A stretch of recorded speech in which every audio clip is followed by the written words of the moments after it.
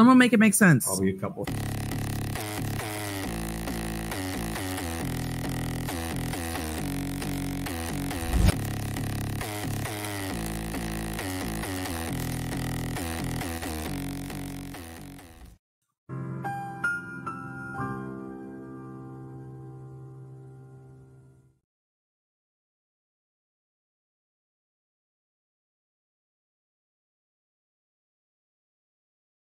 Hello, hello. Can you guys hear me? Let me get some music going. Here we go. Some sweet tunes for the vibes, the sweet squirrel vibes, the chill squirrel vibes. Hopefully, it doesn't make me sound like a robot as it has in the past. We'll see. We'll see how it goes. How you guys doing on this beautiful Friday? At least it was beautiful here. Let me get the next file pulled up. So I appreciate y'all's patience. I had some lessons and some violin students, and to accommodate them, I had to push back the stream a little bit, and then I had to get Frodo situated um, so that I could go ahead and do all of the things. So let me pull up our files here. Boom, boom. My coffee's really good today, also, just saying. So let's see, we have. Oh, yeah, jury view. So, yeah, yes, the itinerary for today. So, we are going to start as I find my files here. Um, we are going to be starting with the jury view as promised of Moselle, um, followed by sort of the game plan, followed by uh, Law Squirrel University, we're going to talk about closing arguments, um, by which I mean sort of what makes them different from opening statements and anything else in a trial, um, and also strategies for a successful closing argument, according to the American Bar Association. Um, and we will hear from Creighton in his closing argument and we will have an exciting intermission where we um, have what the truck part three. I hope you guys are ready for that. That's going to be fun. So that we have all to look forward to.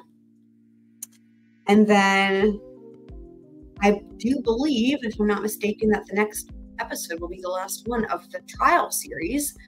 We should be hearing from um, Jim Griffin, um, Mr. Meadors, I think his first name is Jim, but honestly, we never hear them say his first name. So, Mr. Meadors, um, and then we will have jury instructions and reading of the verdict uh, featuring Becky Hill. So, um, I believe we'll be able to probably do, do all of that in the next episode. And then, uh, and then we will be moving on to other things, such as the long anticipated uh, other Murdaugh series, including like Why Maggie and other things, um, as well as coverage of the Chad Daybell trial. Uh, of course, there's also K and many other things. I I always have lots of things in the mix. So let me see what you guys are saying now that I have everything loaded. Wow, that was a lot of separate files, more than usual today. So um, let's all give a big, huge shout out to my wife. I changed her command from T-Pain to wifey because she's now wifey. um, and yes, we all can yell at the moon. We can we can bark at the moon. We can do many things at the yeah. John maybe it is John Meadors. That might be right. And I do think it's spelled um, M A M E A D O R S, but I could be completely wrong. But maybe you're right, John. I was thinking either John or Jim, but I'm like it's hard to know because like there's just so many like other names. Um, bitches ain't shit but hoes and tricks. That's that's a fact. Um, wow, why am I blanking on the name of who does that song? Is that I can hear it in my head. Who, who does that song? Oh my gosh, why can I not remember? Wow, it's been a long day. So, um, with all the news that's been coming out with regarding BK and then also the things happening in the Daybell trial. Thank you. Of course, it's Snoop, right? Of course. See, this is what I'm saying. Proves my point right here because Snoop is my fave. And like that just shows you just how much brain power I've been putting into other things. Because like when I like as I'm here like editing, you know, Murdaugh, right? I'm hearing like all the happenings that are going on with the recent BK filings, and then I'm also listening to like the Daybell trial, and I have like so many thoughts, and it's all things that I'm like, how is no one saying these things? and so, um, in my mind, I'm like, just wait until you cover it, right? But then it's like I can't stop thinking about these things. Yeah, Snoop and Snoop and Dre. It's Snoop and Dre. Yes, right. Yes, yes, yes. yes. By the way, I've seen Snoop live. Um, that was like a bucket list moment for me. Um, it was awesome. It was everything I hoped for and more. He was great. Um, so yes, also we have um, everybody has their commands, as you guys know. Um, we've updated some of them, um, but there's lots going on today on this Friday. I hope you guys had lovely weather. Like we had, like Jesus Christ. Sorry. As I say that, I'm like, look at how long what the truck is. That's insane. Um, I hope you hope you guys had nice weather, um, like we have had here. Um, and there's Super Planner Girls. Um, command courtesy of Daddy Shortnuts, aka DSN. Let's go ahead and do that. And let me see when that pops up. Do, do, do. Yes, there is. Okay, here we go.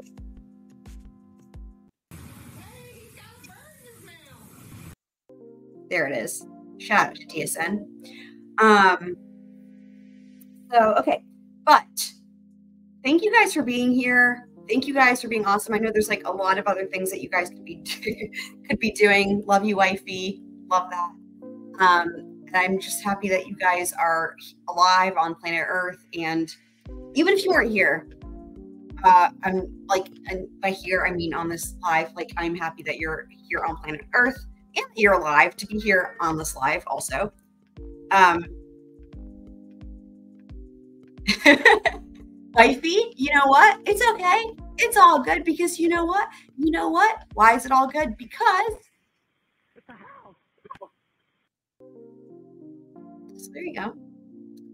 Um, we always have that, no matter what in life. Like there's things we can count on, and that's one of them.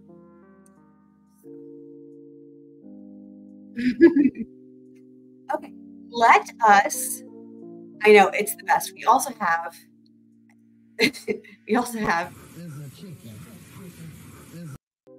And then we can just go right right back into our like chill dance party. Um, but let's go ahead and let me pause this lovely, fun music. Thank you, StreamYard, by the way, for that. Um, and let's go ahead and do our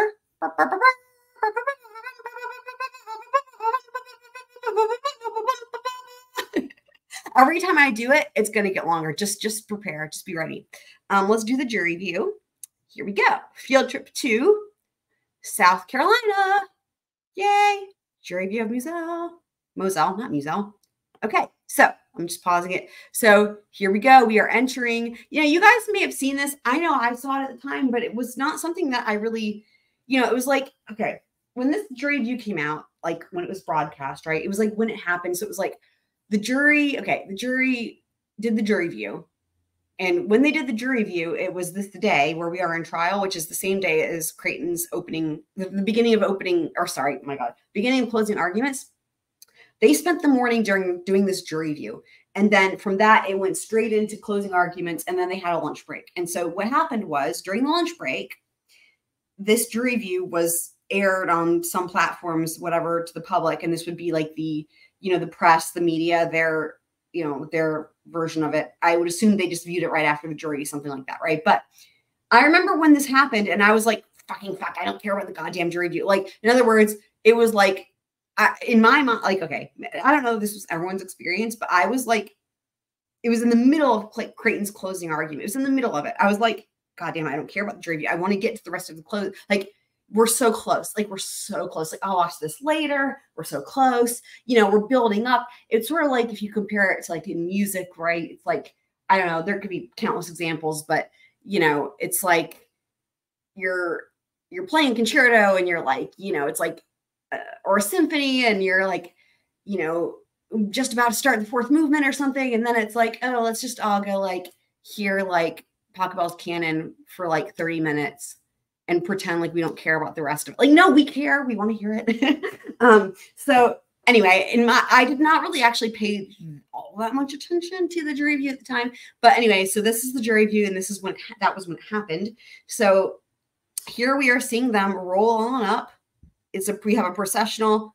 Um, what's a good processional? Okay, hold on. Handel um the water music, the hornpipe. Okay, here we go. Okay, Bum. Oh, hold on. Let me rewind this to the beginning of the jury view for this. Actually, it's too bad. I could get my violin, but I'm not going to go and do all that. But okay. guys ready? Okay. Waiting for it to start again. All right. Bum bum bam bum bum bum bum ba da bum bum bum bum ba da bum bum bum bum bum bum bum bum bum bum bum ba da bum bum bum bum ba da bum bum bum bum bum bum ba da bum bum bum bum bum ba da bum bum bum bum bum ba da bum bum bum bum bum bum bum bum bum bum bum bum bum um um okay only here yeah only here on this channel will you hear someone singing uh, Handel's water music, uh, which has lots of different voices. When I say voices, I mean instruments, um, but in only one voice, and also trying to sing the trills when they also have a violin handy that they could be using. Um, only here, so there's that. Um, but that was supposed to be like uh, their, you know, festive. As for their arrival, oh boy. Um, yes, so Daddy Schwernuts. this is Alex's car with the blue light. Well done. Well done. Well done. Um, yeah. yeah. Yeah. What else? Let me, let me think back to when I played all these weddings. They're always like the processional music. Trumpet voluntary. Let's see, how did that go? Um, anyway, this is a whole this is a whole rabbit hole. And honestly, it, it's nonsense with me singing it. I should play it on violin if I'm going to do it. But again, this is just we're here. Look, they've already arrived. We did the percent. We did the music. Kind of. So here they're pulling up. There we go. Okay, so there's the hangar. We've seen this before. I played a little bit of this before um, when we were talking about the proximity to the shed. Kennels there. There's the infamous dog house. And there's, of course, the shed, which we all thought was the cabin for the longest time because why? It looks like a cabin. That's why. There's somebody. Hi.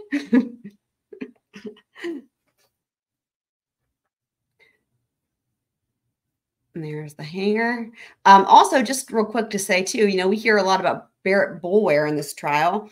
This property, for those of you who missed it, was owned by Barrett Boulware um, prior to Alex. And Barrett Boulware was not just Alex's friend who he stole from, who didn't, he also died of cancer too. But word on the street and by street, I mean uh, country road in South Carolina, um, is that Barrett Boulware was like a big time. I okay, let me just preface this. Um, unlike EDB, I don't have a soundboard with sound effects, so I'm just going to do them all myself um, using my mouth. That's what she said. Uh, word on the street is that Barrett Boulware was some sort of a drug dealer, person, like somewhat, I don't know, well known, notorious, however you want to call it, like in the 80s. I feel like the word on the street again was it was like cocaine. And again, word on the street, bunny ears, all the all the disclaimers was that he was he had this private prop this air this is, was an airplane hangar, right? That's the point. That he could fly planes in and out and like for the millionth time, the other word on the street was like he was hosting big time drug dealers from cartels in Colombia that were bringing in cocaine and they were flying. Can you imagine? Okay, just imagine if you're some sort of fancy pants, you know, cocaine aficionado, member of the cartel. You're out of Colombia. We all can picture that from various TV shows slash movies.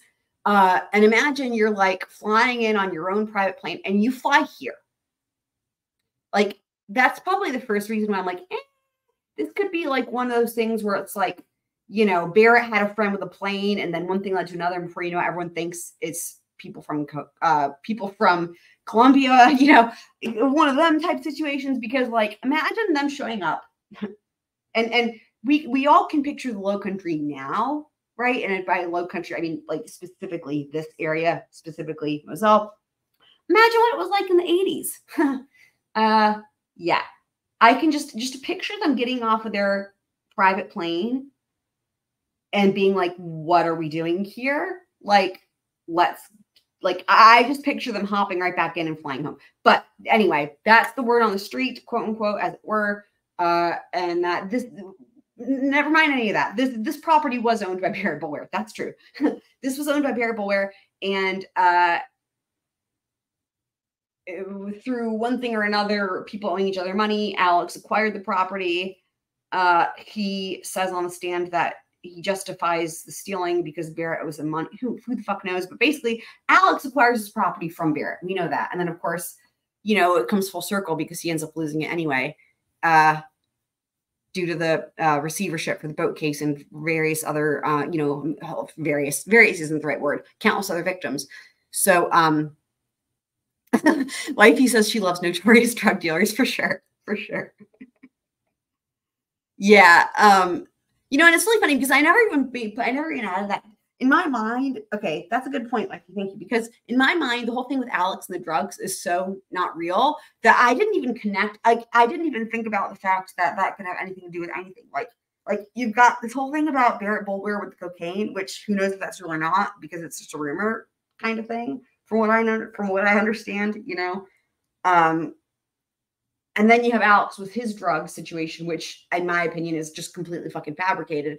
So I never even thought about the funny, the, the irony that there's anything in common there. But thank you for pointing that out. That drugs are a commonality between those two stories. Um, and between the two, no one's asking. But if in case anyone does ask ever, just go ahead and say it between the two stories uh, of Barrett Boulware, you know, I just I try to picture him. I've never looked him up. I try to picture him. I can picture what he looks like, and like here he is, and like just we we heard his whole life story. Do you guys remember when it was objected to, uh, and like the whole life story, and then Creighton was like, um, you know, go ahead, you know, and and then Alex was telling the whole. This was like the very beginning of a or cross examination when Alex was on the stand, and he was like, "We got the whole story about Barrett Boulware being a shrimper. You guys remember that?" So I have my whole image in my mind of Barrett Boulware and like his whole thing.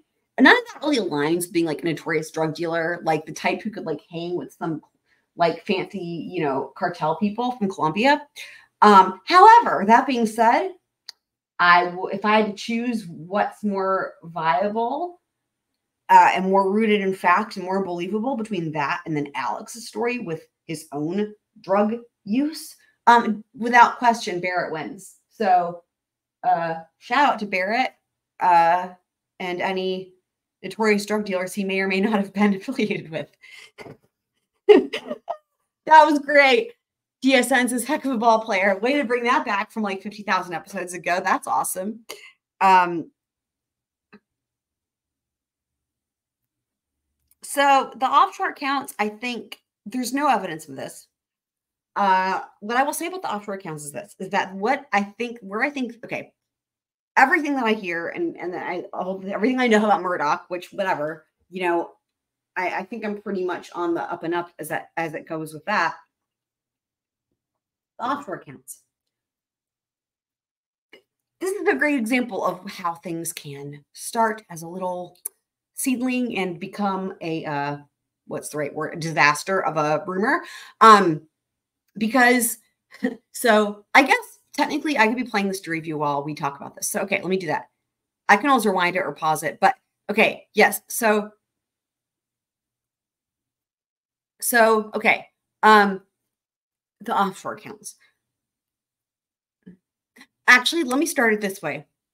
When do you guys remember? When was the first thing, or what was the first uh, circumstance in which you guys heard anything about an offshore account ever existing? Besides just like someone saying, hey, maybe there's an offshore account. Like, when did you guys do? Do you guys remember when was the first time you heard it? Like, anybody talking about it and what the context was?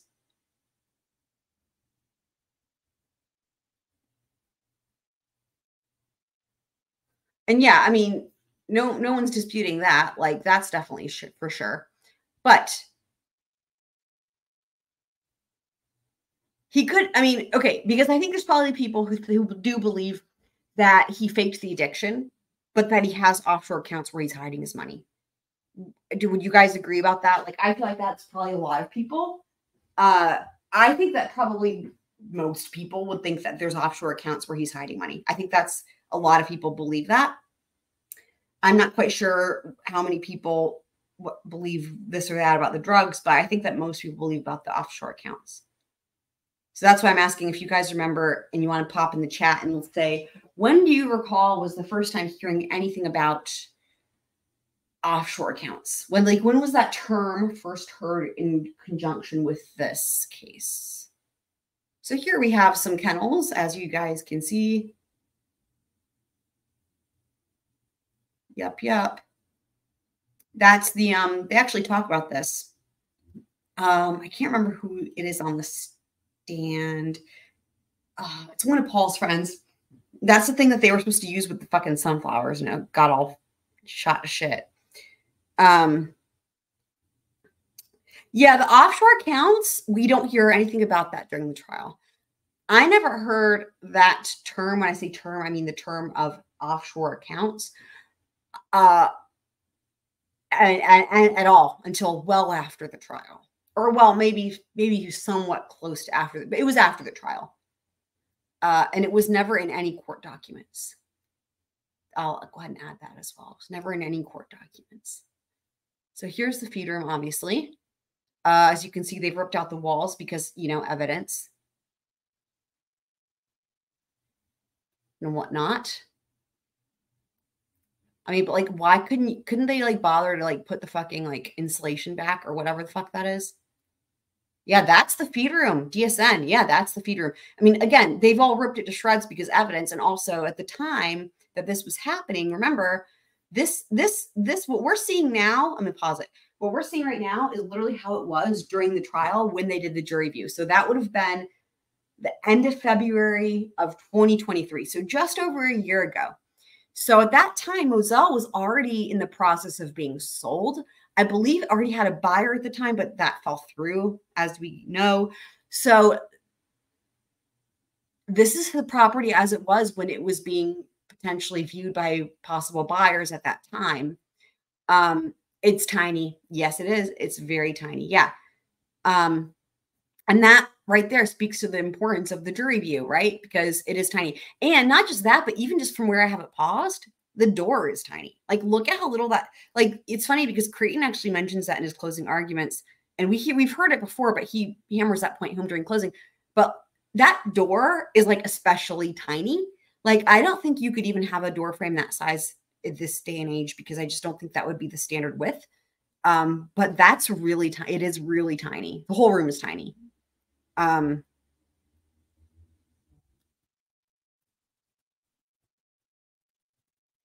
Hundred percent, it's a death trap, definitely.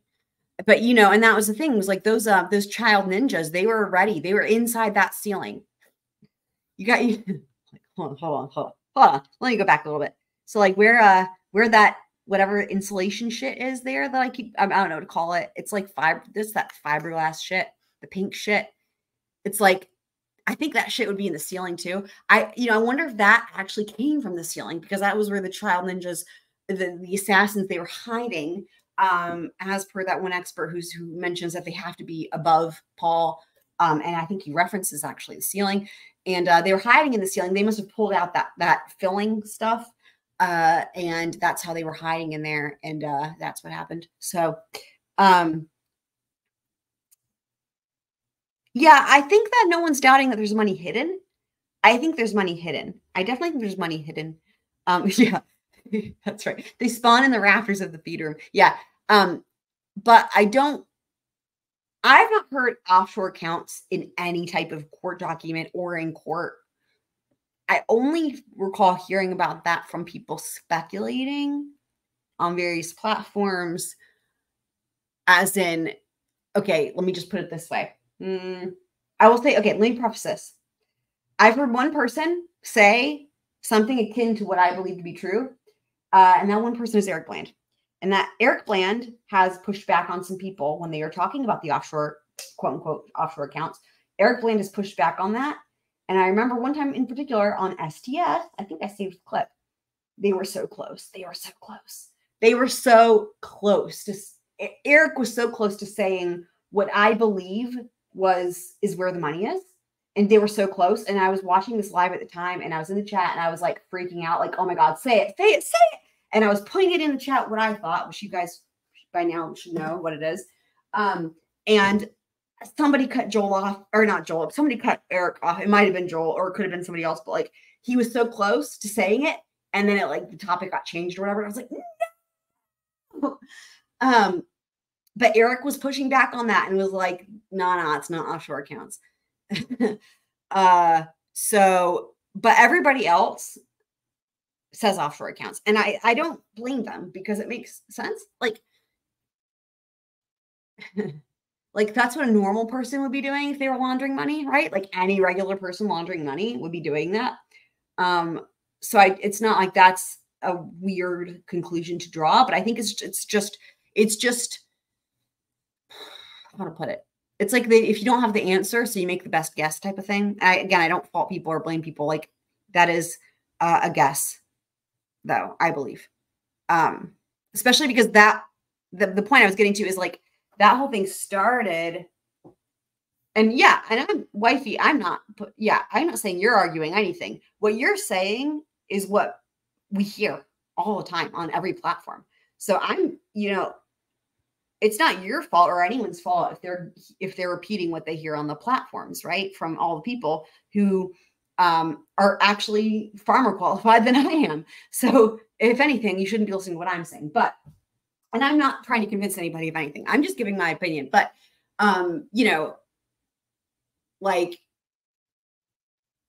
that's that's part of the challenge, right? Because it's like, well, I mean, this has happened to me, and I'm sure all of you guys, where it's like you hear something from a trusted source, um, and it sounds legitimate, you know, and like so you don't go and fact check it because why would you? And again, all of this, this is very, and there's that Buster thing, you know, all of that is totally fine. Like, um, and I've had to do this with this, even with Murdaugh, time and time again. I've pointed it pointed it out throughout this entire series where it's like I keep assuming things are true. And I'm like, wait, wait, hold on, wait, wait, wait. We just heard this in trial.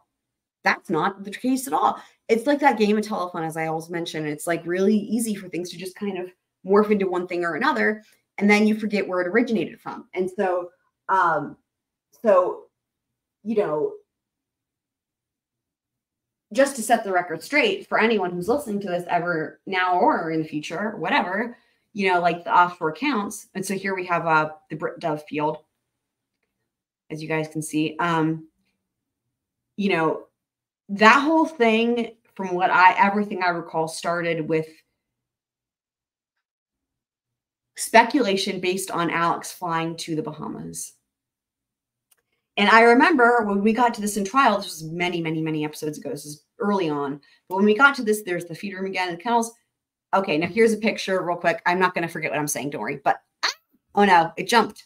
It jumped. Or rather, I clicked on the thing. Okay, let's, let's here we go. We're going to see what we were seeing again. But so, uh, okay, we're almost there. That's the chicken coop. There's where the chicken was, the dead chicken. There's the feed room kennels. Okay, so this picture. So this picture was taken from the Associated Press. This is from behind the kennels, as y'all can see. And then here's the other picture I wanted to show you guys from this. I don't know. This really touched me, like to see this picture this was taken again from the Associated Press. So, like, this is what's so eerie about this property. It's eerie because there's a lot of things that are just left as it were. Like, it's really bizarre. Like, if you guys noticed on all of the dog kennel things, there's like each one has like a pail and then a bowl. there's just things that are just left there. It's like when you get all your shit to move out, but like you leave certain things behind. And that's the thing, like the Buster thing, it would be another example. The things that are left behind. Like that's the thing that sticks out with me about this jury view, the things that are left behind that no one bothered to take. Uh because I they didn't have the, enough value or they just didn't have the resources because as we all know, like most of the family's dead by now, slash in prison. Uh, and it's a huge property and there was more than one property. And I don't know that Buster, I mean, Buster shouldn't have been responsible for it anyway. But my point is this is that this dog toy is a chicken. It's a stuffed chicken. It's probably got a squeaker inside. It's it's a lot because it's like sad, but it's also kind of funny and ironic, but it's also just sad that it's still there, like as it was, and no one bothered to even take it out of that thing. And it, at that at this point, it's been when this when this footage was taken, it had been almost two years since the murders, and that's still there.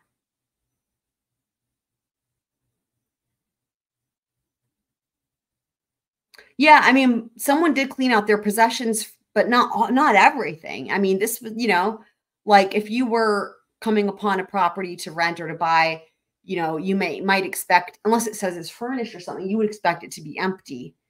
Uh, but this this was uh not, you know, and we don't know what the interior of the house looked like. Who knows? There could be stuff in there too, but like like you know, again, like if I go back like throughout, let me go back here. So like like that that thing, the red thing, whatever you call that, that's some sort of farm equipment thing. They didn't take that away. Look at all the shit that's still there. The tractor is still there.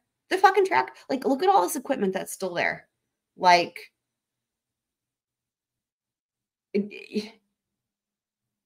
which for some people could be this could be considered a burden. Look at all the shit that's still there: flower pots, pails, buckets, whatever the fuck, you know. Because some people wouldn't want to have to have someone else's shit there's that that thing that pot is full of standing water that's going to be a mosquito farm come summertime wouldn't want that uh there's the quail pen famous quail pen uh you know feed rooms the feed room's empty I'll, i will say that they did empty that out uh but like there's just still shit left behind and then of course we have that bicycle by the way i'm sure is a goddamn prop which just annoys me but then there's that which I don't think is a prop because I don't know that anyone would have that. I, I must be some sort of another planter type thing.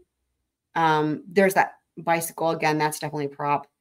Uh, and then, and I wouldn't be surprised if the media brought that to take pictures with.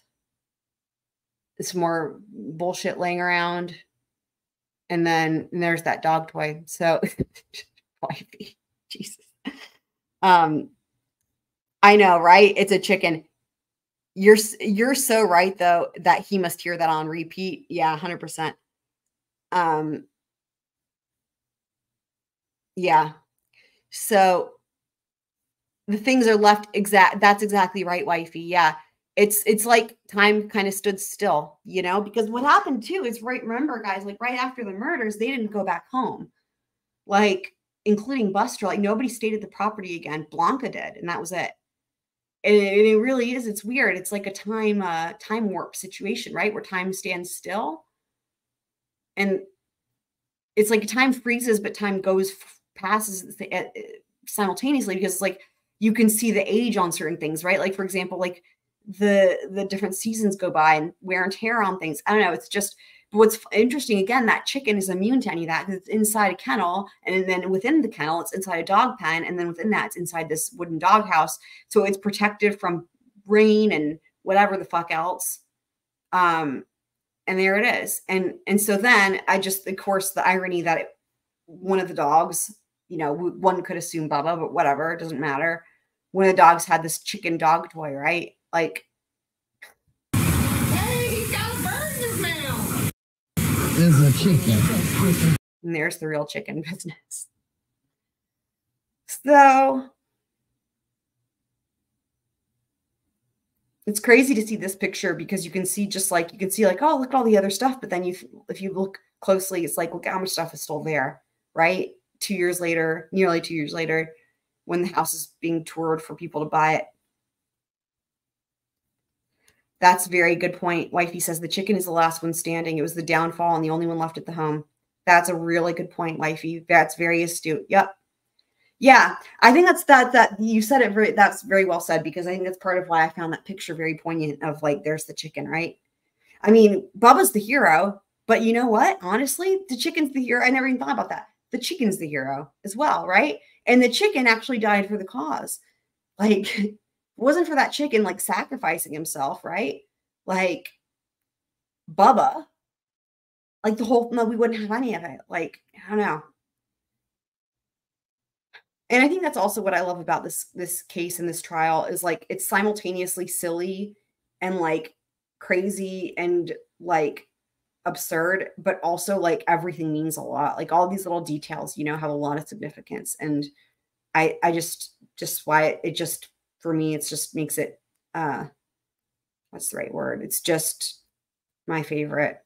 I mean, favorite, you know, you guys know what I mean. I don't need to explain that. And DSN says not all heroes have feathers, but some do. 100%. That's 100% correct. Yeah. 100% yes. yeah, that chicken. Man, sacrifice. And there, I mean, there's the chicken. Like there's there, there's the hero. Like fuck, like look. On top of that dog crate, that chicken. That chicken. You guys, like, seriously, if it wasn't for that chicken. Ugh. We might not even had a trial. And Alex might still be, my God, doing no who who could even imagine what, right? Like how can you even go downhill from here? But he would find a way. It is the case that keeps on giving. That is absolutely 100% accurately accurate accurate. Um yes. So um yeah. All right. So now let's take a look at our closing arguments presentation. So we have Law Squirrel University. Hold on. That happened really fast. there it is. Law Squirrel University Education Powered by Squirrels. Because learning is squirreling. All right. What makes closing arguments different? From the ABA, American Bar Association. By the way, I'm shocked that in all these presentations that I've done, I've at least I haven't noticed. You guys let me know. I won't be offended, but I have not noticed a single typo or like spelling error or even just like an accidental typo, which it's it's it's only a matter of time. I, and I'm probably jinxing, jinxing myself by saying that, but I keep thinking like I'm really surprised that there hasn't been something right. Um, absolutely. The more you scroll, the more you scroll. Yes, yes, yes. Um, so ABA, American Bar Association, we're going to have some nice learning here. All right. So what makes closing arguments different? So the law, so this is actually important because we have all these trials going on right now, and we have other trials that are about to start, and everybody's following different trials, blah blah. And we have opening statements and we have closing arguments, right? And and uh, people actually get them confused. I've actually heard even uh, you know, what what do they call them, pundits or what have you on like Court TV or Law and Crime and various other platforms I've even heard them get it confused and call it opening arguments or closing statements, which just goes to show how much confusion there is on the matter. So let's set it straight once and for all. Um, opening statements, closing arguments. The key word is argument. And remember, think of it this way think about when you hear all of your objections. One of the objections that you hear that we have is argumentative. So, objection argumentative. Um, or you hear other things we're talking about argument. They don't just mean arguing like the way you would with your parents or your brother or your spouse, right? Um, it's it's how to say it. It's in a way, it's kind of more opinion based, right? Um, it's it's more you know there's more narrative involved right from your own point of view for example so closing arguments is the only time when they can properly argue, they're allowed to argue, right? Like if they're arguing during the trial and they get away with it, it's because no one objected. But they're but but but if they're arguing, it's objectionable. Somebody should object and it should be sustained. Just saying. So um the lawyer's closing arguments or summations discuss the evidence and properly drawn inferences. The lawyers cannot talk about issues outside the case or evidence that was not presented. So that's important keep this in mind as we go into closing arguments, especially as we get into Jim Griffin, which will be next episode. But let me repeat that. The lawyers can't talk about issues outside the case or evidence that was not presented. Hear me now when I say this. They're not even during closing arguments, they are not supposed to be talking about evidence that was not presented in the trial. Point blank. Okay. The judge usually indicates to the lawyers before closing, closing arguments which instructions he or she intends to give the jury. In their closing arguments, the lawyers can comment on the jury instructions and relate them to the evidence. All right, so let's go ahead and get another thing out of the way. So, jury instructions. There's a variety of way that these are done. Sometimes you will see the jury instructions given to the jury prior to uh, prior to closing arguments. Other times, closing arguments come first.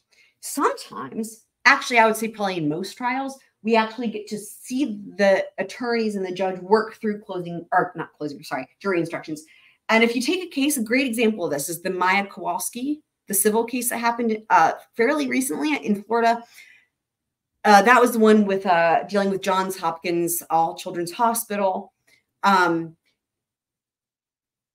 that case is really educational because, or that trial is really educational because you really see the nitty gritty. Like you've got Johns Hopkins, which has a fucking whole fucking team with infinite resources, right? Um, and then you have Maya Kowalski's team, which is small, right? Um, but they're workhorses and they're working really hard. And and they would have known, and the everyone going into this trial would have known what they're up against with Johns Hopkins and the fact that they've just got like an infinite number of attorneys just at all times, just you know, endless resources and it's just a machine for this type of thing and um and so uh so anyway but my point is like in this in, in that case they were working on jury instructions since before the trial fucking started like you can watch their different like hearings and their motions prior to the trial starting they're already I mean, we usually hear it's not uncommon, right? We'll hear things where it's like they're already getting things ready for the appellate record. And that's in every, you know, whether it's criminal or civil. That's typical. But in this case, they're already thinking ahead to jury instructions. I've it's really unusual. Like they're arguing things with that in mind. They're not even concerned about a verdict. It's like that doesn't even fucking matter. It's really crazy. And so then when they finally get to actually like towards the end of the trial, you know, the court devotes like a couple hours like every morning and then like one full weekday a week just to work on the jury instructions and then approaching closing arguments it's like more than that. And then like when they actually get to like the part where they're actually they've actually submitted their each side has submitted their proposed you know uh jury instructions right? The judge reads it and then they argue over i mean it's it's it's such a lengthy process. Um it's really crazy. And then the judge reading the jury instructions was like you know again hours and hours and hours. It was amazing. Hi addie we're glad you're here hello, hello, hello. Um, and so anyway, but so my point is like the jury instructions are a really big deal and they can be done in a myriad of ways. Like in the, and the reason I was mentioning that is because in the Murdaugh trial, we actually didn't hear them working on jury instructions. I don't know what the deal was. Like it's entirely possible they like did like a spit handshake because here we are, it's low country, right? We know they have their own like culture. Like who knows? Like a spit hand- handshake, swap a chicken with a rooster, we're all good. Who knows, right? Like they did things completely differently in this trial with this court. And it, for them, it was all normal. Like the list is endless of differences that you'll never see again in another fucking trial. Like just they just do things their own way. Um and and nobody's confused. Like everyone elsewhere is confused, but no one there is confused because this is what's normal for them. So that's a cultural thing. So it was really interesting because we don't actually hear any discussion about the jury instructions or we don't see any argument over the jury instructions. And as we know, what's interesting is everything in that trial was on the fucking record. They didn't, they had, um, I counted it two sidebars the entire trial and they were brief. And other than that, they had what, two or three in camera hearings during the trial? But we found out after the fact what those were. They were all about the fucking egg lady juror. Um, and then other than that, everything else was on the record for cameras. You know what they would do is if they were going to argue, they just dismissed the jury. We heard all of it. And so I think it's really funny because it's like clearly the transparency was really important. So the fact that we didn't see anything about them arguing jury instructions makes me think there just wasn't any, which is really weird. And I've never even thought to inquire about that. And I don't even know who I would inquire to. And if you're listening. Um, but uh anyway, so but yeah, so jury instructions, so, so they, all have their own way of doing things and they can be read read to the jury. They're usually argued well before you have closing arguments, right? But then they can be read to the jury before closing arguments or after. And a lot of courts and, and a lot of attorneys would prefer for them to be read to the jury before closing arguments because of what I just said here, which is that the attorneys like to be able to refer back to the jury instructions. And we hear this in a lot of trials where they're like, they walk them through it, right? Each each side, right? Each attorney goes through and says, so now when you get to question 1B, and it's especially common when you've got really complicated charges.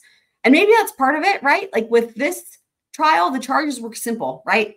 It wasn't a lot of uh like just because it's happening right now in my mind, I'm thinking like Lori Vallow would be an example uh of of more complicated, not not even the most, but just in terms of again, just on the forefront of my mind, where there were a number of different charges for each victim. And you could you could actually where it gets more complicated is when you have multiple options per thing. So it's like you know for tammy daybell as an example there were like multiple different options they could go with uh and i think even with the kids. And then then there were like other things. There was like for the fact of like stealing the money there was like what was a grand theft. I mean it, but that's not even the most complicated. Like again if you want a great example the maya kowalski um that that those were complicated. That was much more complicated. There and I love a complicated jury instruction because I love, I think to me, it really is so fascinating how they have to use the, you know, the law. They have to try to make it simple so that anyone can understand it, right? And like you follow like logically if then, right? Um, so I think it's really fascinating to hear the process of how they work it out and then how they and how it ends up in the final document. Um, so um, so yeah, so but it's interesting because we just don't hear them argue about it. And again, in this trial, Murdaugh, they don't read the uh, Judge Newman doesn't read the jury instructions until after the closing arguments. But this is still true. The lawyers can still comment on the jury instructions. So the lawyers know what the jury instructions are. They can still comment on them. I I do think it's helpful, in my opinion, for jury instructions to be given before closing arguments, because that way the jury hasn't, you know, they have a really clear idea. And, and, again, in this trial, it wasn't, I don't think it really made a difference because the charges were very simple, right? It was like homicide, and then it was like, you know, homicide with a deadly weapon or whatever, uh, possession of a deadly weapon during the homicide. You know, it was so, you know, there it's like, okay. But, but, you know, if it gets more complicated than that, I think it helps to have them ahead of time for the jury if you're going to want to go through them or refer to them in any way during your closing argument, which I think is a great idea, right? walk them through. Your opening statement, you want to walk the jury through what the evidence is going to show based on your side's theory of the case. Closing arguments, you want to argue to them what the evidence showed, but also, I think more importantly, like all the attorneys that I love, they will say the same thing. You're what you're trying to do in your closing argument. You want to you, you're okay in your mind. You are imagining that you've got at least one juror on that jury who's on your side, right? That's what you're thinking. You have a juror who's on your side. And I guess this might be maybe more so for the defense because if you're on the if you're a plaintiff or if you're the prosecution, depending on if it's civil or criminal, you know, you're really hoping that probably everybody or most everybody's is is siding with your side, your side's story or your side's theory of the case. Um, but regardless, you want to, they also you want to arm that juror, the juror who's on your side. And I guess even if you want to assume just in case, right? So it's like, even at, okay, maybe for, even if you're the prosecution, if you you you you're probably safer going into it, imagining that eleven of the twelve jurors aren't quite sure or they aren't there yet, but there's one juror who is, and you're speaking to that one juror because just in case that's your worst case scenario, right? So you're speaking to that one juror and you want to arm them with what they will need to go back and convince their other jurors. So here's the deal with the whole thing with the deliberation process. When juror, juries, jury panels are picked, they're looking for different personality characteristics. And so it goes beyond, in terms of what it goes beyond uh, have you heard anything about the case, blah, blah, blah, blah, your demographics. When they're really getting into the nitty gritty, they're looking for personality types and they want a leader. They want a leader. And whatever side you're on wants a leader who you think is in favor of your side. But eh, and, and, this is really true for like any group. If you find a group, there's going to be a leader, right? Like even look at your TV shows or movies where people are trapped in a deadly situation. You know, a leader, right? Somebody's going to have to take charge. And when it's a group of strangers that are put in a situation where no one has any experience, and that's what being on a jury is. And so you want to speak to that leader who's going to be able to convince, because that's part of deliberations. Remember, it's okay for your fellow jurors to to, to make a, a, reasonable argument where you change your mind that's allowed. It's not allowed for anyone else, aka Becky Hill, to do that. So you want to speak to that juror who's going to be persuasive, who's going to stand their ground. And instead of being the one to be like, oh, yeah, maybe I can see it that way. Okay, I'll compromise. You want to speak to that juror who's going to be like, yep, this is it. You guys, let me explain this to you in a way that makes sense, blah, blah. And that's how the deliberation process works. So you are, again, opening statements, you are going to give the jury a roadmap of what you believe your side's your side believes the evidence is going to show in terms of the theory of the case, what you believe the, ev- the evidence will show, and you give them a roadmap. And then in, in closing arguments, you want to give them a roadmap as to you're really again really if you're putting if you're going down to brass tacks you're speaking to that one to that juror that one juror or two jurors probably one juror who you believe is going to be the leader and who is going to, you want to arm them with the argument that they can take back to that jury room when they go to deliberate. And that's the whole thing. That's the name of the game. All right. So um, the lawyer for the plaintiff or government usually goes first. Sometimes I'm like, wow, I can't believe I have so much to say on some of this stuff, but like apparently I do. Um, the lawyer sums up and comments on the evidence in the most favorable light for his or her side, showing how it proved what he or she had to prove to prevail in the case. So they're basically going to comment on the evidence. We know that. That's common sense. All right. After that side has made its case, pause, pause, pause. Okay. After that side has made its case, the defense then presents its closing arguments. The defense lawyer usually answers statements made in the plaintiff's or government's argument, points out defects in their case, and sums up the facts favorable to his or client. Again, the reason why it says plaintiffs or governments, we've talked about this before. Remember, in a civil trial, plaintiff and defendant. Plaintiff brings the complaint, defendant is defending themselves against the complaint. In a, in a criminal trial, the government is the plaintiff, right? The prosecution is the plaintiff, one and the same. Government, prosecution, plaintiff, they're it's the same, same, same, because they're the ones who are bringing the charges, they're the ones complaining. So that's why it says plaintiff or government. So if you hear plaintiff, it can only be a civil trial. If you're government, it can only be a criminal trial. Um, but they have the same function in terms of they're the ones bringing the complaint, bringing the charges. Because the plaintiff or government has the burden of proof, the lawyer for that side is then entitled to make a concluding argument, sometimes called a rebuttal. And we hear this in this trial. Uh, this is a chance to respond to the defendant's points and make one final appeal to the jury. Occasionally, the defense may choose not to make a closing. This this is interesting because we don't see this very often, so it's good to know. Occasionally, the defense may choose not to make a closing statement. If so, the plaintiff or government loses the right to make a second argument. So, in other words, if the defense does not make a closing argument, no rebuttal for the prosecution or for the plaintiff. So, good to know. All right. Strategies for successful closing arguments. Again, according to the ABA, American Bar Association. All right. Start communicating the trial theme during voir dire. Studies have shown that often jurors decide who they think should win after voir dire. And it, well, as I'm reading that, I'm like, yeah, of course they do, but they shouldn't. They shouldn't. They're not supposed to. But. Establish credibility. You want to hook jurors with your opening statement. A good opening statement demonstrates your sincerity, knowledge of the facts, confidence, and likability all at the same time. Or if you're pute, uh, dislikability on purpose. It's a strategy, I guess.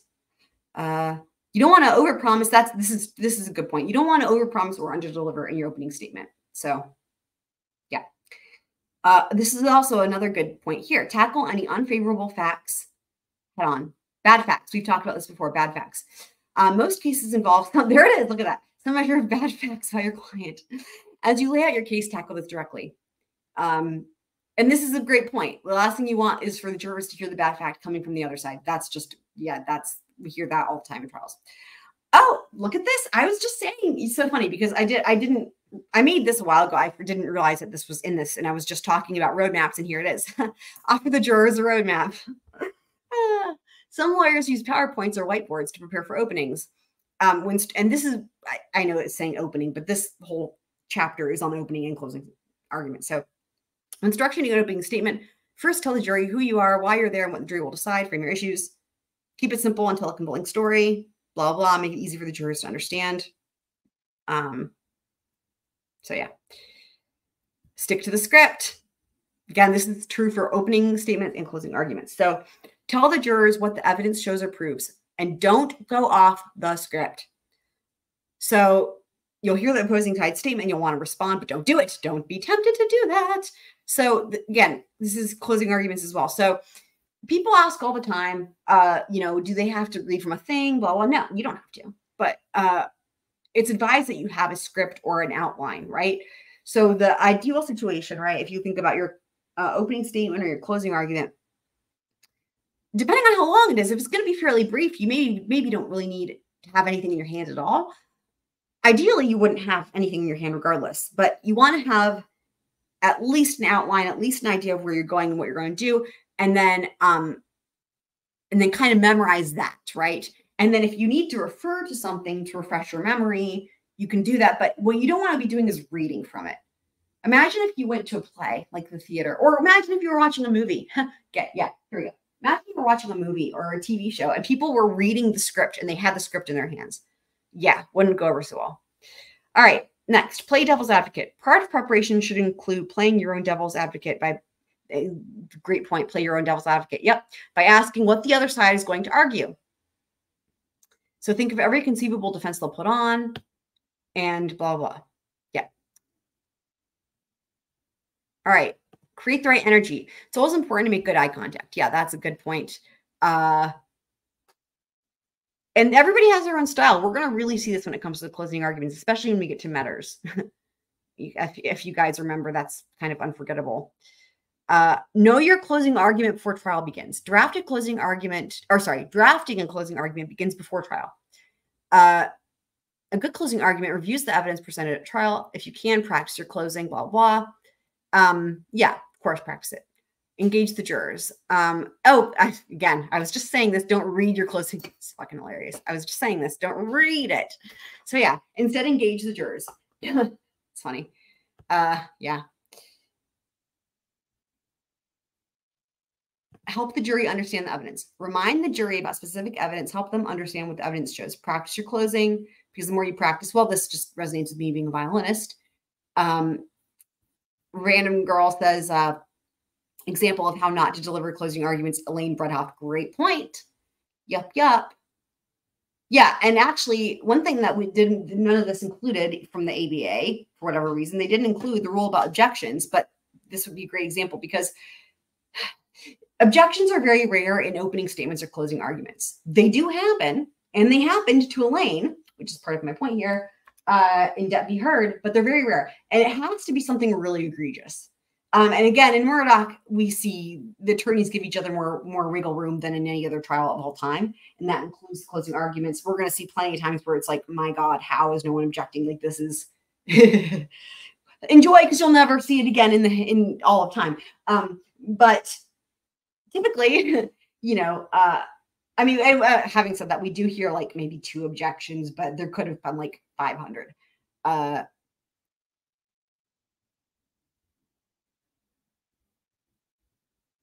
oh, I'm sorry, Super Planner Girl's not feeling fancy. I hope I don't I don't know. I hope I hope uh hope that hope you're okay.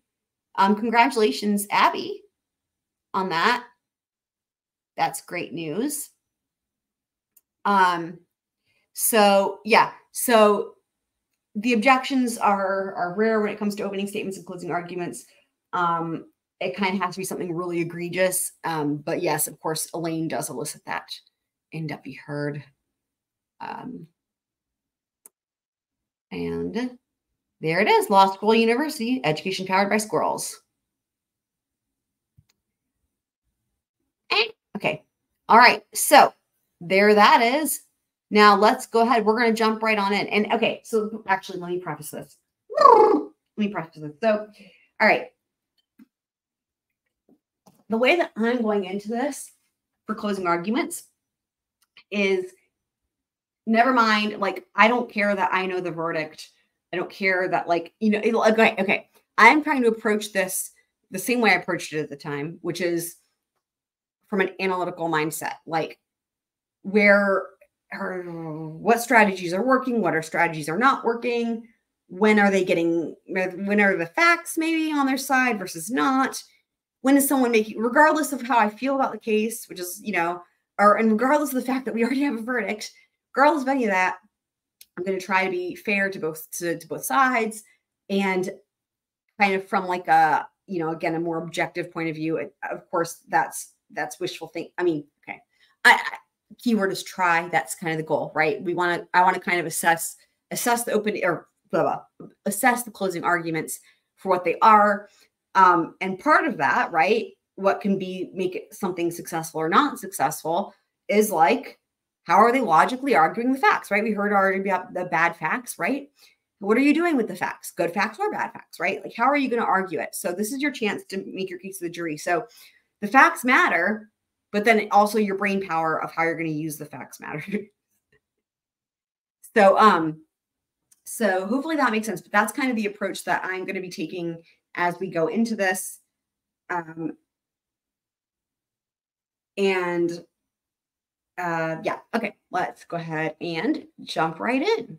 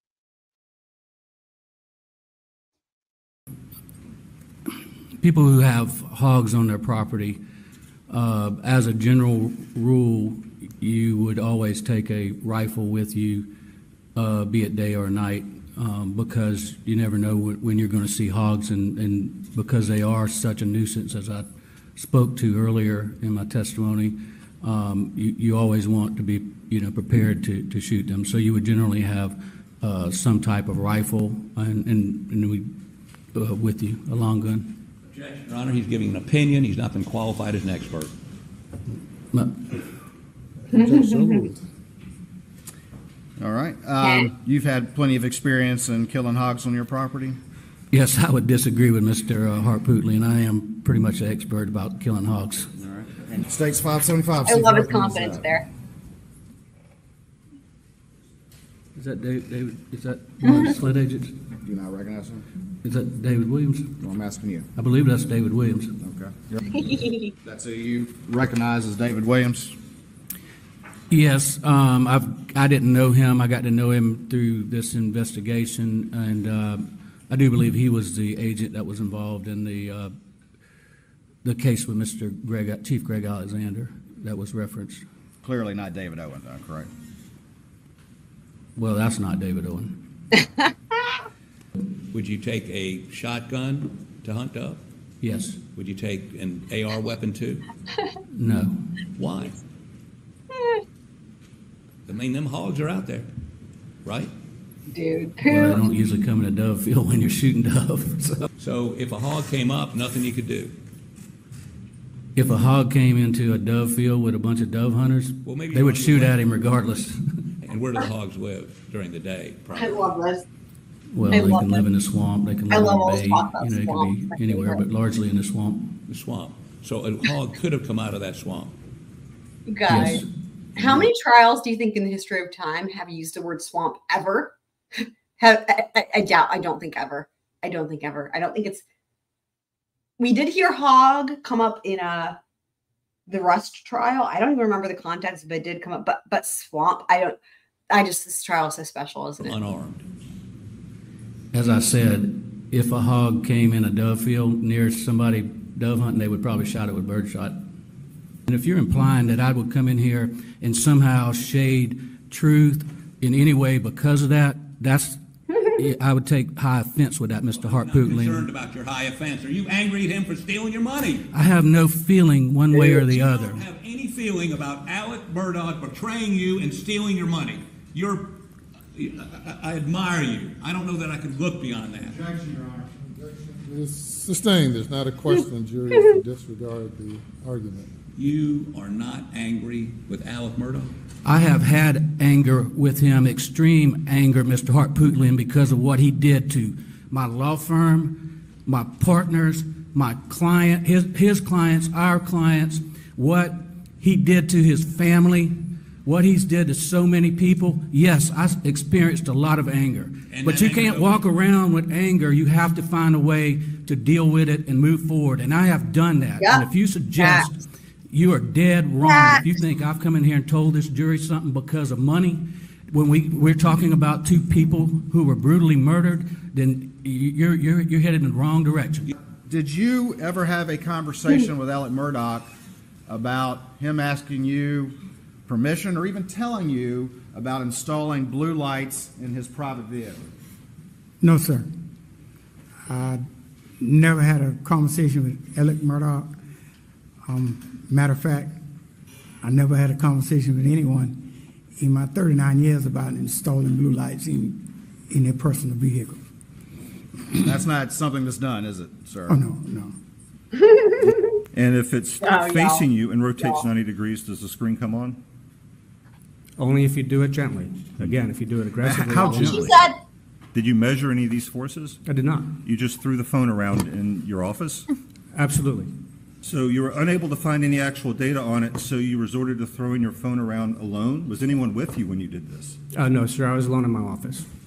That's what she said. So you're alone in your office, throwing the phone around, taking no measurements, recording nothing over the weekend, and then you come in here and testify as an expert as to what the phone will do, That's correct. and testify that it's different than what we've seen it do right here in this courtroom. That's correct. Uh, do you ever shoot hogs and other nuisance creatures? A bunch of them. And when you're riding around looking for hogs, what uh, um, can you do that in the daytime? Yes, And uh, is it not uncommon to see hogs during the daytime? I I shot, two weeks ago, I shot five During the daytime. during the day, 4:30. Behind the Moselle residence, I think there, there's a river. Well, there's a swamp. The and- swamp and then again. the We go big in the Salk swamp Action again. Is back in there. So the, the, the swamp begins know, behind the right? house and goes, I don't know, is that west? sort of south. If, if, if the runway's running east and west. then- Okay. Then it would be, um, But, south. But the swamp is all, is behind the house. It's behind the house. Okay. And all the hogs are gonna be behind the house. Mm-hmm. They're, they're all over. They, they follow, there's a watershed ditch in there. They follow wherever, but predominantly they, they seek refuge or, or whatnot in, in the swamp, but they can be anywhere. I have them, you know, there's gum ponds and every place else, and they, they just trample Sure. wherever they want to go. But you're right, by and large, they're, they're in the, the swamp because it's wooded Right. and And, thick. and in, in the month of June, like, pretty warm, is it not? It, it usually is here in South Carolina. Yes, it is. And do hogs like stay in the swamp more in the, s- Not- in the summer? swamp talk is the best. I haven't noticed that, and I've killed probably well over a thousand hogs. All right. Um, He's a and hog. so we trap them all the way through. I mean, I've got two traps, and well, actually, I got six traps. But I mean, I trap, trap them, I shoot them. You know, if, they're just a scourge. They eat everything. They root up your roads. They they get in your pine trees when they're little. They'll root them up. They're they're a teetotal nuisance. I I carry a gun with me most of the time. Woody, can you describe what this photo is? Yes, sir. That is a computer animated drawing of some potential so I've been like, I don't know. Sometimes, sometimes it's like my my uh, sometimes my brain in my mouth thinks in Russian, and speaks in Russian. So I'm I've been doing this today where like sometimes I'm just like thinking in Russian. So uh if you guys ever want to no no I, I assume people are figuring out what I mean with like context clues, but like you know um yeah basically I'm responding with like normal things but just in Russian. So if anyone's curious, that's Cyrillic in the chat. Uh for example, Konechna. trajectories into that quail pen. And the two gray boys here, are they? yes. They are uh, Yes. They're two figures that were placed in that CAD uh, presentation to represent shooters. And describe what this is? This is one Yes, I agree, Super Planner Girl. I there's a lot of really cool words in Russian. So Konechna, so that means of course. I can't remember if I already said that, but yeah. Uh, in my, again, in my, in my mind, it's like sometimes it's hard to remember because I'm thinking of both translations at the same time. So Konechna means of course. There's a lot of really cool words though. Um, like yeah, yeah. So I won't get I won't I won't start because then we'll be on the whole thing. yeah, the two I the two great. I know it's so completely unexpected, right? With the AG. Let's just hear that again because it's so good. My lubimaya chest. And in, in the month of June, I, Oh, let me go pretty for a little bit. warm, is it not? Well, actually, I got six traps, but I mean, I trap, trap them, I shoot them, you know, if- they're just a scourge. They eat everything, they root up your roads, they're, they get in your pine trees when they're little, they'll root them up. They're, they're a teetotal nuisance. I, I carry a gun with me most of the time. Forty, can you describe what this photo is? Yes, sir. That is a computer animated drawing of some potential trajectories into that quail pen. And the two gray boys here, what are they? They are uh, they're two figures that were placed in that CAD uh, presentation to represent shooters. And describe what this is? This is one uh, animated suspect, I guess, or shooter placed in a similar CAD drawing, photograph, animation. So, so if you're coming out of threat, so you get, you're gonna get down. Down? Yeah, get down. Almost to the ground. And over like this? Dude, this part you guys shoot. All the way. Yeah, Look how feeble. It's amazing. It's my Probably favorite need to thing. get down further, but you probably can't do that. But the shot to the head as it's coming out, right? I can't. Boom. He'd have to be twisted this way for it to work out with the arm. if that was the- Okay. Yes, sir. But that, that's fine.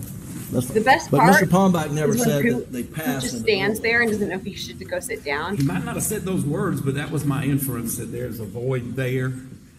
And when he's in the picture holding his hands here, I- I Right. took that to be Paul's head.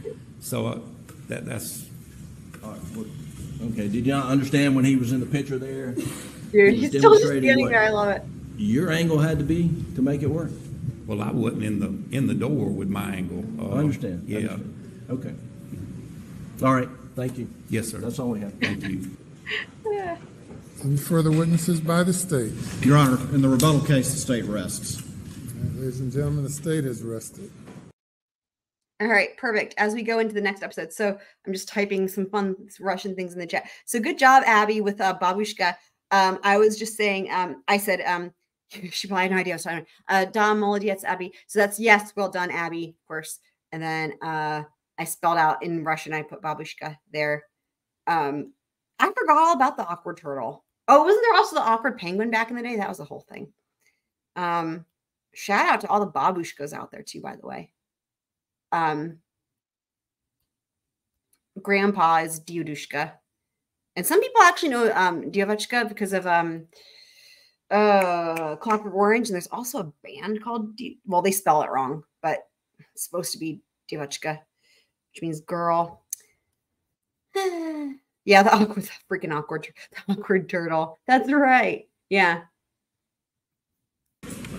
I love awkward animals and awkward people. All right, thank you. Sorry, I just You saw that. have Heard all I of, just saw that. He looks like he's trying to use the bathroom. What it is. That's what it is. I didn't even think about that. That's totally what it is. Oh my god. Yes. Testimony received all of the evidence. Uh, You've visited the scene of the alleged crimes, and now it's time for closing arguments. First, by the state, Mr. Waters. In Clockwork Orange, they also use a word for milk that's similar to the Russian word. I can't remember how they say it, but in Russian, it's molko. Thank you, Your Honor. May it please the court. Yay! Straight in! Good morning. It's been a long trial, hasn't it? On June 7th, 2021, at the Moselle property in Colleton County, Maggie Murdaugh and Paul Murdaugh So real, real quick, I know you guys are probably like, don't. So, okay, just real quick. Notice he's holding, look at how thick of a stack of papers he's holding. That's fucking intense. But remember what we said. You want to have an outline, you want to have a plan, a roadmap, especially if it's going to be a longer closing, right? Um, but you don't want to be reading from it. So I think it's great when people give a closing argument or an opening statement and they're not standing behind the podium, right? Because you really want to be talking to the jury and you really want again the eye contact. You can even see from where I have it paused that he's make, making eye contact with them. That's great. So again, like we just said, and that's part of why you practice it. I think is because you want to be able to look down and look back up without missing a beat. were brutally and maliciously murdered at the kennels by Alec Murdaugh. Paul, as you know, suffered two shotgun blasts. Maggie suffered, suffered five blackout rifle wounds. And after an exhaustive investigation, there is only one person who had the motive, who had the means, All right, here comes his theme. who had the opportunity to commit these crimes. Okay, that this is his first theme, and we're going to hear this throughout his closing. Motive means an opportunity. Now, why does this matter? Because this is a circumstantial case, and part of the whole point is is if it's circumstantial, um, you can use me uh, means, motive, and opportunity to help prove identity. So think about it that right. We've talked. It's funny because we talked a lot about identity in terms of this entire family history and everything else, right? But here, it's actually really important when it comes to the freaking the charges, right? Because the identity. So what I mean is like if somebody sees somebody committing a crime, they see them, right? Like the identity may not be um, you know, up for debate. Or if you know you've got well, I, of course, these days we all know DNA is going to be disputed. But if you have if you have like DNA or you have I don't know, there's there's times where identity or, or okay, let me give a better example. Another example would be when uh okay, let's use Hannah Gutierrez Reed as an example. Okay. The identity is not an issue there because there's no dispute over the fact that she was there and she was the armorer, right? They're disputing other facts regarding the charges, but her identity is not an issue. No one's like, she's not saying it wasn't me, right? Well, I mean, kind of. She's saying it wasn't her fault, but you know, you, you guys know what I mean, hopefully. Like her identity, her being, she's not saying I wasn't the armor, it was somebody else, right? Like, you know, so um, or I have a twin, random twin, you know, like so anyway, so motive means an opportunity. So because of the fact that, you know, this is circumstantial, they're he, they can use Creighton can use mo, um, means motive and opportunity to show the jury to use them to prove identity in in lieu of uh, other things that could prove identity, such as someone being on camera or you know the other examples. Of course, there's countless examples you could have, but um, you know, of course, with him too, right? Because he's the hut. It's it's different if it's a stranger. That's the other thing too, right? Because he lives there you know, it's like it just makes it different because, of course, he's going to be there anyway. So the identity thing is important. And also, whose guilty conduct after these crimes betrays him. The defendant was the one person who was living a lie. The defendant is the person on which a storm was descending. And the defendant is a person where his own storm would actually mean consequences for Maggie and Paul and consequences for those who trusted him. And that person is the defendant, Richard Alexander Murdaugh. I know this has been a long trial because it's a complicated case. And I'm not going to talk forever. I promise. But I am going to try to distill this down for you. And the first thing I want to do is set the stage. And to set the stage, we have to understand a little bit about Alec Murdaugh and who he was and who he is. He was a person of singular prominence and respect in this community. But he's also a person who's been able to avoid accountability for all of his mm-hmm. life. Yeah. While he was outwardly giving the illusion of wealth and a very lucrative law practice, some bad land deals and that sort of thing, exacerbated by uh, the economic recession, led to some financial problems. And then he had some big cases in the early 2000, 2011, 2012. And all his partners, and you've heard testimony to this, thought that that had taken care of things.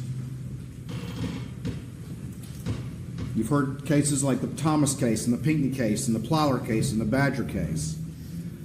But the evidence that you've heard shows that the defendant became so addicted and so dependent on a velocity of money that the millions of dollars in legal fees that he was receiving was not enough.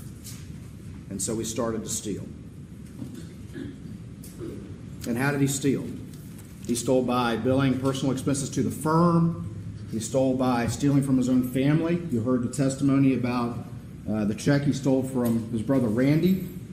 But then the main ways were two schemes that he developed. And the first one was to get checks made out from the client trust account to Palmetto State Bank to fast talk the staff and fast talk the clients with those disbursements and then take it to Palmetto State Bank where his buddy Russell Laffitte would convert those and use those to pay personal expenses. And each time, until the end, it worked because the client was also getting a big check.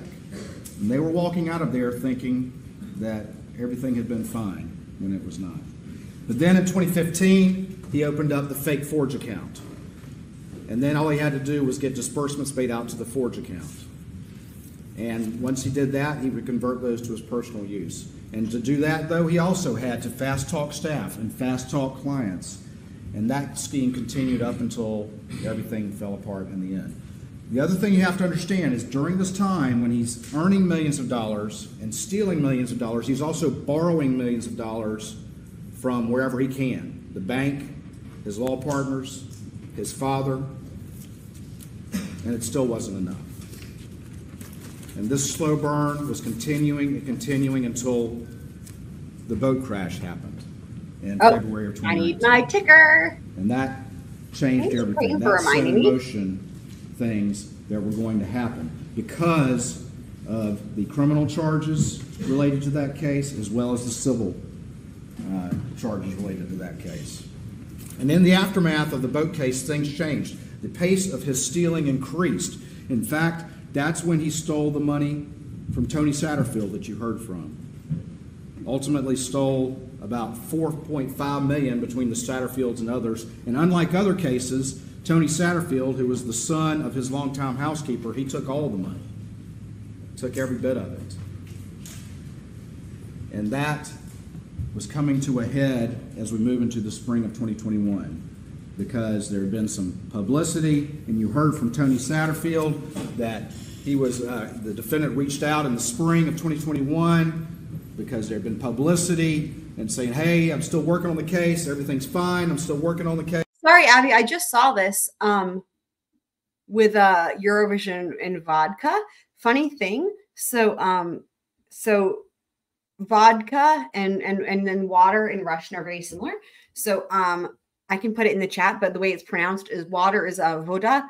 Uh and it's like a V sound and then ODA, but of course the letters are different. in Cyrillic and then so they're just a K. So it's like a whenever you add a K in Russian like that, it's like a nickname. So it's like almost a nickname for water. So isn't that funny? Because of course it looks like water, but also we know that there's there jokes about Russian people and vodka and water, blah blah. Um, also, I wanted to actually say too the word one of my other favorite words in Russian is and one that's actually related to this um, is um, so in investigation is um Rosle So that's another good one. Case, it's good, but the reality is the defendant didn't have that money to pay it back, and he had one saving grace. Because as you've heard, they don't get paid until the end of the year. And his saving grace was the Farris case, which they tried in December. They get the verdict and get paid in March, and that's when he convinces Chris Wilson to send those $792,000 of fees to him. But the problem is that only lasted for about two months. $792,000 only lasted for about two months. And then he's running out of money again. Meanwhile, you've heard in the boat case, Boat case again. Mark Tinsley was seeking to get a large personal recovery from Alec Murdaugh of $10 million because he thought, as many people did, that he was wealthy and had a lot of money. And when they said he didn't, he filed a motion to compel. And you've heard testimony about whether or not that had been granted, but it doesn't change the fact that that's what Mark Tinsley was seeking to do.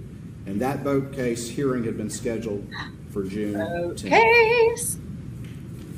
In May of 2021, as we move into June, that's when Alex own paralegal got the expense check for the Farris case, but not the fee check, and tried to raise that to Alec and couldn't get a straight answer, tried to raise it to Chris Wilson and couldn't get a straight answer, to his office. And so goes to Jeannie Seckinger, and Jeannie Seckinger goes to the partners, and they can't get an answer about that either.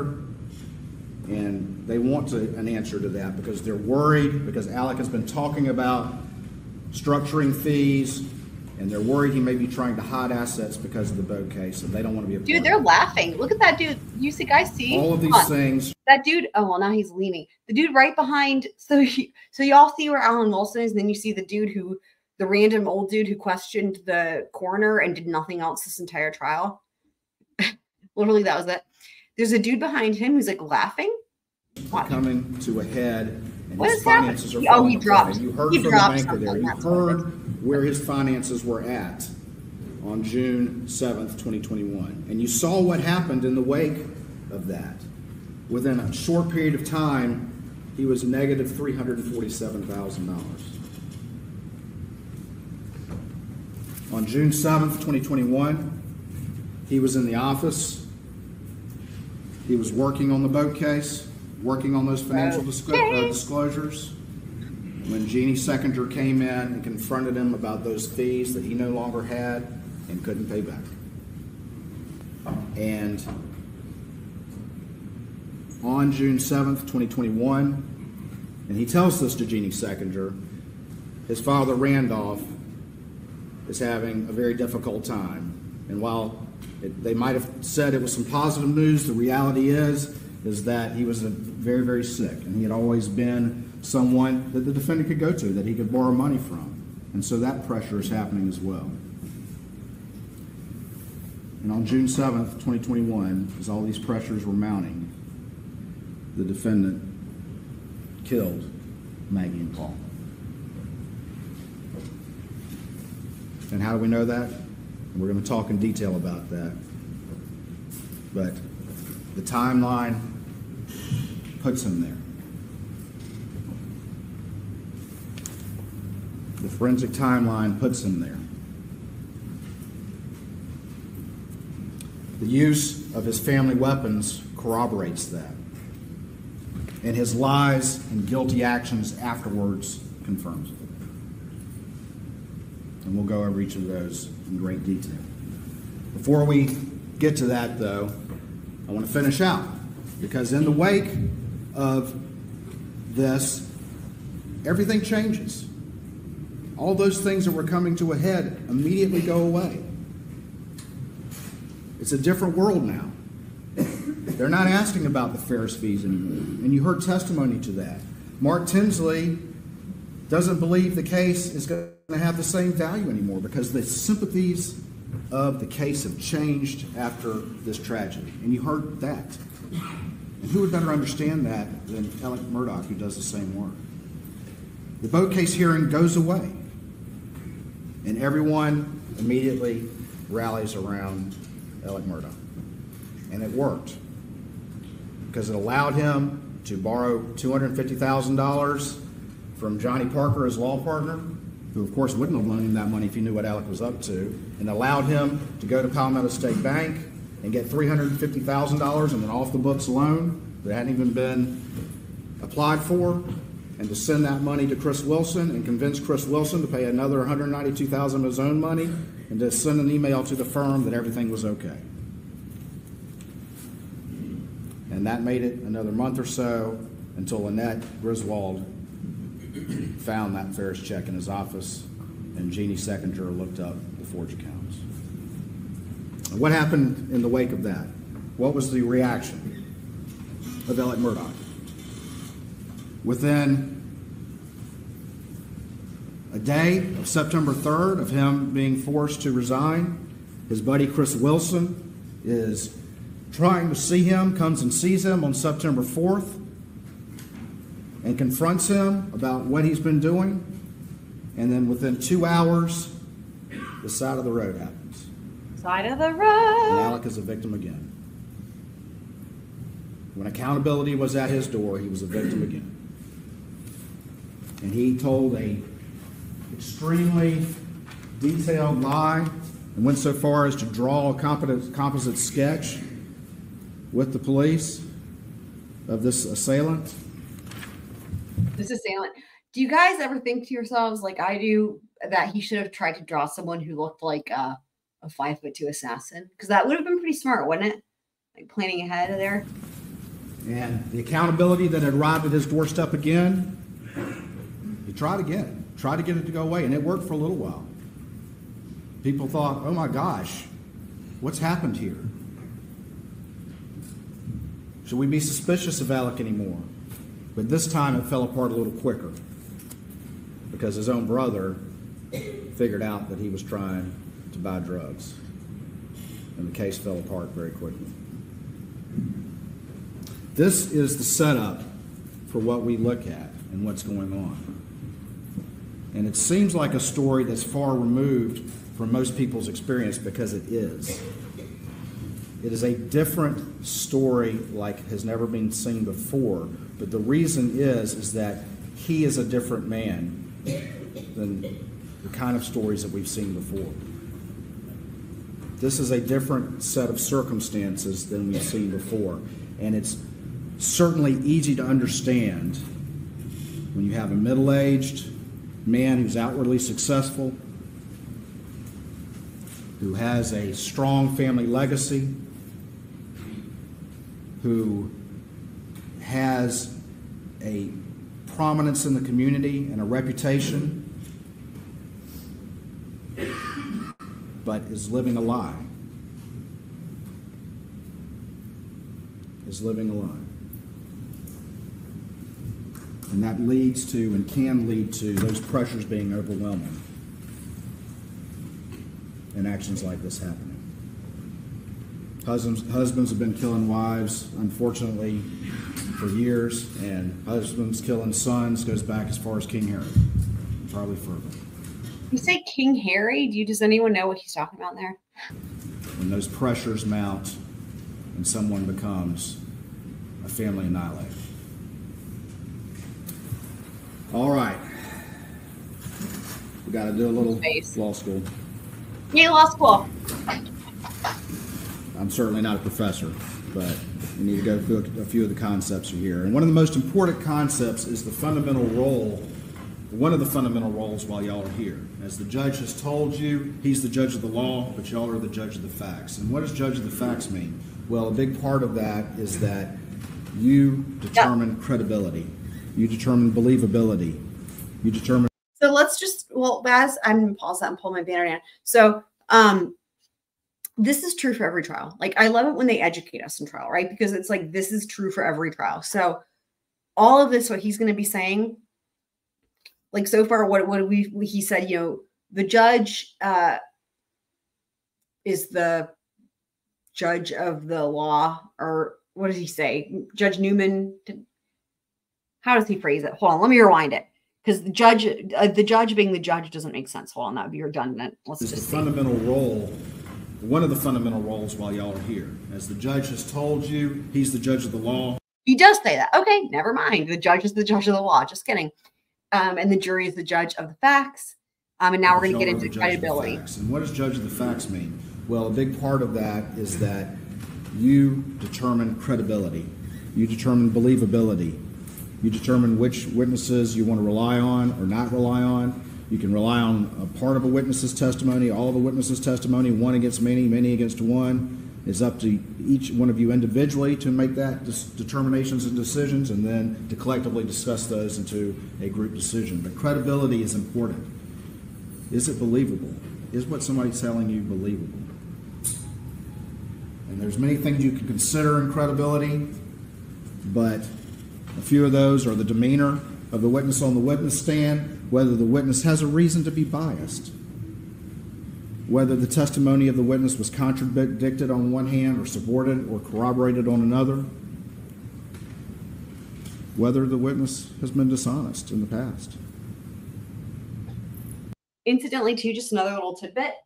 Um, if there's no fact at issue, there's no need for a jury. So again, because the jury is the judge of the fact, the judge is the judge of the law. Um, and uh, so if ever there's something at, at if, if there's you know if attorneys are arguing about something and then you know the judge says something like there's no fact at issue here um, then there's no need for a jury. So what happens is if you ever have something where this, this would be common in civil cases right? For example where uh, we see this a lot right? Like where people are settling and whatnot but there's also what's called a bench trial and a bench trial happens whenever there's a dispute over the law, but not the facts. Um, so, for example, like an interpretation of the law. So, so both sides could agree. Uh, okay, let's give an example. Susie was wearing. Okay, I'm not going to make any any example of where there would actually be a problem that anyone would sue over, but just in terms of facts, right? So, Susie was wearing a blue shirt at noon, and then the other side agrees. Susie was wearing a blue shirt at noon. I don't know. And those are the facts of the case, right? Just as an example, right? Those are the things, those are the facts. Because then sometimes as we see in criminal trials or our civil trials, really, if they're if they're going to trial, we're watching them, there's going to be some dispute over some of that, right? And that's where the jury comes in. Um, but let's say that both sides, they, they everyone agrees on the facts. But then there's a dispute over the law. And that's because laws sometimes are uh, this is when new case law, right? Why do we have case law? Case law is a great example of this because it's like, well, we have new case law when a new interpretation of the law has been made uh record like is is is now uh has been brought into issue so when whenever there's a dispute over the law and what the law means and and uh you know, the Crumbley trial is a great example of that with Jennifer and Ethan Crumbley, right? Um, actually, that's maybe not the best example because really that should have been done through legislation, but whatever. Um, we, we, we you guys all, if you're watching this, I'm sure you're familiar with case law, but it's that's an example, right? Where it's like there's a there's a different interpretation or something is challenging um what the law means. Let me give you guys an example there's a really famous Supreme Court trial, US Supreme Court trial from a long time ago, and I can't remember off the top of my head what it's called, but it was civil and it made it all the way to the Supreme Court because of this one important thing. What is the definition of uh like of a tomato? So there was some sort of law on tariffs um that imposed a certain type of like a tax charge or like a tariff on certain types of goods. And you know the goods it was like something that was used for a certain thing. Let me see if i can actually pull it up because this was actually really important. This is a great example of what i'm talking about here. So um with the interpretation of the law. And also to that end sometimes what the definition of something might be in terms of law is different in, than what it would be in, in everyday life. Um and this would be an example of that. This case is an example of that. Okay, it's Nix versus Hedden from 19, sorry, 1893. Okay. So, all right, this is a great example of so many things, you guys. All right. The Supreme Court of the United States unanimously held that tomatoes should be classified as vegetables rather than fruits. are you guys hearing me? Like we all know, we've all learned in school, right? Tomatoes are a fruit. They're fruit, they're fruit, they're fruit, right? Even though they you might think they're a vegetable, everyone knows. This is a great example of the law. The Supreme Court held that tomatoes should be classified as vegetables rather than fruits, even though by definition they're fruit. This is the law for you. For purposes of tariffs, imports, and customs. So here's why. They were saying that the meaning of the words fruit and vegetable differ in terms of the ordinary uses for how they're used versus the botanical meaning. So basically, somebody didn't want to have to pay the tariff or whatever on the tomatoes. And they pulled up the diff definitions of fruit and vegetables from the Webster's Dictionary and actually two other dictionaries as well, and brought in some witnesses, blah, blah, blah. Um, and then they argued over the definition of fruits and vegetables. Isn't this insane? And then both the plaintiffs and the defense counsel made use of the dictionaries. And they both read these definitions, same definitions, and argued them differently. This is my point, right? So, yeah, botanically, a tomato is a fruit. However, in common parlance, it is a vegetable. So basically, what it came down to is how is it going to be used? Because you're not going to eat it as a fruit, you're going to use it to make a sauce or what have you. That's how they got. That's how they ended up going with this. I mean, this crazy? Um, and I mean, there's way more to it than that, but that's just the the summary. So, as an example of like, you know, where the law had to come in for case law for this is how do we define fruit or vegetable, right? Like, the fact, like if they were arguing over the facts, it would be like it wasn't a tomato, it was a grape, right? But no, everyone's agreeing. We're talking about tomatoes here. There's no problem. We're not disagreeing on the fact that it's a tomato. We're arguing over the law. And by the it, how does the law use the definitions of fruit or vegetable and how do those apply to a tomato? So hopefully that makes sense. Anyway, I don't even remember how I got off on that tangent, but it's kind of important because um, sometimes it's hard to kind of understand to parse out those differences. Um, but a good kind of way to think about it is the facts are going to be specific to the case. It's going to be the things that have happened, right? Um, and another good example too, if we go for those of us who follow trials, we might know the circumstances. let's say there's a suspect, somebody's about to be charged, and there might be discussion on the charges, and there might be discussion over should we charge them with this or this, or is there going to be this or this? And then, like I even said earlier in the stream, how sometimes the juries are given options we, again, that happened in the Hannah Gutierrez-Reed trial. That happened with Lori Vallow. Other trials too, of course, where there's uh, uh, Maya Kowalski as well, like different trials where they have different options where they can choose. Um, and so that's based on that. I mean, to me, it's almost like because they're not quite sure how the jury's going to interpret the law, but whatever, you know.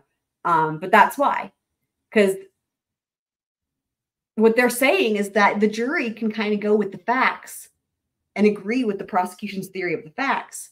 But even with that, what the prosecution in those cases or the plaintiffs, whatever, whoever it is, whatever they're um they're almost conceding the fact that you could all agree on the facts, but yet you could still come to different conclusions about the law. So anyway, all right, let's keep going. And again, you can believe witnesses all against one, one against others, and you can believe portions of a witness's testimony as you see fit. Same thing goes for experts. Expert is a legal determination that allows them to give an opinion. Just because someone's qualified as an expert doesn't mean that you have to accept their opinion. You can judge yeah, that he's talking based on the, your assessment of the credibility and the relevance and the believability of that testimony. There's nothing different about that when someone's an expert. So if they're an expert, they're trying to tell you two children came in here. I'm kidding, but I'm not kidding beyond a reasonable doubt. I talked about this at the beginning of the case. And it's our burden. It's a burden we welcome. It's how this system works that we have to prove the guilt beyond a reasonable doubt. And what is a reasonable doubt? A reasonable doubt is a doubt that makes a reasonable, honest, sincere juror hesitate to act. It's proof that a reasonable person would not hesitate to rely on in their affairs but a reasonable doubt is not and leaves you firmly convinced of the guilt of the defendant, but it doesn't have to overcome every possible doubt. It doesn't have to overcome every possible doubt.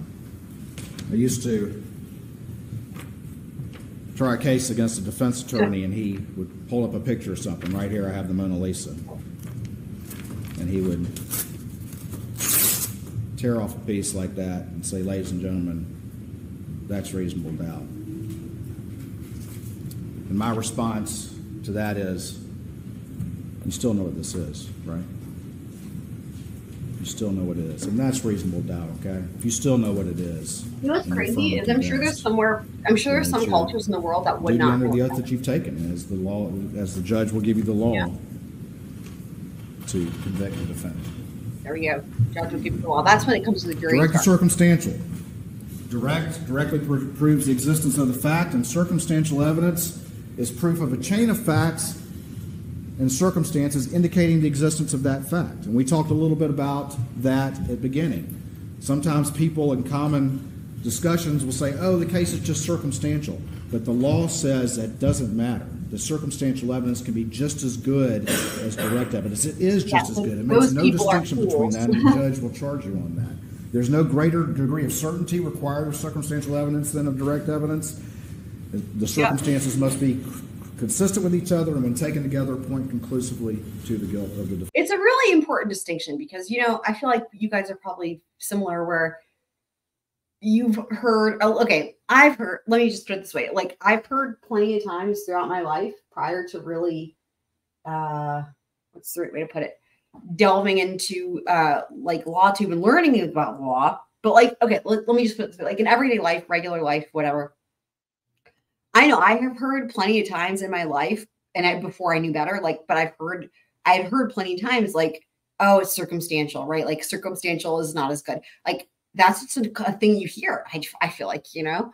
Um all the time and uh it's just it's misinformation. Like legitimately it's it's it's correct it's not even a matter of opinion because in fact the law says the opposite and again that's what he's saying is like when they get their jury instructions judge newman and every judge in every trial is gonna gonna say this they're gonna say the law makes no distinction between direct or circumstantial they're to be given equal value so. And I gave you all an illustration at the beginning. I'm not going to redo the whole thing, but about being inside. And you go outside and it starts raining, then you know it's raining, okay? Because you got direct evidence you're getting wet.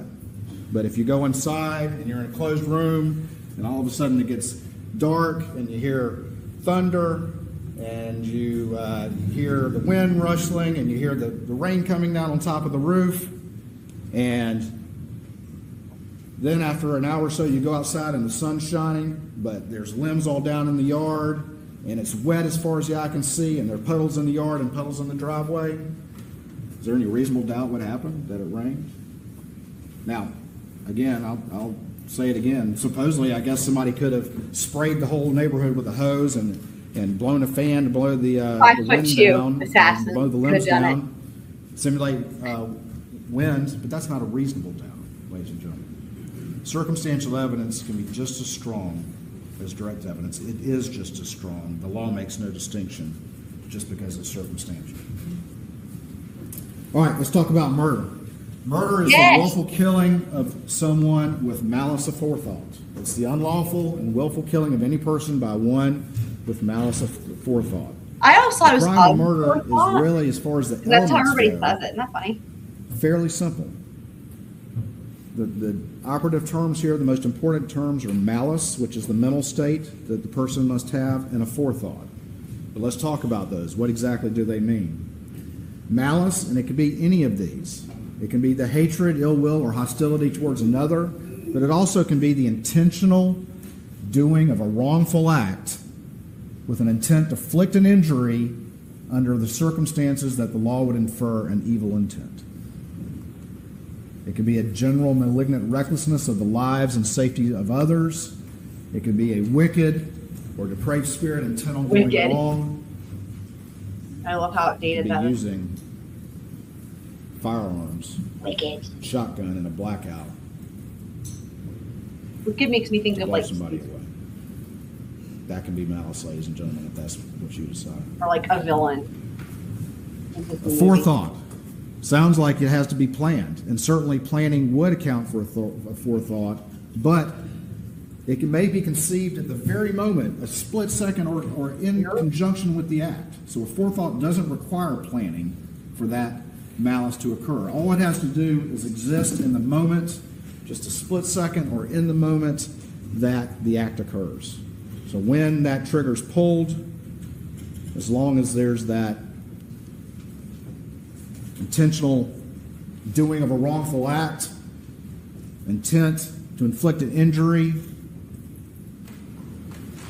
that would be an evil intent, a malignant recklessness, which you can infer from the circumstances of the case, then that's all you need. And how do you do that? I said infer, because people don't always yell out what their intentions are. You have to infer it from the circumstances of the case itself. Look at the crime scene, look at what happened, look at the backstory, look at all the circumstances that come together, and you can infer malice from those. Last little bit of law school. Malice and drugs. Voluntary intoxication does not impair a person's ability to act with malice aforethought. That's a legal principle. If you voluntarily get intoxicated, it is not a defense to a crime, and it does not negate the malicious nature of that crime. If one voluntarily intoxicates themselves, they are just as responsible for their actions as when they are not intoxicated. And the judge, again, take what the law comes from the judge, but this is a legal principle that you will hear. Voluntary intoxication is not a defense to a crime. And why does the law say that? Well, you can't take whatever it is and deny responsibility for what you've done under the law. All right? Gathering storm in Alex's life. We talked about the family go, legacy, how important that was to him, and how important that was to this family, and how it was in danger because of the boat case. Boat case. the criminal charges as well as the civil charges. That legacy was in danger. And it was threatening also to expose him for who he really was, which would t- totally destroy his part of that legacy. Lose his career, lose his bar license, face consequences like he's never seen. He's also a successful lawyer and a part time prosecutor. And as we go through and talk about the circumstances of this case and talk about the crime scene and the timeline and all the rest of it, think of it with that in mind. That this is an individual who is trained to understand how to put together cases, complex cases. He's been a prosecutor. He's done complex car wrecks. He understands the law. He's given closing arguments to juries before. I mean, there you go. So I mean, I think a defendant like that. I get it. I understand why Creighton's like hammers the point that he was a prosecutor. I get it. It, it you know, but of course he was like an assistant with his dad, and it was like on two cases, and it was sort of a joke. So like we know that it was, you know, really his his skills and his abilities and his talent to get away with what he did is uh, more on the art of deception and, and maybe less on actual skill like a prosecutor would have. Um as we heard even from his colleagues at the firm like he was really better more at like wheeling and dealing right? Like and of course and in the work he did settling it was all settling. So you know even when he's referring to closing arguments i don't know that alex had to really give all that money because settling is the name of the game for civil. So um but i get i get what he's saying. I get what he's saying. I mean technically it's probably not objectionable because by definition he did do those things. It's just you know i don't know that it's you know i don't know that they had as much bearing on his abilities as maybe creighton is implying but i get why i get why he's using it that, be thinking about whether or not this individual is constructing defenses and constructing alibis. Talked about his law practice. You've heard how lucrative it is. Here. It, is. I had to struggle with him to get him to admit that he was wealthy, making more than a million dollars a year. Um, I'll let y'all decide whether or not that's wealthy, but he admitted ultimately that you know that was that was not uncommon for him to make that much money on top of stealing and borrowing on top of that. The important thing though to remember again, and I want to highlight this, is that they get the way that firm worked, they get their money at the end of the year. And then it's up to them to make it last. And that's the big problem that he had. That's why he had to get the Farris fees. He can't, if he's out of money in May, he's not going to, unless he can borrow it or steal it, he's out of luck. And the hounds were at the gate. Hounds were at the gate. All right, we talked about this. Uh, he's got, uh, you heard, I think uh, Jeannie described him as having intentional chaos. Uh, we, we had the land deals. He's servicing this huge debt load. He constantly needs new money coming in. And this has been going on for more than a decade, a constant hamster wheel. The stress and the pressure of that would be extreme because it's been going on for so long, always having to stay one step ahead of the game, always having to beg, literally beg, borrow, or steal for over a decade to have the truth from being exposed. That's been going on all that time. The big cases, his partners think he he's straightened it out and paid off his debts, but he hadn't. He's getting paid millions of dollars, but he's stealing on top of that. It's not enough to keep that hamster wheel going. So he borrows and he steals. The methods I mentioned, you got the PSB checks, you got the fake forge, You got fake business expenses, running the firm card, and from his family and his law partners. Each one of these depends on him being able to sit down and look someone in the eye and convince them that what they're doing is right, when in reality that wasn't happening. And all those clients trusted him based on those. And we sat there and went through that, and it may have been exhausting, and I apologize for that, but he couldn't tell you about one conversation that he had that stuck with him. That's how easily it came to him. Is that relevant to your consideration of what he had to tell, say to you? That's for y'all to decide. And he's able to say that. conversation.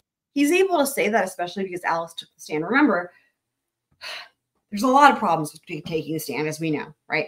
But one of many is the fact, and of course, when they take the stand, when they are making that decision, they're instructed on this, right, to weigh this. But one of the problems of many problems is that the juries can consider that testimony just like every other witness. And as Creighton already read, um, when he was saying it was his law school thing, you know, like they can decide how much credibility. Like think about that. Think about that. If you if you're deciding whether or not to take stand, and you know that the jury can decide with each witness, including the experts, if they want to give, if they want to believe any of it or none of it, and that the same goes for you, you're just like any other witness, and they can believe everything you say or nothing.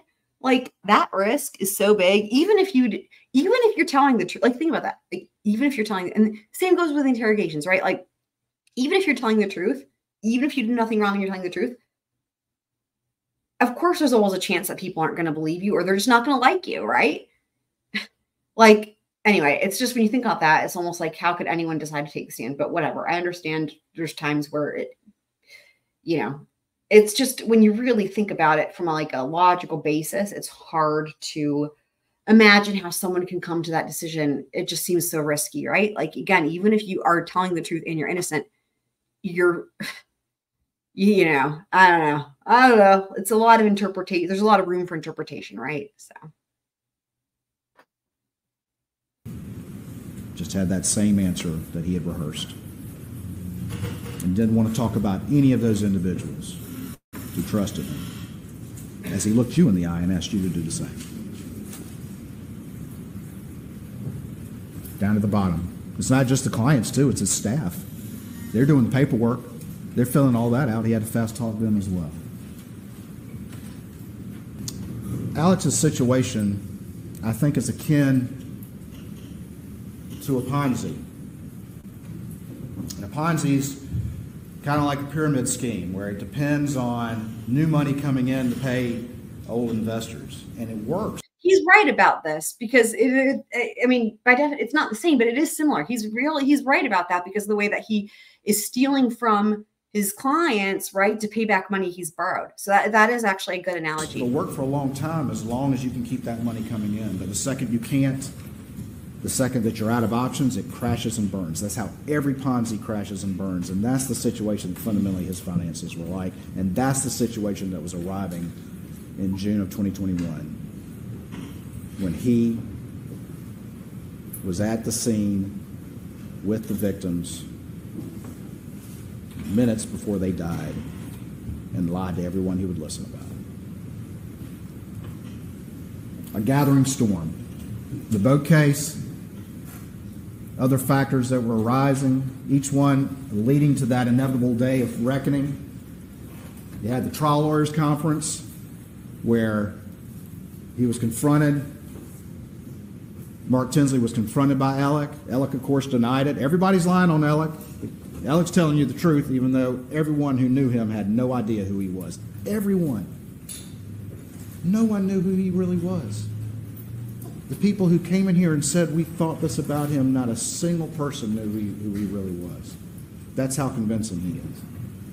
But he denies this confrontation when Mark Tinsley was like, he bows up a Mark. Yeah, a- absolutely, Candace. Yeah, hundred percent. He thought he could get out of it. Yeah, that's where that's where Creighton. You know, that's why he keeps bringing up the privilege too, which is smart, right? It's not just. I mean, I think it has a dual purpose. Like, it's just going to annoy the jury because the jury is regular people, right? And they wouldn't. No, I mean, no one would have the type of privilege that he had in terms of how this, you know, the leeway he had throughout the investigation and, and all the other shit too. Blue lights. I mean, there's just a lot of it, right? Um, but yeah, also it just speaks to the point that he thought he could get away with it too. Mark Tinsley's like, "What you doing, man, about the boat case?" And Mark says, "You're going to have to pay money to the Beach family." So he left out the best quote from that whole exchange, which was, uh, I can quote this directly verbatim quote, Hey, Bo, what's this I've been hearing about what you've been saying? End quote. I'm gonna say that again because I just freaking love it. Hey, Bo, what's this I've been hearing about what you've been saying? I mean, come on, Creighton. Like, you gotta, you gotta give the best quote. Millions of dollars. Alec doesn't have that. He's barely one step ahead of the game at this point. I just keep thinking of uh, dude, Aladdin.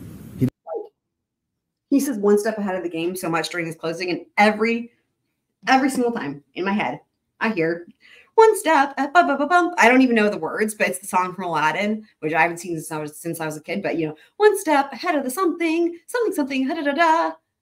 You know, ba da da da dum, ba da da dum. That song. Anyway, I don't even know if it says one step, but just in my mind, I just every time he says that, that's what I think of. He doesn't have insurance coverage anymore, or at least not a big umbrella policy. And why? Because his insurance company dropped him after the Satterfield case. Insurance company thinks the money went to the Satterfield. Yay! I'm glad you guys are with me. Yay! I'm not that crazy. no, I am. I am crazy, but I'm glad you guys also know what I mean. Yeah. So if y'all were already thinking that you're going to now, and he said he does. He says it a lot. He's like one step ahead. I don't know why. In my mind, it's just like, oh yeah. Like I thought of that from the get go. Every time I was editing this video, I'm just like, I've had Aladdin stuck in my head for like a week now. it's pretty great. And you know what? It makes me realize I need to go back and watch Aladdin because freaking love that movie. and they don't know that he's stolen it all. But oh, they don't want to insure him anymore. So he doesn't have that to help him pay the beach case. And so what's the one hope he has? And that's the Farris case. And it's tried, and you get a verdict in February of 2021, $792,000. And eventually, Gotta eat to live, gotta still to eat. Something like that. he tells Chris Wilson, I'm going to structure those, which is They a like, they like almost chop off his and hand. gets the fees sent to him. I remember in thinking that was scary. And a I'm sure I would still find it scary now. I'm sure I would be But the boat scared. case isn't going Uh, away. Mark says, Show us your books if you're telling me you're broke. Dude, I was always like the tangents that could happen at this juncture. I feel like I'm at a crossroads and I'm like all the tangents. But uh yeah, I just I always thought that him and Jasmine made the cutest couple. Oh my god. I always just was like, oh my gosh, like I always thought he was so so like I don't know. I just thought they made perfect sense. But this is so stupid because it's a Disney movie. These are fictional characters. Um, but I I just, you know, also I just love I love the um I still to this day I love like Middle Eastern vibe of music and stuff like that. And I just remember even like the opening sound sound like a not sound, opening song like boom boo doo boom boom boom boo doo boom boom and then like the violins would come in ba, ba, da, da, da, stuff like that, you know. We in music we call that um harmonic minor would be the type of mode. Uh fancy word for type of scale basically. But I remember like uh the whole like the sand dune and then like it eats him up and shit like um I completely forgot the monkey cusses. Does he actually cuss like out loud? I don't even remember that. That's really funny. I don't remember that at all. I remember being really scared for the carpet.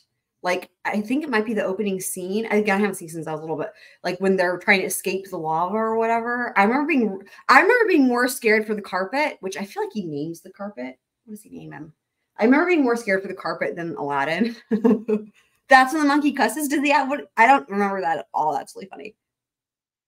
Did he cuss? But it's like monkey talk. It's the type of thing where the monkey's like, and then some like Aladdin maybe reacts as if he's cussing. Like I can't picture him actually cussing. It could be implied. But what's the does the carpet have a name now? I'm like, what's the carpet's name? Ruggy, carpety. I'm I feel insane sometimes. Um that's really funny. Wifey says you can hear him say shit. I don't remember that at all. I don't even know that I would have known that word though, to be honest, at that age. Um I was Jasmine for Halloween one year too. I was growing up, my mom made all of my my me and my brother, she made all of our costumes by hand. She was actually really, really talented at like sewing and stuff. Um and so she made my costume for Jasmine one year. I mean, I believe you. I just I don't remember that. But again, I don't think I would have even known that word. I don't think the last time I seen I saw that movie. Um That's okay, wifey. That you didn't mean to put a quote. We'll forgive you. the end of the world. Not the end of the world. It's okay. Um, does anybody remember if the carpet had a name? Ruggy? oh man. Um also there is a channel i think wifey knows about this but for anyone else who's interested i, I discovered i don't even know how because like with youtube i don't ever like just click on random videos like i know what i'm going to watch and i just like go and watch that thing and like youtube tends to just like know that and like not bother like trying to suggest other stuff but like for somehow i don't know how i really don't know how but sometime somehow i ended up it might have been that i searched for something and like made a typo or like voice to text made a typo thing anyway, and I clicked on it thinking it was what I was looking for, but somehow I ended up stumbling upon this channel or this video uh, of like, I think wifey will know what I'm talking about here, of this dude like pressure washing a carpet. And uh, the channel has like, I don't even know, like hundreds of thousands of subscribers. And uh, it was one of those things where like I start clicked on it. I'm like, what the hell is this? And then I started watching it and I'm like, oh my God, this is amazing. and like literally it's actually really satisfying i really enjoyed it um there was something really especially pleasing to me about the squeegee he uses the special squeegee on the floor anyway it's really it's really comforting i don't know it's like i, I ended up watching a couple of his videos with the car- carpets uh and it's also like really satisfying to see how much cleaner he get anyway okay but does any i'm just seeing did anyone know the name of the okay, Wifey doesn't seem to know the name of the carpet. you guys.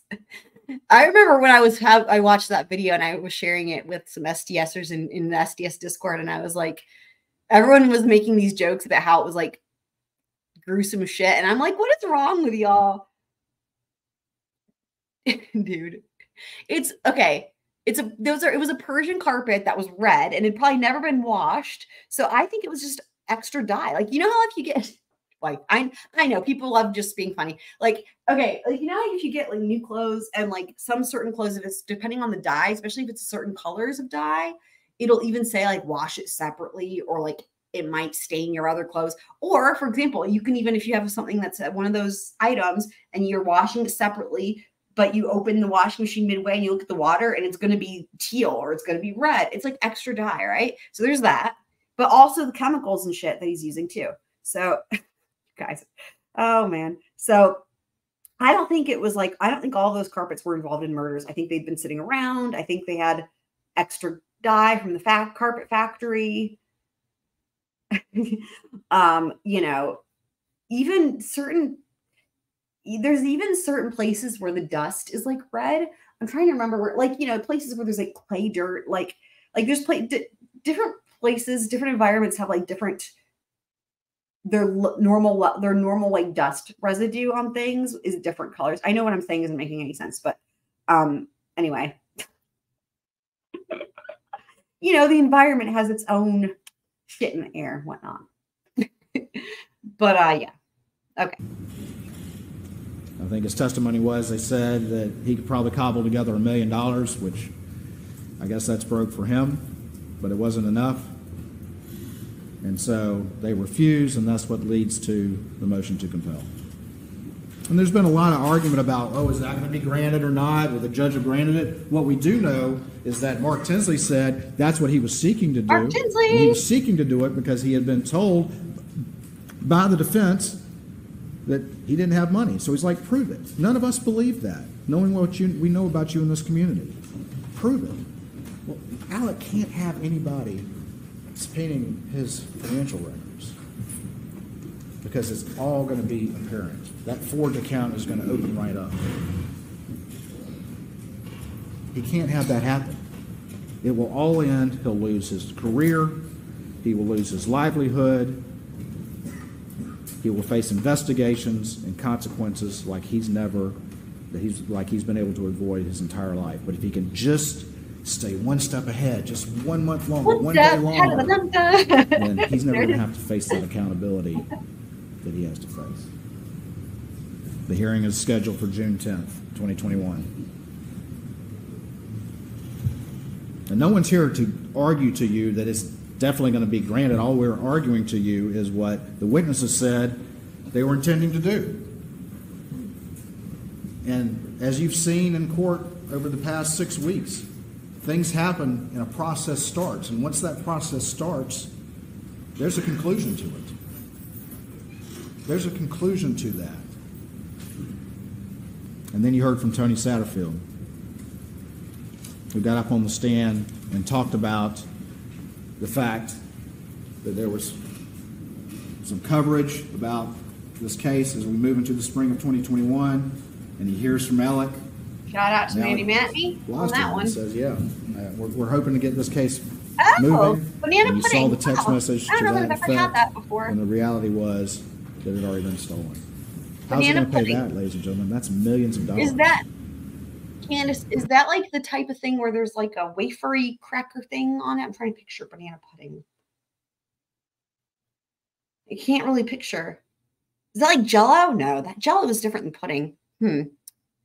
Let me know. millions of dollars.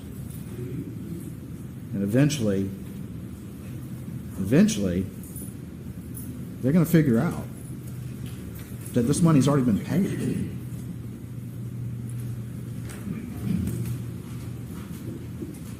The insurance company thinks it's going the right place.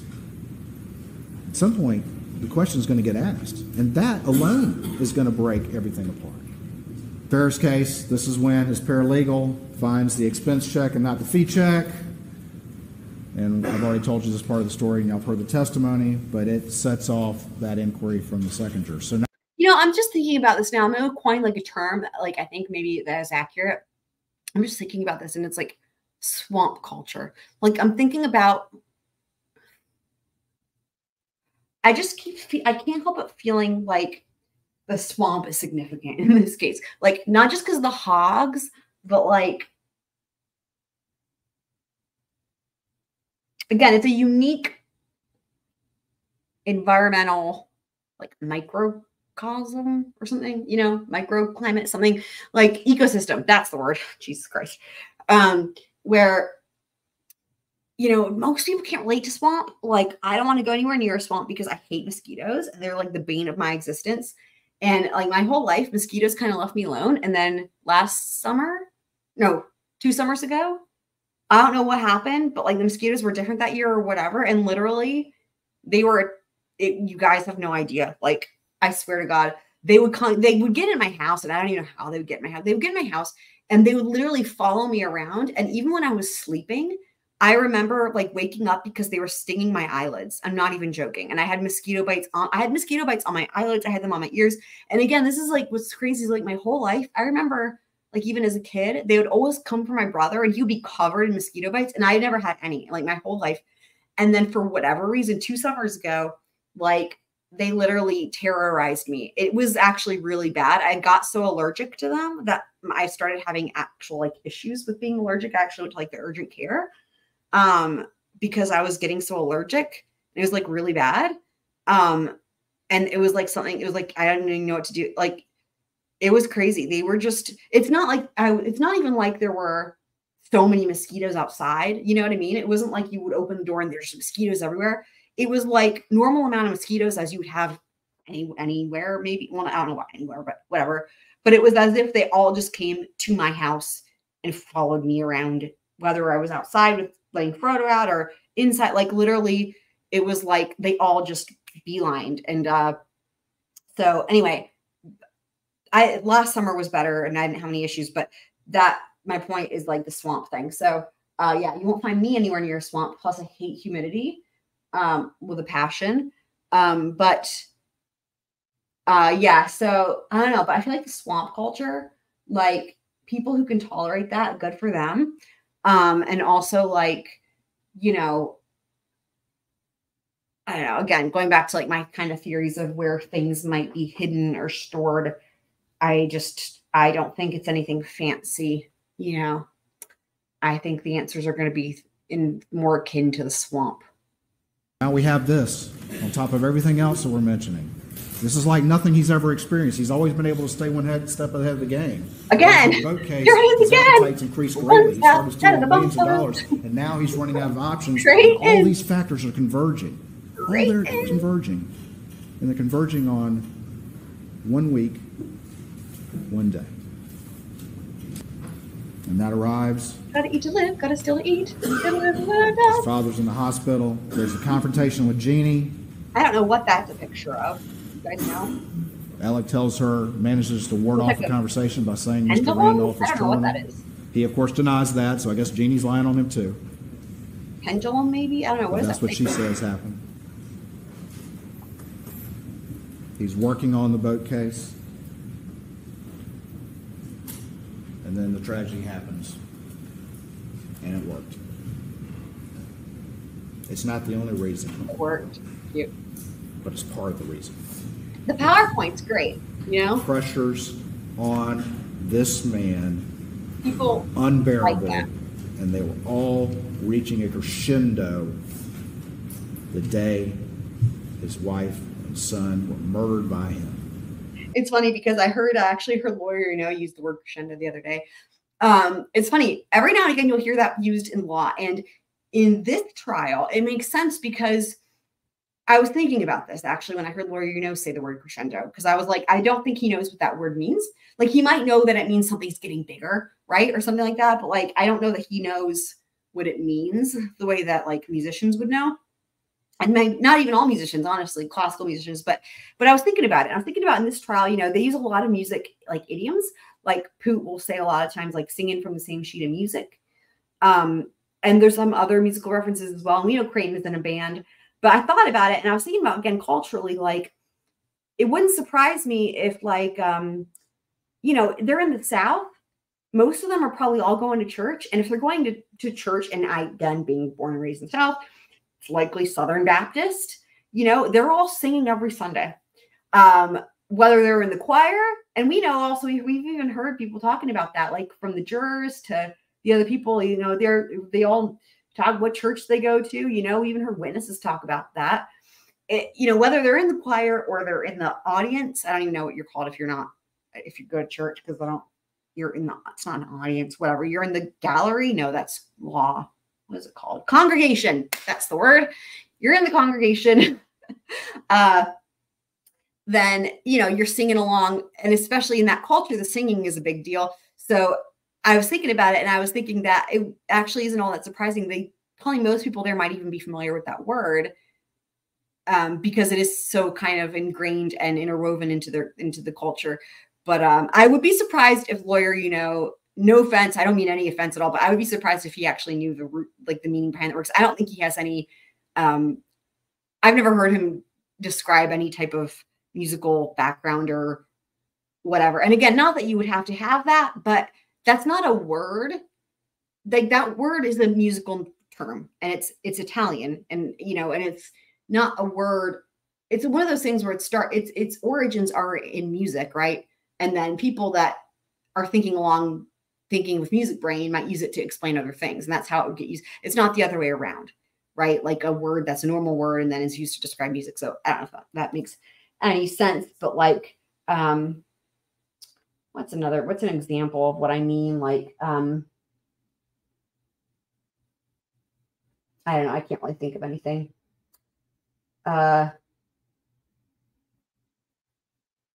yeah, I can't think of another good example of, of the opposite of what I'm thinking of. But anyway, um, yeah, its roots, its roots are meant. It's not a normal everyday word that was um, you know, use then started to be used for music. It, it's it's in, you know, its origins are in a musical notation, right, or musical interpretation. Um, you know, similar to like a rallentando or what. There's like any other. There's a million different words, but anyway, okay. Yeah, I just was gonna say I pre I do love that he uses the word crescendo, and I think he actually knows what it means. Was kind of my point there. So all on that day. And in the wake of this, everything changes. People stop asking about these things. The community has changed like you would expect. People are concerned, they're scared, they're worried. And everything's changed. The backlash from the boat case has gone away, and all of that has changed. road case. And that's why Mark Tinsley thought his case was over. This may seem like, really? But who would understand that better than him? This is exactly the kind of work he did. His skills as a lawyer were understanding the emotional value of I love it whenever Creighton says like him or he, and then the the camera zooms in on him. If you have a sympathetic plaintiff and an unsympathetic defendant, that is in the civil world, that's a big case. But if those get reversed, if those change, if all of a sudden your defendant is more sympathetic, it changes it. It's like when Aladdin It becomes changes the entirety of what Mark Tinsley's position on this case was for the Beach family, that Alec was going to have to pay money. And that's what he told you from the stand. He said the second, I- if Alec had been the victim of some unsuspect or some random vigilante, the entirety of the case has changed. And I'm not taking the same position. I'm not trying to demand that level of recovery. He gets the 750. Well, he gets 600 of it. Ultimately gets a 750 loan. He convinces Chris Wilson. That heads off to Farris. That's pretty much the main thing he did after this was to make sure he could get that money, enough of it to Chris Wilson so that he would send an email to the law firm saying, hey, everything's cool, I got it. It's all good. And that's what the law firm thought. It's the main thing he did in the wake of the murders of his wife and son was he made sure to stay again one step ahead of the game because he had more oh time now. he had time he didn't have on June 7th, but he had it now. And that's the first thing he did. It's the first thing he did. It's the main thing he did. Was keep the hamster wheel going. Ah, hamster wheel. I know it seems like a lot, but you have to consider the unique circumstances of this particular man. This particular man who has proven over and over again that he will do anything to keep that hamster wheel going and to avoid accountability. And he's been doing it for over 10 years. He just finally reached a point that he had never reached before. I really loved the and the uh, imagery of the hamster wheel, and that's why I put that in the title. I really liked that from Creighton's closing. I think it's really accurate. Um, you know, that's when that's that's spot on, right? That's that's that's very clear. No matter what he did with the money, no matter what you believe about the drugs or whatever. I mean, I think that's just that's a that's that's a really um powerful imagery for the jury, right? To picture the hamster wheel. Of course, the hearing on the motion to compel gets canceled. Who, who would go forward with that in the wake of what's happened? That goes away. It doesn't, I think you heard from the testimony up there, it doesn't get rescheduled till long after everything crashes and burns in September. It doesn't even get rescheduled in the wake of this. We don't have to worry about that either, and the potential that had for exposing who he was. Because the second somebody looks at his accounts, the second his own partner, Danny Henderson, looks at his accounts as, in representing him says, Well, let me see him, he can't do that. He can't do that. He can't even show them to his own partner. Because what's going to happen? They're going to see it too. He can't let that happen. Everything falls apart and he loses everything, including that legacy that you heard from individuals up there, is so important to him, more important than anything. I'm not going to go through all of this, but this is the timeline, and and you can see as we, and I'll let y'all look at that, but you can see how this This is wrapping up. develops, how this hamster wheel continues, how he always this is wrapping up the end of this first portion. So pretty soon we'll be at the intermission here, and then we're going to do what the truck part three. I can't wait for that, you guys. Um, that's going to be exciting. It has to be one step ahead of the game. You know, we've talked about the Redbeard and the Zero United. Those are the land deals that went bad. They get charged off, but yet Oh, yeah, State. Bank, you know, still dealing with him. He then appoints Russell Laffitte a conservator and borrows up to one I million dollars from the Plyler Girls gone. Accounts without their knowledge. Forgot about that. And then he has to steal money from the Badger case, where he's already making a huge amount of legal fees. He has to steal money from the Badger case to pay off the Plyler girls before they turn 18, and then there's an accounting for that. And then he opens up the Forge account, and it continues. 338,000 from Dion Martin. Johnny Bush, Manuel Sanderson, Richard, 225. He's maxing out a million dollar line of credit.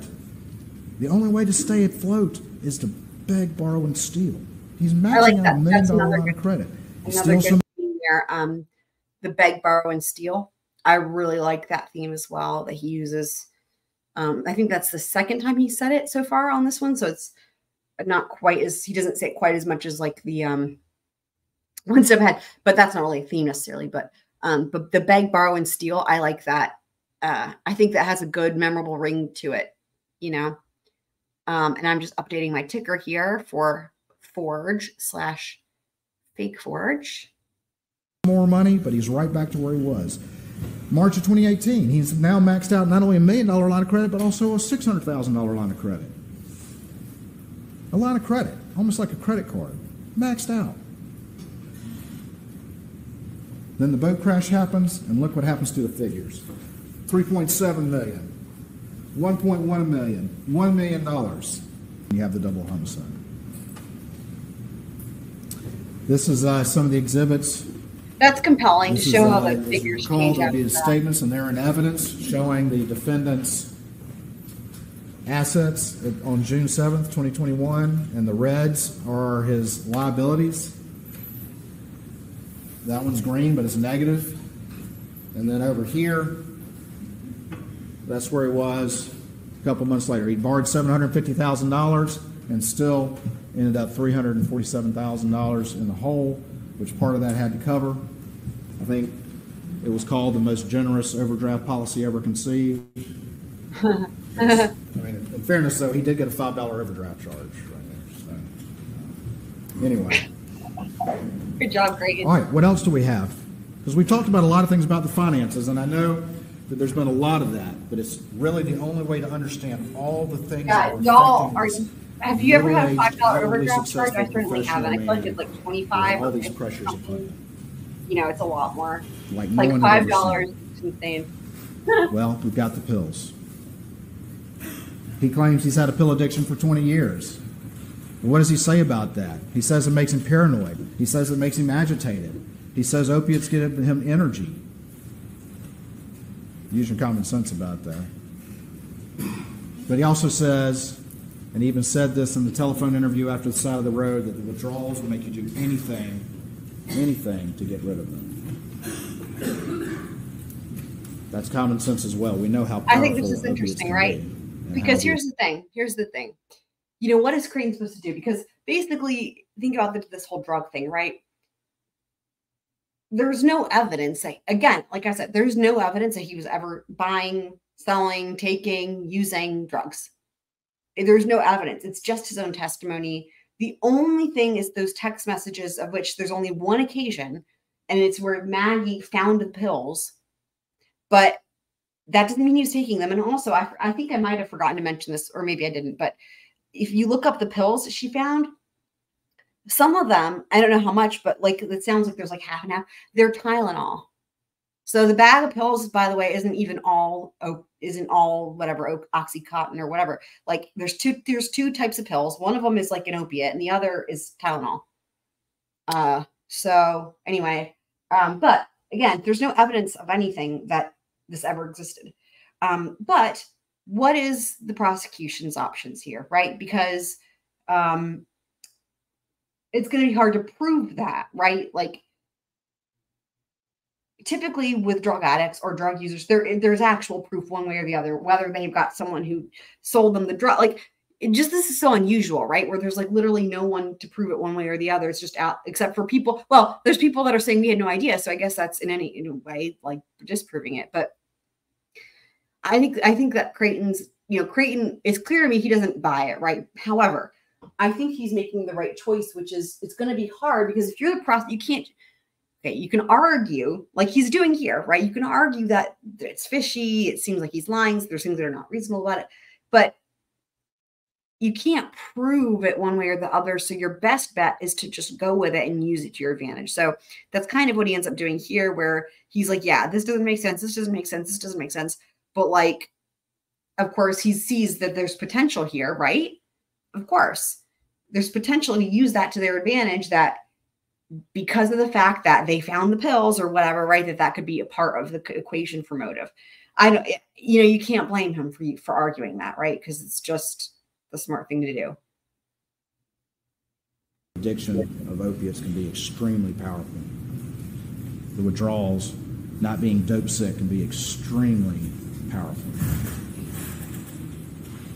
But he's also saying he's taking a thousand milligrams a day.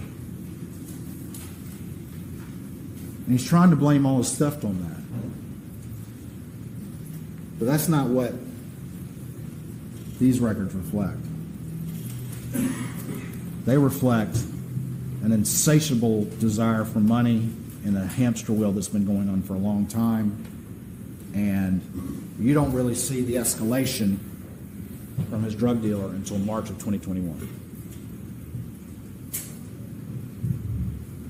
I would ask you also one of the, the tenets of juries is common sense. That's what you're here for, is for an individual and then a collective common sense. Common sense, a thousand milligrams a day, does that sound survivable? No. He sat there on that stand and told you that's what he was taking. And as we're going to go through this process, we're going to talk about what he said on the stand and how many times on the fly that he looked you in your eyes and didn't tell you the truth. He's very good at it. His own partner said that. He's very, very good at it. Now, leave it to you to decide whether a thousand milligrams a day is survivable with opiates. And if you if it was that you could still engage in work, have a successful practice, and then on top of that engage in these complex conspiracies to steal and fool everyone and live a life and how people outwardly think that you're, uh, you know, who, who you profess to be in public. If you were taking a thousand milligrams a day, does that make common sense? I submit to you, ladies and gentlemen, it doesn't. I have no doubt that he was taking opiate pills. Yeah, this, so this part, this is the part I was And I think about. he right? looked you, and I would submit to you Yeah. to decide whether or not he looked you in the eye and claimed an amount that's inconsistent with whatever else we know about this man. That's really inconsistent with survivability Yeah, it's inconsistent with being alive for sure. as For a matter sure. of common sense. Yep.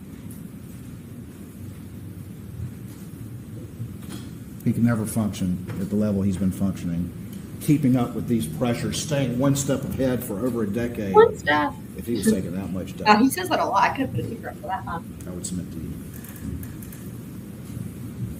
Just one other lie that I would submit to you as a lie that he's trying to get you to believe, to feel sympathetic for him, as if the dope was the cause of the money and the cause of his issues, Yeah. when the reality is it wasn't. This had been going on for a long time, and the finances proved differently.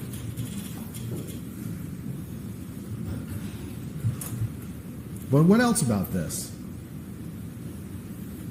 You've seen the interviews.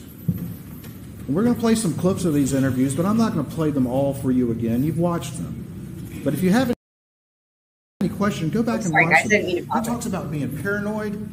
Listen, watch those interviews with when he's with Dave Owen. He's he doesn't look like he's withdrawing from any drugs. His his responses are appropriate. He's he's uh, not in, in displaying any paranoia. He's smooth, focused on the events. He's focused on trying to get information about the case from law enforcement officers, which is interesting in its own right. Why is he so focused on that? And in Savannah, where supposedly he was detoxing, he sat down, as you've heard the testimony, with a composite composite sketch artist and went through the whole process to come out with this picture, which I swear is not me. How do you do that? How do you do that if you're Did Creighton? Well, that- Did Creighton just say, "Which I swear is not me"?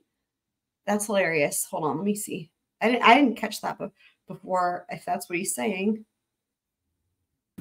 Which is interesting in its own right. Why is he so focused on that? And in Savannah, where supposedly he was What do you guys detoxing, he sat down, as you've heard the testimony, with a composite composite sketch artist and went through the whole process to come out with this picture, which I swear is not me. Oh, I see. You know what's so funny? How do you do guys that if you're Do you guys see what the similarities there? I do see it in the nose. That's really funny. So people must have made that comment to him before. on that much dope? So why did he tell you that, ladies and gentlemen? Why did he look you in the eye and tell you that as he sat there on that stand trying to explain what was going on? It's interesting also that in one of the interviews with law enforcement, there were three interviews June 8th, June 10th, and August 11th before we get to the side of the road that he mentions that Paul was a little detective. That's very interesting for him to mention that because you heard from Marian Proctor, Maggie's sister, that Maggie called Paul that, the little detective, specifically in reference to Paul paying attention and trying to keep Alec from taking pills. Why would he bring that up?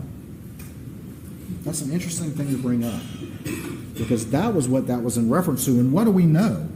We know that in May, if we talk about all the pressures that are coming upon him, all these financial things that we've talked about, this exhausting hamster wheel that's been going on forever, the need to beg, borrow, and steal, stay one step ahead, and he's running out of options there. On top of that, we know in May that Paul sends a text to him saying, Mom found some pills, we need to talk. Another pressure from Paul and Maggie on him. And if you look at the texts, the weekend of the ball game on June the 7th, and those are in evidence, Alec is not at the game. And he's texting back and forth, and Maggie's like, "Don't come if you feel bad," and he's like, "Well, they're, you know, I think I can get a late checkout," and then he's like, "At one o'clock, they made me leave." I submit to you, it's a reasonable inference they were on him at this time. They were watching him like a hawk. Opiates, the most powerful of withdrawals, and everything's coming to a head, including this as well. Run out of money, running out of options, doesn't get paid in any significant way until December. Already stole the Farris fees and spent that money in two months.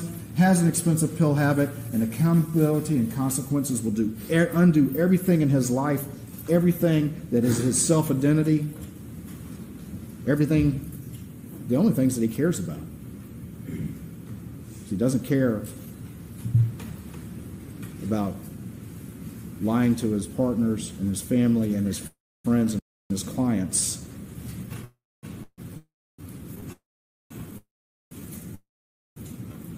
If it will lay accountability for him, he'll do it in a heartbeat. And all of that is about to be undone. Motive means opportunity, guilty acts. That's the basic way to determine identity. So let's talk a little bit now about means, the tools to commit the crime. Family weapons were used to commit this crime. And this is forensic evidence.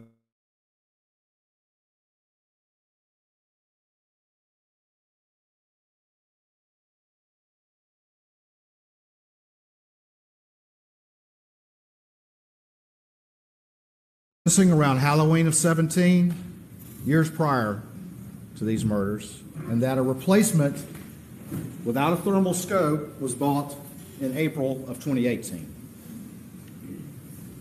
Three blackouts that the defendant purchased can only account for one of them. And it's this third blackout which is the one that's at issue. You heard from Paul's friend Will Loving.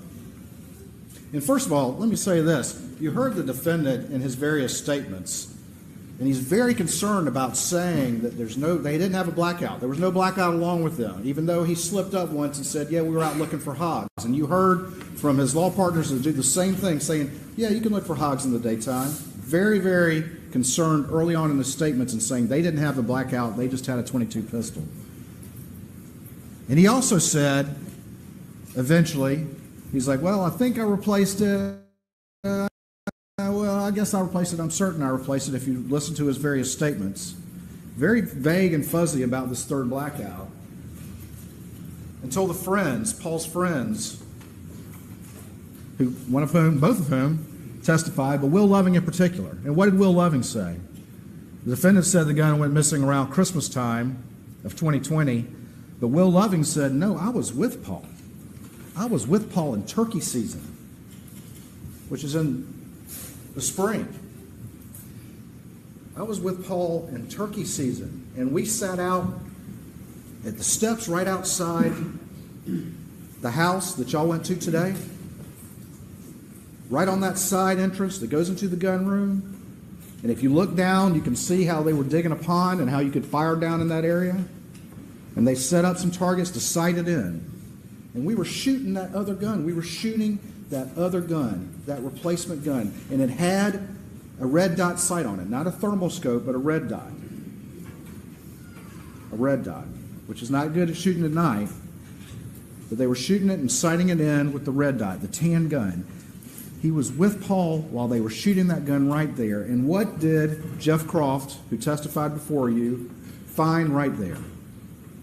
Weathered cases or casings weathered cases, right where Will said he and Paul were shooting that gun just a couple months prior to the murders.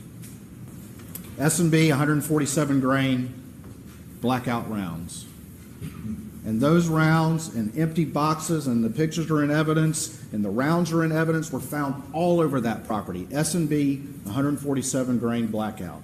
There were full clips found, there were empty boxes found, and there were also cases found, S and B 147 grain blackout rounds found across the street at their shooting house.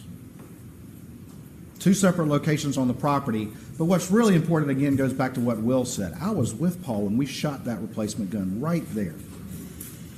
Right there. And you heard forensic scientist Paul Greer testify that the six cases, items two through seven, the six cases found around Maggie that killed her were loaded into, extracted, and ejected through the same firearm that fired those weathered cases right outside the door where y'all went to today and at the shooting range across the street. A family blackout killed Maggie. It was present just couple months prior to the murders, it's gone now. A family weapon the defendant cannot account for killed Maggie. But what about the shotgun? The 12 gauge shotgun that was loaded with one federal double aught buck and one Drylok number two steel shot. Well, first of all, you heard that the two weapons that Paul often favored and often carried were this shotgun right here and the blackout. Those were his two guns, his favorite guns, aside from his deer rifle. The defendant had that gun with him when Daniel Greene, the first deputy on scene, showed up. And shotguns, as you heard, are a little bit different than rifles. And the conclusion there was was that the two fired shells that were inside the feed room that killed Paul had class characteristics similar with that Benelli, Super Black Eagle 3, but insufficient uh, uh, individual identifying marks to either match or exclude it. That shotgun right there. But what did you else did you hear about the shotguns? Paul had this Benelli Super Black Eagle 3. That was his gun. Camo print, camo strap. Nolan Tuten, Nathan Tuten, Will Loving, Rogan, all identified that as Paul's gun. It's the one that Alec had. It's got Maggie's DNA and blood on the receiver. You heard from the DNA expert. And it was loaded with 12 gauge and a 16 gauge misloaded round. What else did you hear? You also heard about the Super Black Eagle 2.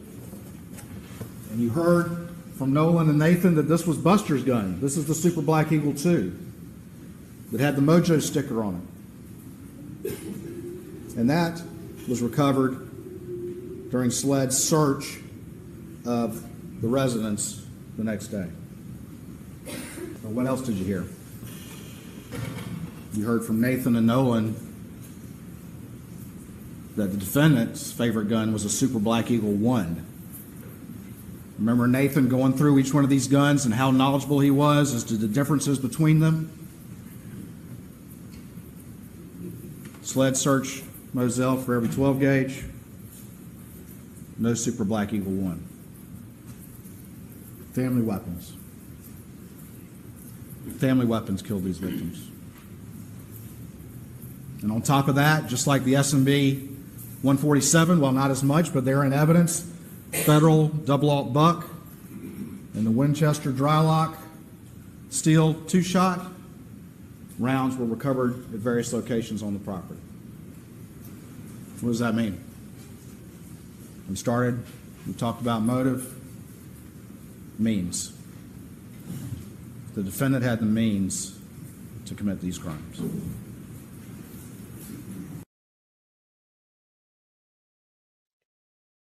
Okay, guys, so we're going to get into our intermission here with What the Truck 3. So, here we go. What the truck? Oh, wait. Let me remove my ticker here. Do, do, do. All right. Part three How the truck could Alex have driven to the kennels separately? Okay. So that's a, that's the question. So here, first of all, we're going to hear from Dale Davis Jr. Um, this is going to be the closest thing we have to confirming the whereabouts of where the golf cart was typically stored. Occasion, did they occasionally leave guns at this area? Yes. All right, where would you have found them? And, and, and when I say occasionally, what does that mean to you? That would be, especially when it was during hunting season, they would uh, leave either on the golf cart or side by side.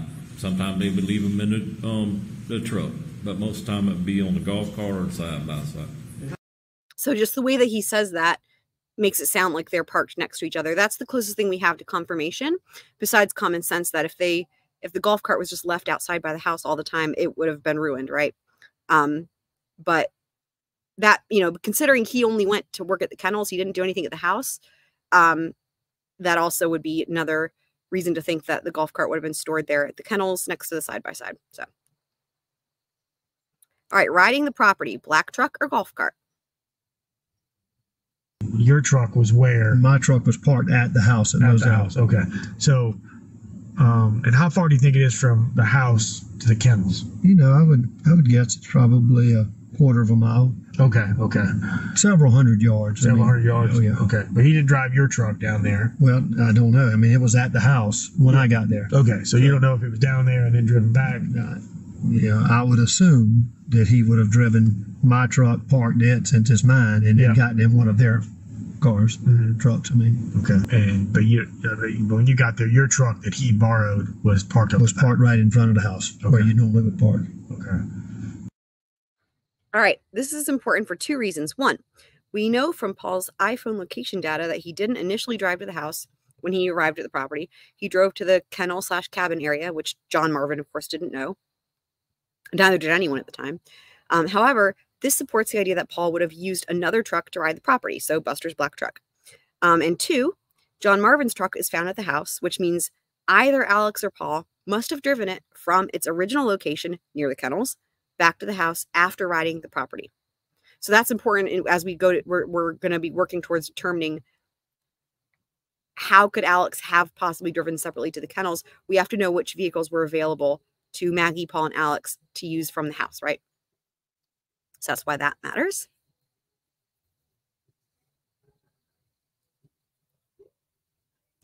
First thing we do is we go to the Dove Field, and, and, and we and we look at the Dove Field, and um, how did you get to the Dove Field?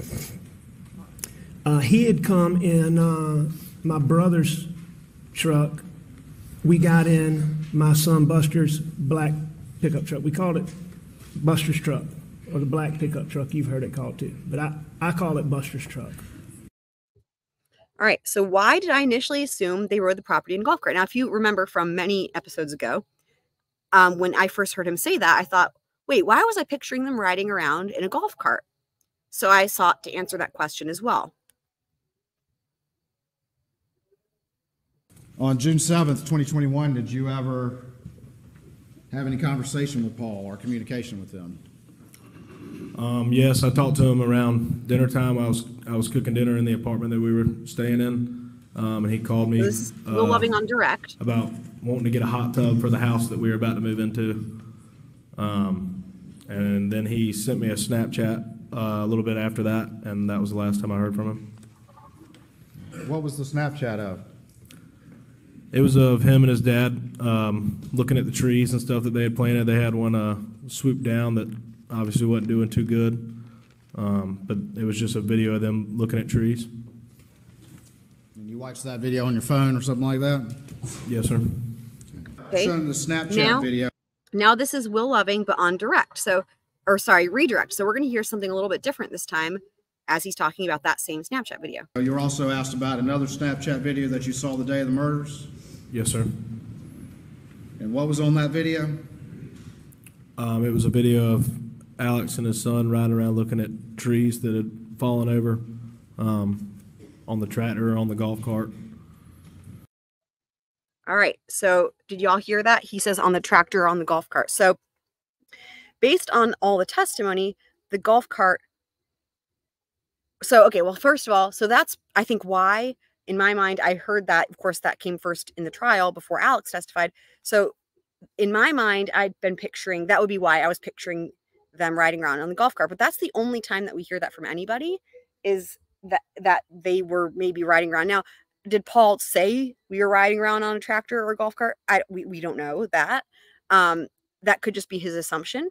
But I heard that and I thought golf cart. But in terms of answering this question of how could Alex possibly have driven separately, um, we're going to go through all the possible scenarios, and that will include the scenario that what if they did ride the property in the golf cart? We're going to go through that, and we'll have that coming up here in just a minute. But regardless, based on all the testimony, the golf cart would have been parked slash stored at the kennels unless someone was using it contemporaneously. What I mean by that is like essentially it would be stored at the kennels, right? Like parked there. But if they were using it for stuff, then it's possible that they maybe would drive it to the house temporarily as they were using it to go around, do different things, and then eventually with the intention of driving it back to park it at the kennel. So just keep that in mind. Like I, in terms of like, is it possible they were riding the property in the golf cart? Sure. Um, but I I don't think it was always stored. I, I don't think there's any possible way to believe that it was stored at the house the way Alex describes, right? When he talks about that. Hopefully that makes sense. Okay, getting from the kennel slash shed back to the house. All right.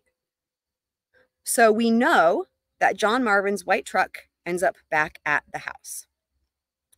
The only, this is the key thing in figuring out this and answering this question. The only unknown is which other vehicles, if any, also are driven from the kennels slash shed back to the house.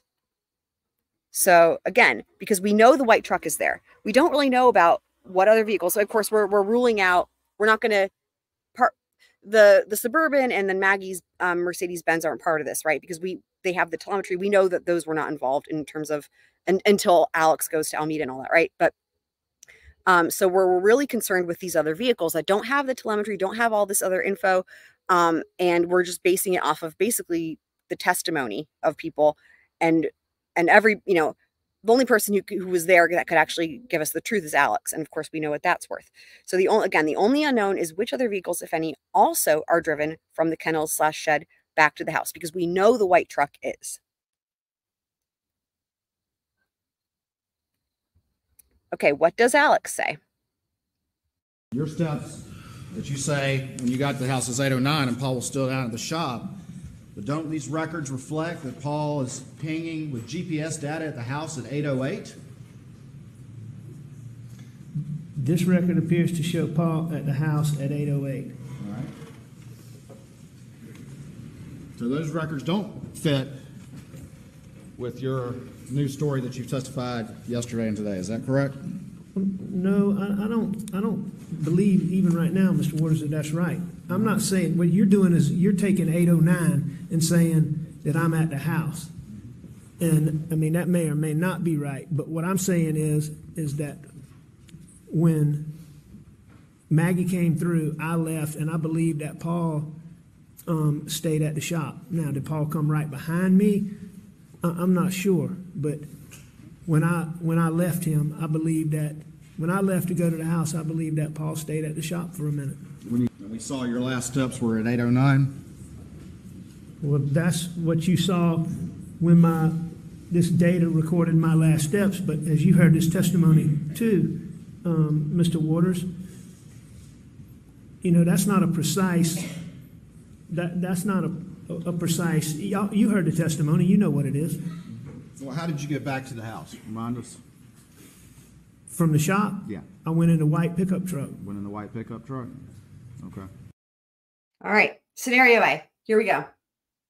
Again, we're trying to figure out what vehicles would have been available basically to get from the, or sorry, we're trying to figure out what vehicles could have been back at the house after they rode the property, right? So here's the first scenario. Paul arrives at Moselle and parks John Marvin's truck at or near the shed. We know that that happened because of the, the iPhone location data. Okay. Two, Alex drives Buster's black truck to meet Paul at the shed. And we know that he had to do that because we he if he had taken his suburban, then we would have had that in the data. And we know he wouldn't have walked, right? All right, three. Paul and Alex ride the property. Again, this is scenario A. Scenario A.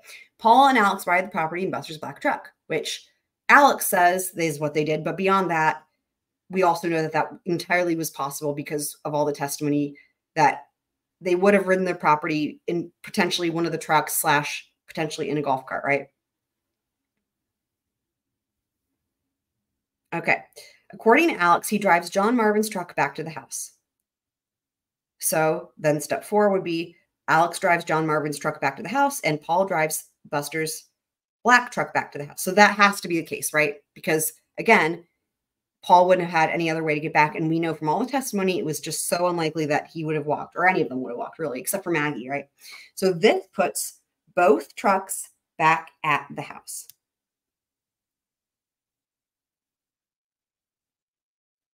Scenario B. One, Paul arrives at Moselle and parks John Marvin's truck at or near the shed. Two, Alex drives Buster's black truck to meet Paul at the shed. So those are the same so far. Three, Paul and Alex ride the property in Buster's black truck.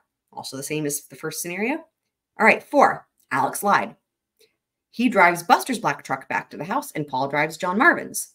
We don't actually know who drove back first or what vehicle they drove in because the only data from Alex's phone is step data. We do know that the white truck arrives back at the house. So it's entirely possible that Paul drove back to the house first. And again, based on what we heard from Alex's testimony, which was just a disaster on that point, um, it's in, again, it's impo- it's possible Paul drove back first, and it's possible that um, Alex was lying about which truck he drove in, right? Regardless, both scenarios A and B put both trucks back at the house. Scenario C. One, Paul arrives at Moselle and parks John Marvin's truck at or near the shed. Two, Alex drives Buster's black truck to meet Paul at the shed. Three, Paul and Alex ride the property in the golf cart. So this is like what I was saying before, where we're going to go through this too. Like what happens if they did ride the property in the golf cart? Four, as with scenarios A and B, one person drives the black truck back to the house and the other drives the white truck back to the house. The important thing here, like scenarios A and B, this puts both trucks back at the house. Scenario D. Paul arrives at Moselle and parks John Marvin's truck at or near the shed.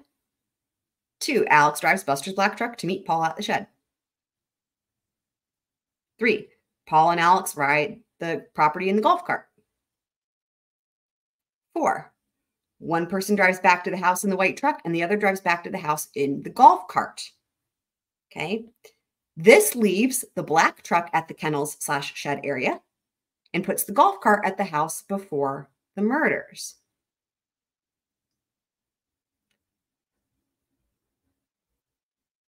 Scenario E. Paul arrives at Moselle and parks John Marvin's truck at or near the shed. Alex drives Buster's black truck to meet Paul at the shed. Paul and Alex ride the property in Buster's black truck or the golf cart.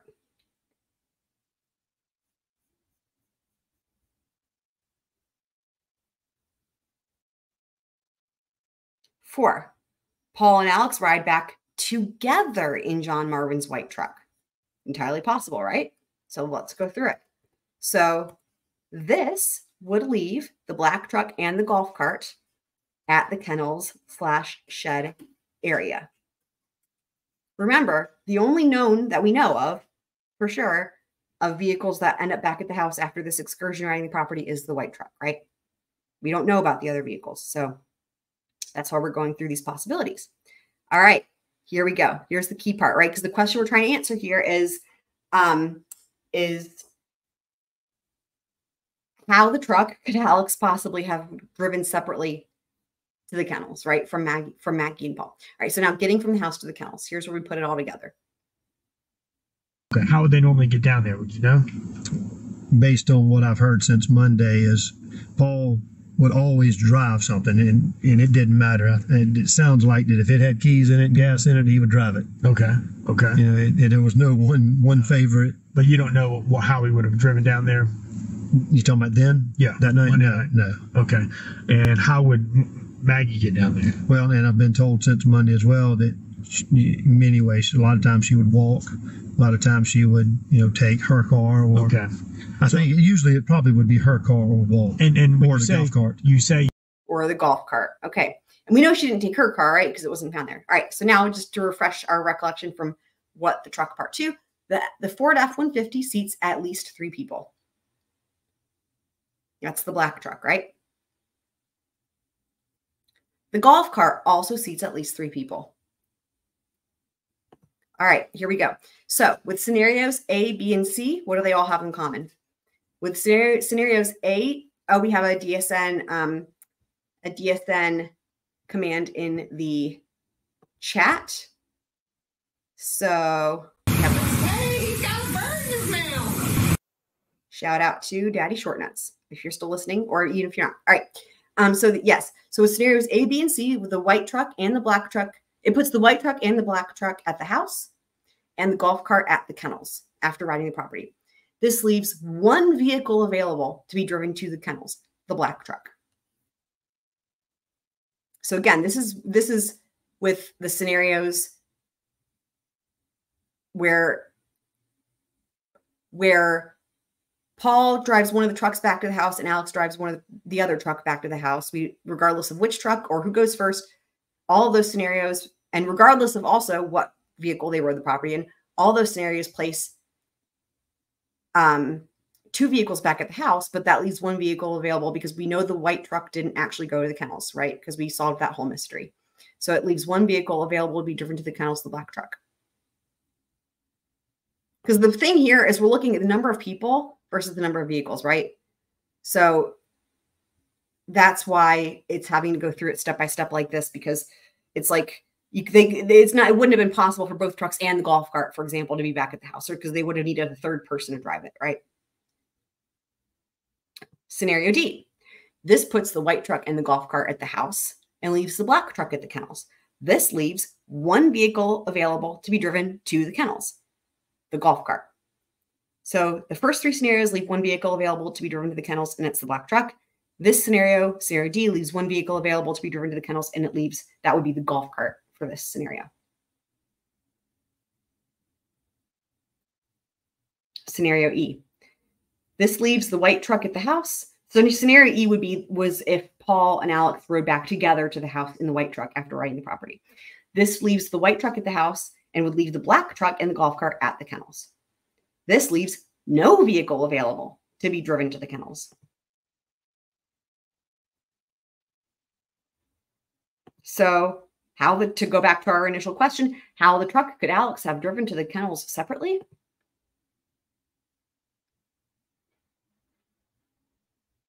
The answer is he couldn't have unless he walked. Because no matter what scenario you look through, we went through all the possibilities there. There's either one vehicle available or no vehicles available to be driven to the kennels after riding the property. So he couldn't have unless he walked. So what what I think we've just proven here is that he had they all went together they all went together. Like the whole thing about the fake nap and all that other bullshit it's all bullshit. They went together. So i know we kind of talked about that in what, what the truck do but i wanted to walk through it step by step with including the different possibilities with the golf cart to see what would happen. And um and now it just we it just confirms it right? I mean to see what vehicles would have been available no matter with with every situation and if I left out a possibility, let me know. But I, I don't think I did. I went through all of it um, a million times and wrote it out and did a bunch of different graphs and charts and drawings and um, again listening to the testimony. But um, those are the only scenarios that I can can think with with the facts that we have, right? Um, so he couldn't have unless he walked. But what the truck is going on here? It's a house. Yay! Okay, So that was what I had planned for the intermission.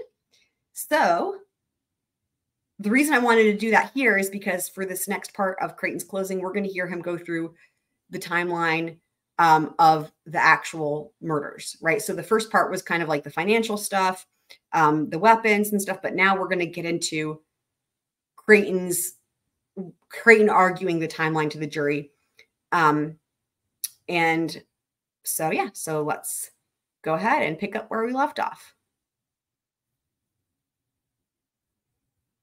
All right. So to start it out, sorry, to start out, I forgot. We're recap from Chicken Business Part Three. Again, this is this is going. This is going to be preparing us for this forensic uh, timeline. All right. So just to recap it, whether you were here or not, because this was a while ago, when and why did Paul go into the feed room? So we're gonna have some, some another thing with different scenarios here, like we just had with what the truck part three.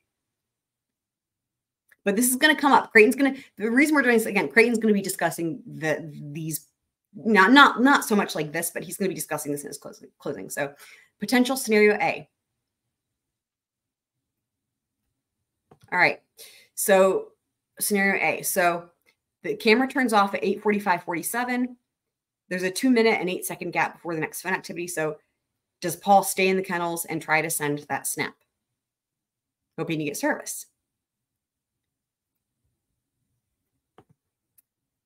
So stays in the kennels while texting, hoping to get enough service for Snap. And then um, at 8:48:58, locks his phone, puts it in his pocket, and goes into the feed room for something like maybe a collar. And again, we're going to hear Creighton bring up the callers. I believe Creighton brings it up. I think maybe Jim brings it up too, but goes into the feed room for something, maybe a collar. That would that because right because right, like why would he go in the feed room? Right, that was the part of the question. So, okay, potential scenario B. 8:45, 47, his camera turns off. Again, so at that point, we know he was still at the kennel or at right at the it, at Cash's. He was still filming Cash, so that puts him at that particular location in the kennels up until then. So then we have a two minute and eight second gap before the next connect. Again, because of the fact that he was actively in these conversations, that gap is what is intriguing to me. So during that gap, again in scenario A, we thought maybe is he staying where he was and trying to send the snap? In this scenario, scenario B, does that gap mean he's entering the feed room hoping to get better service and trying to send the snap during that gap in activity on his phone.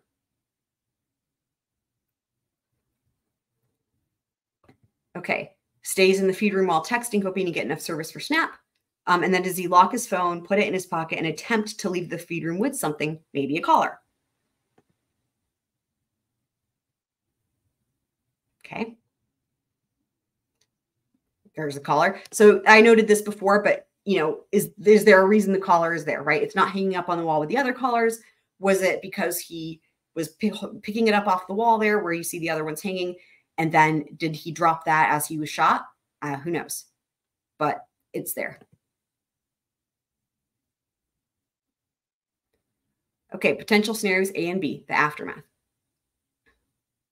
Okay, so Paul is shot between 849.29 and 849.30, causing Maggie to lock her phone. So there's like a what a 31 second window in there.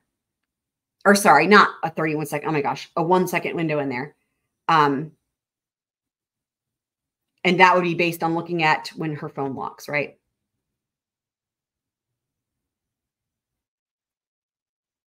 Potential scenario C. So this is the aftermath, right? Okay. So again, we have the camera turning off. We have that gap in the phone activity, enters the feed room, tries to send snap. Stays in the feed room while texting, hoping to get enough service for snap.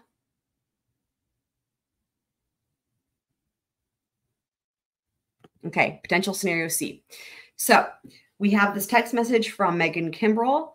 It was read at 8:48:59. He he reads it, but he doesn't respond, right? Which is interesting. So his phone locks at 849.01. So that's two seconds after um, the snap. He reads this message, right? So that's really quickly after he's read. Think about that, right? If he's reading that message, but he doesn't respond, and two seconds later his phone locks. So in this scenario, this potential scenario, this phone would still be in his hand, but he doesn't put it in his pocket because he's still holding it because he's going to tell you in this scenario he's intending to respond, right? He's reading that text message, he's intending to respond, his phone is still in his hand. Then at 849.01, his phone would lock unintentionally, or maybe it auto locks due to low power mode. We talked about this before in the other one, but there are different settings where the screen can power off or auto lock uh, quicker because his phone, his battery would likely have been on like 1% at this point. So then if this is the case, um, if he's shot at 849.01 and that's when his, you know, potentially, like I said, his phone locks unintentionally, maybe he drops it, his phone locks, but his phone would fall to the ground in the feed room where Paul was standing.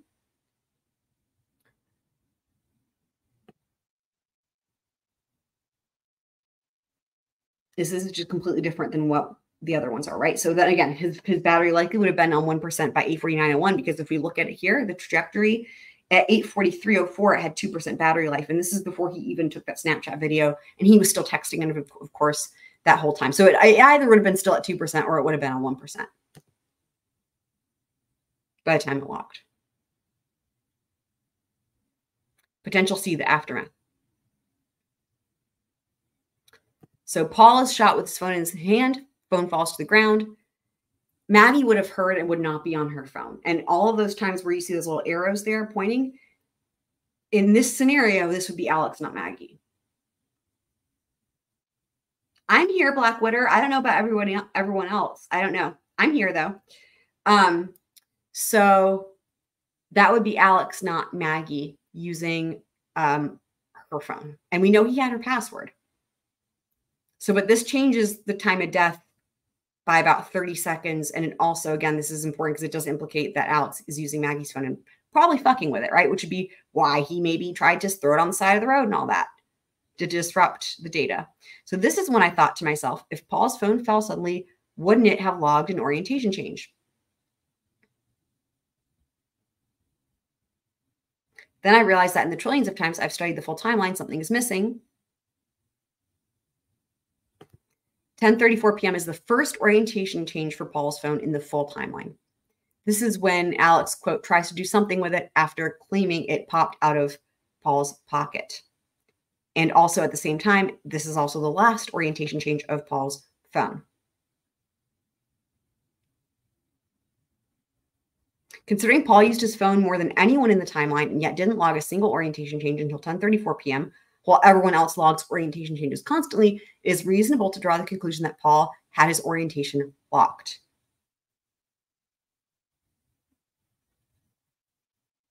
This is why if his phone fell as described in potential scenario C, it did not log an orientation change. Um, Black Widow is saying it did, or was that Maggie? I'm not sure what you're referring to. Can you elaborate on that question?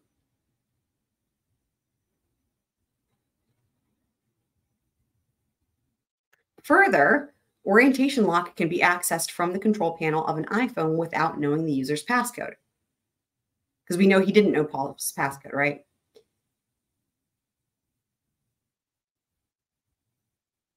After returning from Almeda and calling 911, Perhaps while doing a shitty job of putting up the hose and practicing his crying, Alex noticed that Paul's phone was still lying in the feed room.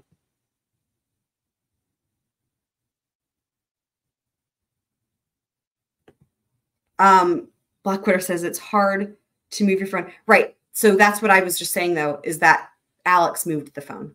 Like in potential scenario C, the scenario is that Paul was actually still using his phone. Like if Paul, okay, in order for the phone to have popped out of the pocket, the way Alex said, never mind the fact that that sounds insane. We're looking at the fact that was the phone initially in the pocket or not, right? In order for the phone to be in the pocket, Paul would have had to put it in his pocket initially, right? Before he died. So in this potential scenario C, he was still using his phone, which makes sense when you look at the timeline because he had just read that text from Megan two seconds before this, his phone locks forever. So if he still had his phone in his hand, and was shot, it wouldn't have fallen into his pocket, right? It would have fallen onto the ground in the feed room. So the idea with this potential scenario C is that it never was in the pocket. Alex went and picked it up in the feed room and put it on Paul's butt and then made up the pocket story. Um, reminder: I'm not a detective, nor do I play one on TV, as they say. Um, we've already been through this. This is from before, but just to review it. It is reasonable to conclude, here we go. So this is maybe hopefully to answer your question, Blackwater.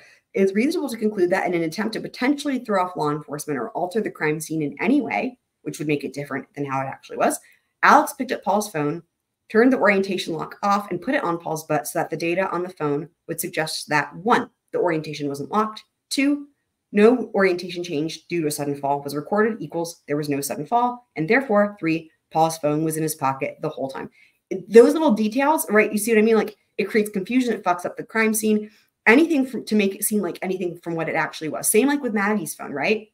And actually, we're going to even hear that from Creighton when he starts talking about this. That's why I wanted to go over this beforehand because we're going to hear Creighton talk about how he maybe was trying to manipulate that crime scene. Because any change to make it look to appear different than what it was would be significant, right? And hope hopefully he would think it would have helped him more than it did.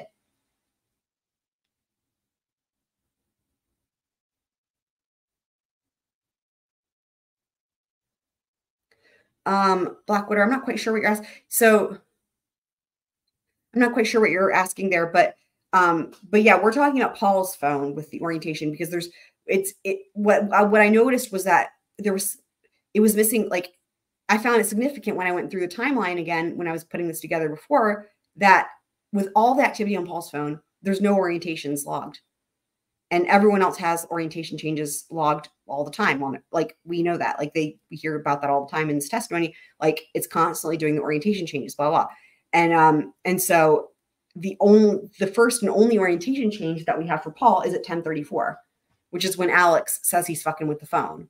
And of course paul's dead. So that could have been alex picking up the phone and turning the orientation lock off to try to mask the fact that it could have um to, to try to make it seem like it didn't like if it had fallen suddenly it would have logged an orientation change hopefully that makes sense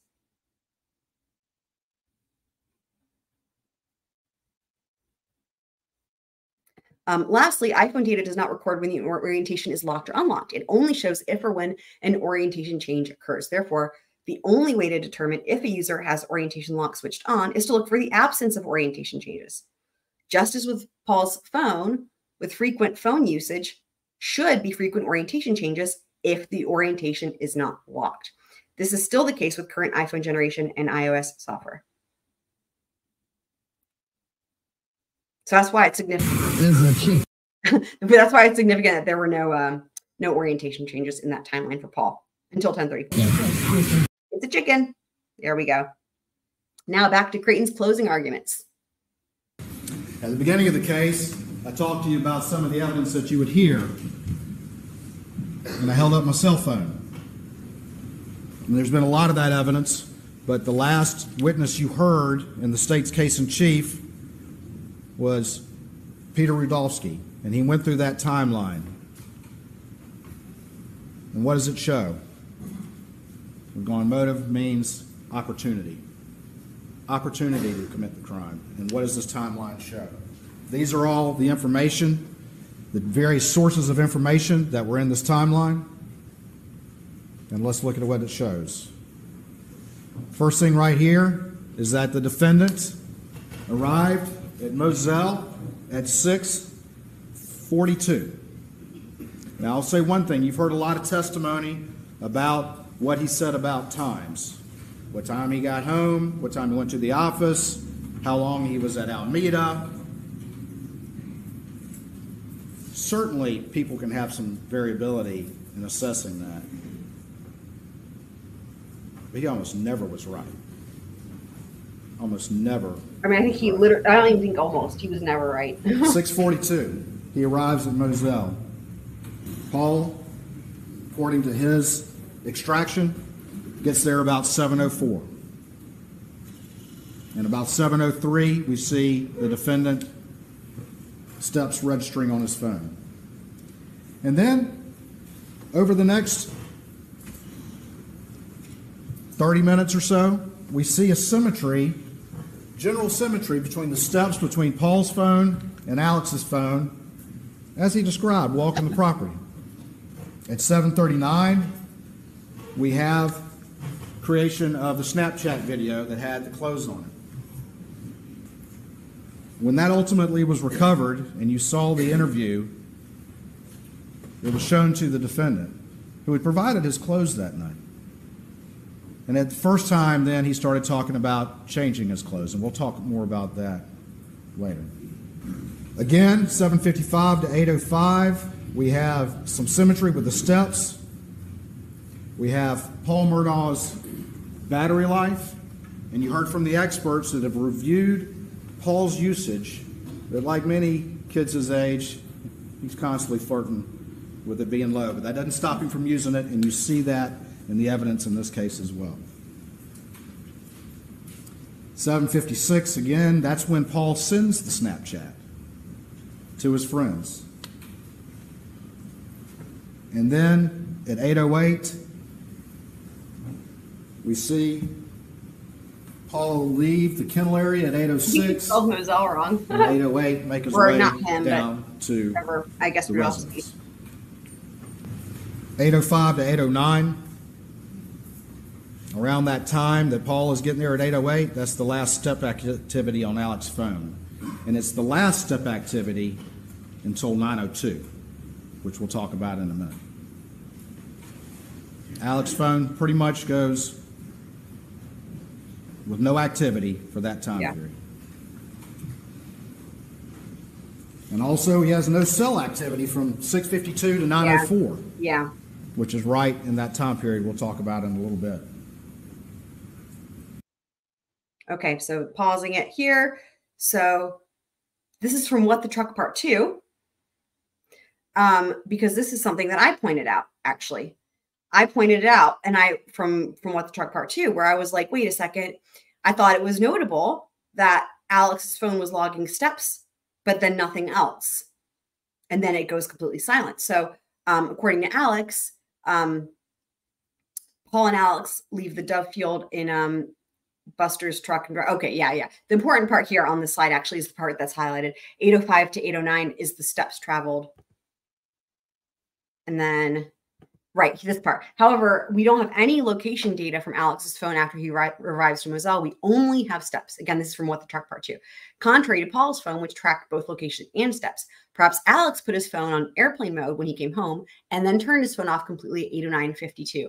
And that's exactly what this was what I was saying from what two episodes ago or something. And I just thought it was funny when I heard Creighton say suggest something similar. I was like, oh yeah, we, we figured that out. Um, I I am also missing T Pain um, as well, Blackwater. I know it's awful. Um, we love you. We love you, wifey. Do her command. Nightbot loves you too.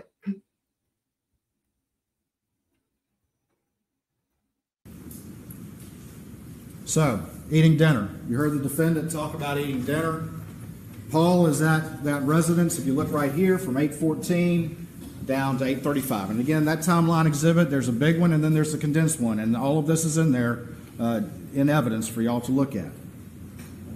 He's at that residence from 814 to 835. Now, the defendant, again, despite having a photographic memory a new photographic memory about things he told y'all that people are hearing for the first time, still can't remember specific things about Maggie's activities, as to when Maggie arrived, as to what they talked about. He can remember dropping his phone down in the console, but he can't remember things like that. He wants to remember things that help him try to explain to you why he never told the truth about maybe the most important thing he could tell law enforcement but he can remember very specific details. He still gets this wrong. But she arrives at 817 in Moselle. They're already there. How do we know that? Because her cell phone disconnects from her Mercedes at 817, and that's when she starts showing steps. And Paul, what's he doing? He's still using his phone like always. We see the battery life, but he's still sending snaps, receiving snaps, bless you. Oh, I love that he says bless you. He's sending to his friends, all these friends right here.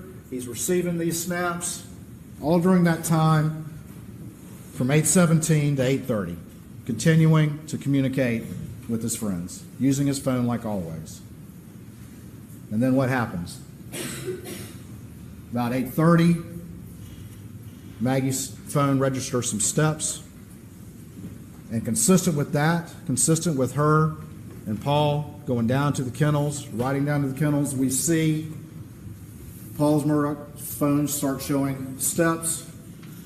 And then down here at 8:38, he's at in that kennel area where those dots are. And if you look at that particular slide from 838 to 844, that's going to be the last GPS reading on Paul's phone, 844. You heard from Rogan. And you heard from Rogan as it references this timeline. And Rogan tells you and told you from that witness stand that he was having a conversation with Paul about cash and the, and the dog's tail. They were having an active conversation about that. Paul calls Rogan at 8:40 and they're talking about it. And Rogan says, "Send me a FaceTime, but if it doesn't work, send me a video." At 8:44, 4 minutes and 14 seconds, we have right here the FaceTime, but it only lasts 11 seconds. And then at 8:44:55, that's when the kennel video was recorded, that lasts 50 seconds. At the beginning of this investigation, as you'll recall the testimony, they didn't have Paul's password and couldn't get in. And you heard in the defendant's August 11th statement that when he was asked about Rogan saying he may have heard Alec on the phone during this time, he said, Well, I'd be surprised if that were the case. Because law enforcement didn't have this kennel video. They didn't have this kennel video until April of 2022 when Paul's phone was finally unlocked. And that changed everything. Why did it change everything? Opportunity. Being at the scene of the crime when the murders occurred. Opportunity. And more importantly, exposing the defendant's lies about the most important thing he could have told law enforcement.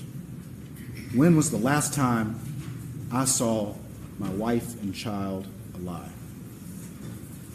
Why in the world would an innocent, reasonable father and husband lie about that? And lie about it so early? I think it's a great point. I think it's a great point. He didn't know that was there. And he could always say, well, Rogan must be mistaken. I'm surprised. Not if my times are right, was what he said. Rogan told you I was expecting that video right there. That was supposed to be the next thing that happened. Send me the video because we were worried about Cash the dog's tail. He talked about how his girlfriend was going to call a veterinarian or she had some association with one. There was an active conversation going on right then and right there. And what's going on still? Paul's still also texting his friends. You might recall that in opening statement, the defense counsel said, oh, he was texting after that video for 10 minutes. It's not for 10 minutes, it's for barely a minute. Down here, Back to get wrong. 848, 58 to 84901. That's the last time that Paul's phone was unlocked. And what do we know? We know that the defendant was there just minutes earlier at the scene of the crime with the victims. 849 01, Paul's phone locks. He never sends that video to Rogan. You heard Rogan say that when he watched that video. You heard him say. That's the video I was supposed to receive. That is the video that my friend was supposed to send to me. And he never did. In fact, Rogan responds at 8:49:35, and he says, "See if you can get a good picture of it." Mary Ann, his girlfriend, wants to send it to a girl we know that's a vet. Tell him to sit and stay, and he shouldn't move around too much. Even though this is an active conversation with Paul, who you heard from multiple friends, was one to respond and use his cell phone. Paul never reads it. Paul never reads it. What happens at 849? 31. We were 849.01 for Paul, 849.31. Maggie reads Lynn's response to the group thread about Mr. Randolph, Or it could be Alex, right? Fucking with her phone. and then her phone locks forever. And is never unlocked again until it's recovered the next day. Down here. Six eight at one ten. Eight forty nine for both of them. The defendant, after hearing multiple individuals of his family and friends and law partners get on the stand and listen to that video and say, that's him on that video, got on the stand for the first time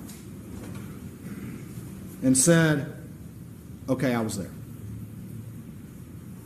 He was forced into doing what he does all the time, and that's coming up with a new lie when he's confronted with evidence he can no longer deny. Just like the side of the road. And the only reason he did that, the only reason he did that is because all those witnesses at that witness stand said, yeah, that's him. He's there. Why would he lie about that, ladies and gentlemen?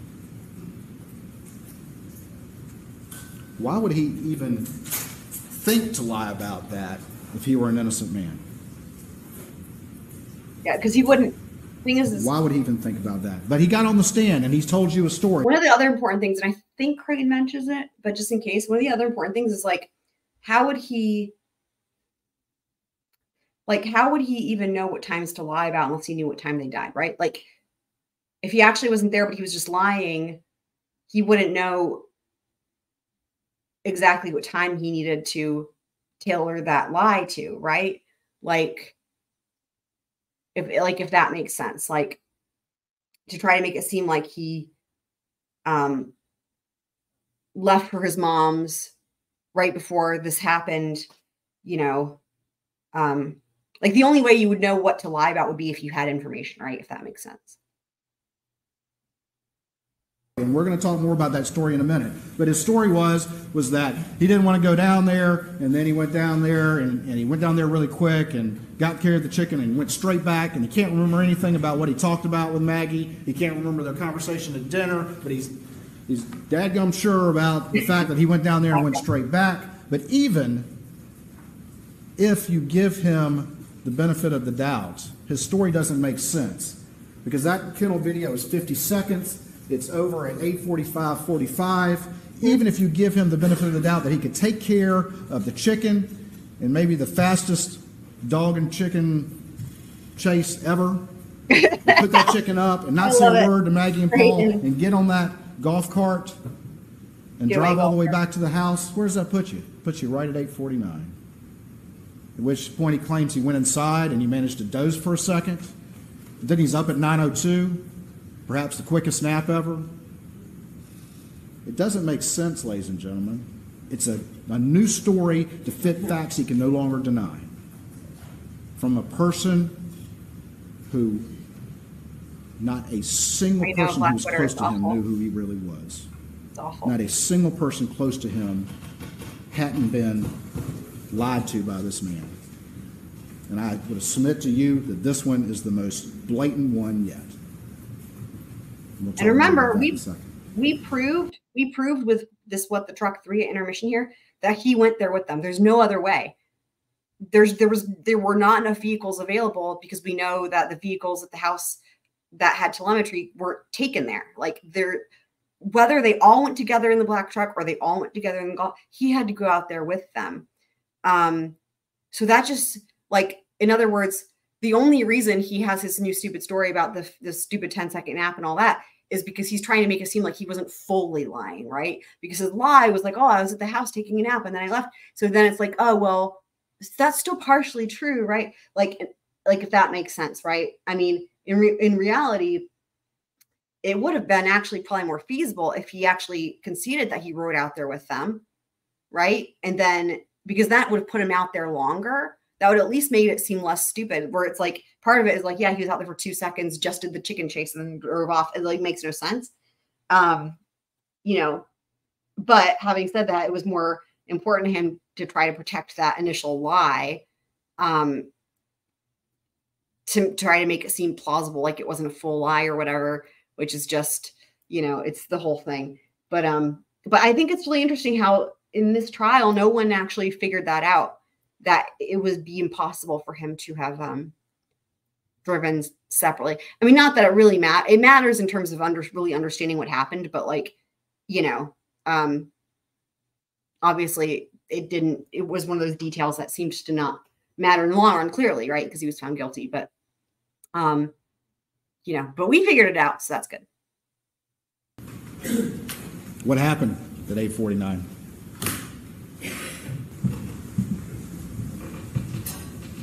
Y'all been to the scene. That feed room door is probably a bit tighter than this. Much tighter. We saw that in the jury you view. saw the evidence from Yep. Kenny Kinsey and all the rest of them that clearly Paul was in It's like maybe the middle of that feed room. thirds the size of that Kills door. him. Yeah. Nobody in there with him. He's in that room. I think DSN called it a death no trap. defensive wounds at all. His hands are down. And he takes that shot, buckshot to the chest. And any person who did that would probably think that took care of business because this buckshot, but This for some good. reason he was canted this way and it went through. It was a million and one shot. Yeah. That it didn't kill him. So Alex was surprised. Good point. Yeah. Alec, the lawyer, Alec, the prosecutor, Alec who's thinking through that we'll see he's manufacturing an alibi, and he's also manufacturing the fact that there's two guns used. But we know, unlike the expert they called from Connecticut, where they can't even get ARs, who doesn't know about people riding around on property, he doesn't know Yeah. about Paul and the two guns he likes to use, he doesn't know about this family and how No common context. those guns are together. Says, well, his only conclusion is, well, it would be practical for somebody just to, to, to fire out the clip. But this is him. This is Alec, the prosecutor, the lawyer, and he's thinking through this. He's thought through this. He's going to use two guns because it's going to confuse people that perhaps there are two shooters. But again, it doesn't make sense. Two family weapons? And this is a lot like what I was saying before too, like with the phones and stuff, like just to try to fuck with it, right? I mean, I mean, it was one of the things he did the best out of all the fuckery was the using the two guns. Like that was maybe the strongest argument anyone could have that it was more than one person, right? It was the two guns. So that, you know, but again, it, it's just an effort to make it look like anything other than what it was. So so that tracks. But he thinks Paul's shot. And you heard the testimony that Paul appears in the feed room doorway. Is Alex putting down that shotgun to pick mm-hmm. up the blackout and is startled by Paul? And that's why the angle's like that? And catches Paul like that? And, and goes up into the ceiling, as you've heard the testimony from Kinsey? And I think that's a good that's a good argument too. You know, we were saying how it's also possible that maybe it was the water, right? Because he's there's also the step coming out of that door frame that would combine with the pull of water and then the blowback of the first shot. I think either way, whether he fell and tripped over that step or with the water, or he was putting down the gun and was surprised and Paul caught him off guard by still being alive. Either way, it the point is that he wasn't planning on taking that second shot, and that's why the angle was weird. And that's why he was down at that. That's why he was either he fell over or he was bending down, right? And that would and then he was taken by surprise. Either way, um, it it it explains it explains and accounts for that that second shot being at that angle. He blows, blows his brains out. And what happens with Maggie right here? We see activity on Maggie's phone. You heard about Again, that sandal prints. Alex if You heard from Kenny Kinsey not at about but the mark on her leg from the Polaris over there by the overhang next to the feed room. You've seen the diagrams and the crime scene photos of that all those cases are in that area between the doorway to the feed room and where Maggie was found. You heard that Maggie had no defensive wounds. You also heard Paul and Sibling from that first shot, a close range shot, with no indication that he detected a threat from the person who fired that weapon. And why? Because it was him. Same with Maggie, because Maggie sees what happens and she comes running over there, running to her baby. Probably the last thing on her mind, thinking that it was him who had done this. She's running to her baby. Horrifying. While he's gotten picked up the blackout and opens fire at close range, again with no defensive wounds. And she takes those two shots that you heard Dr. Riemer say were parallel, and it crumples her over. In those cases, you can see them move around.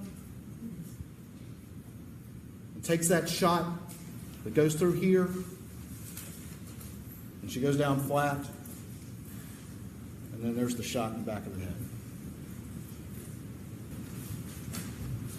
Malice?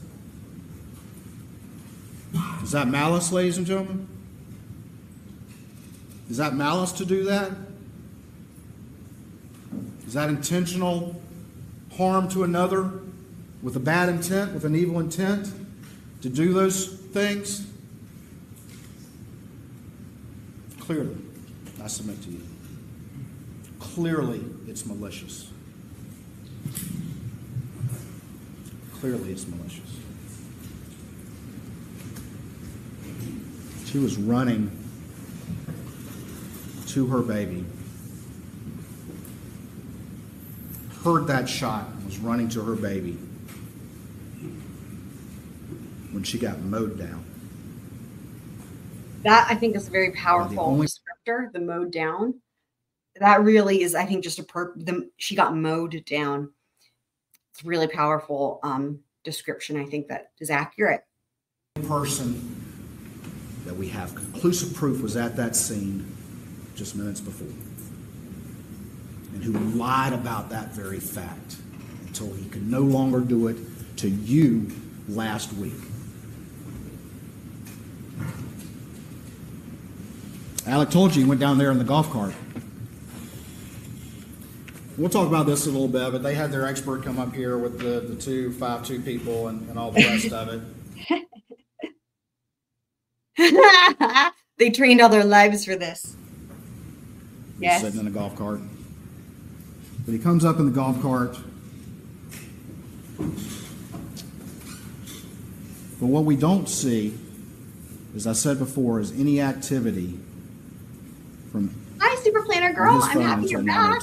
Yay. Are you feeling any fancier? that the crime occurred around 8:49 to 8:53 Or fancy to begin down with? there at the feed room. State's Exhibit 516. It's just a diagram. Remember that Roger Dale Davis did about kennels and the hose there and how it wasn't put up the way he would put it up? If you're going to wash off real quick, what better place to do it? The water, the pictures of the water in states 199 and 190. Wouldn't take long to strip down and wash yourself off. Get in that cart and head back to the house. And then at 902, the defendant over there, who wouldn't even admit until forced to that he was even at the scene, all of a sudden, he is as busy as he has ever been. He's a busy 902 bee. to 906, 283 steps. 903, we see the system start up on the car, and that could mean that he's close by the car. Has he returned with Maggie's phone and placed it in that car? So this is interesting. And then what do we he, see? He brings up this telemetry with the car. That was something that was hard to catch with the dude who did the presentation on that, Dwight Falkowski, bless his heart, he worked his tail off for over a year trying to crack that car and it was a disaster. And he goes through the telemetry. And I just remember thinking at the time and even going back through, it's just so disappointing because you're like, oh, you know, that and that A, it's hard to follow what he's saying because of that, but B, he's not maybe the most, you know, gifted and as compared to some of the other um, experts or even law enforcement that we have um, describing how some of this complicated shit works. That's like way over our heads. And um, and so I'm glad Creighton is closing the loop on this because you know he goes on about the telemetry, you know, the car startups and this and that, but we don't really understand what it means, or at least I didn't at the time. But I love how he ties it together um, here, and he does it also at Al- Almeda, showing reminding us and explaining how what that the significance of that is that if the key's in the pocket, it can be mean that you're walking by the car or whatever, coming near the car, and um, and that could could make the car register that uh, startup thing. From 902 to 906, not only is he 283 steps in that four minute period, but he is making calls like crazy. And I asked him, I said, What were you doing? What were you doing? And, and even though he has a photographic memory about things that he thinks will convince you, he could not answer what he's doing during this four minute period that is so illustrating of what we're talking about here. That for four minutes, he is not only going 283 steps, 283 steps, and they put in the distance. We heard the distance isn't as accurate, but it's, it illustrates the point. That's 208 meters. Meter, you know, roughly is a yard, a little bit more, a little bit less. I don't remember. But let's say it's 600 feet. It's a lot. And he couldn't remember what he was doing. I asked him, You been on a treadmill? Were you doing jumping jacks? What were you doing at the same time you're calling all these phones? Why is he calling multiple times? We can see right here. He, he calls Maggie. He calls Randolph. He calls Maggie again. All in that four minute period where he's moving around. But he couldn't remember what he was doing. Just getting ready. Is the prosecutor, the lawyer, manufacturing his alibi? Because he knows he's got to get to Almeda quick. He's got to compress those timelines, and that's exactly why he knew to lie about being at the kennels to start with. He's got to compress those timelines so that it would convince whoever down the road that he couldn't have done it. He's got to compress them. And that's why he's doing all that right then and there. System startup, 90556 in the Suburban. And then, this is interesting. Maggie's phone has that orientation change to portrait two seconds before Alex's second call goes in to her phone. If it's some random vigilante, some random vigilante who knew to hide out there and counted on family guns being there, did he have ESP? They also have ESP, and they trained their whole lives for this. Only explanation. He have ESP to move that? Or was that Alec turning the phone as he got to the Suburban, checking as he manufactured his alibi that it was coming through? And we saw how quickly out of the gate when law enforcement arrived and then his Yeah, first the- gray boys. how he's immediately referring to his phone. Yes, yes, yes. And besides that, you've heard about Alec. You heard from witnesses. He went down to the kennels, but he didn't take his phone. Is that also the lawyer and the prosecutor making sure his phone was not with him when he went down there? You heard testimony it would be unusual for him not to take that phone down to the kennels. And then he gets underway. This call right here, too. All those calls, all those steps, when his phone finally goes active, just minutes after he was at the scene with the victims and he lied about it and he's so busy. But let's let's take him at his word again. Why in the world, if he's calling her so much, if he's so busy and so concerned to call her as many times as that in a four minute period, why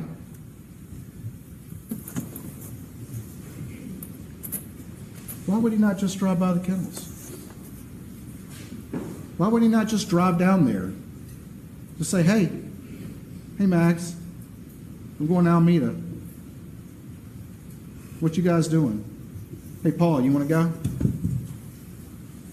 Why is he so busy and making so many calls but doesn't drive the less than a minute down there to see what they're up to? Why would he not do that? And you've heard testimony from Marian. You even heard it from the defendant's own mouth about whether or not Maggie was going to go with him to Almeda. I'm not sure. That Alec had actually asked her to come home that night. I'm still not sure what you're referring to with Maggie's phone. Um, um, from earlier. Um, I'm not sure what you're referring to because we were talking about uh, Paul's orientation changes. I don't know if you can elaborate if you have a question or something like that because I'm not quite sure. Right, Fine. which he denies, and said in his statement that he found out later that that was the case. But you saw the text from Blanca, and you heard from Marian that Alec wanted Maggie to come home that night to make sure of it.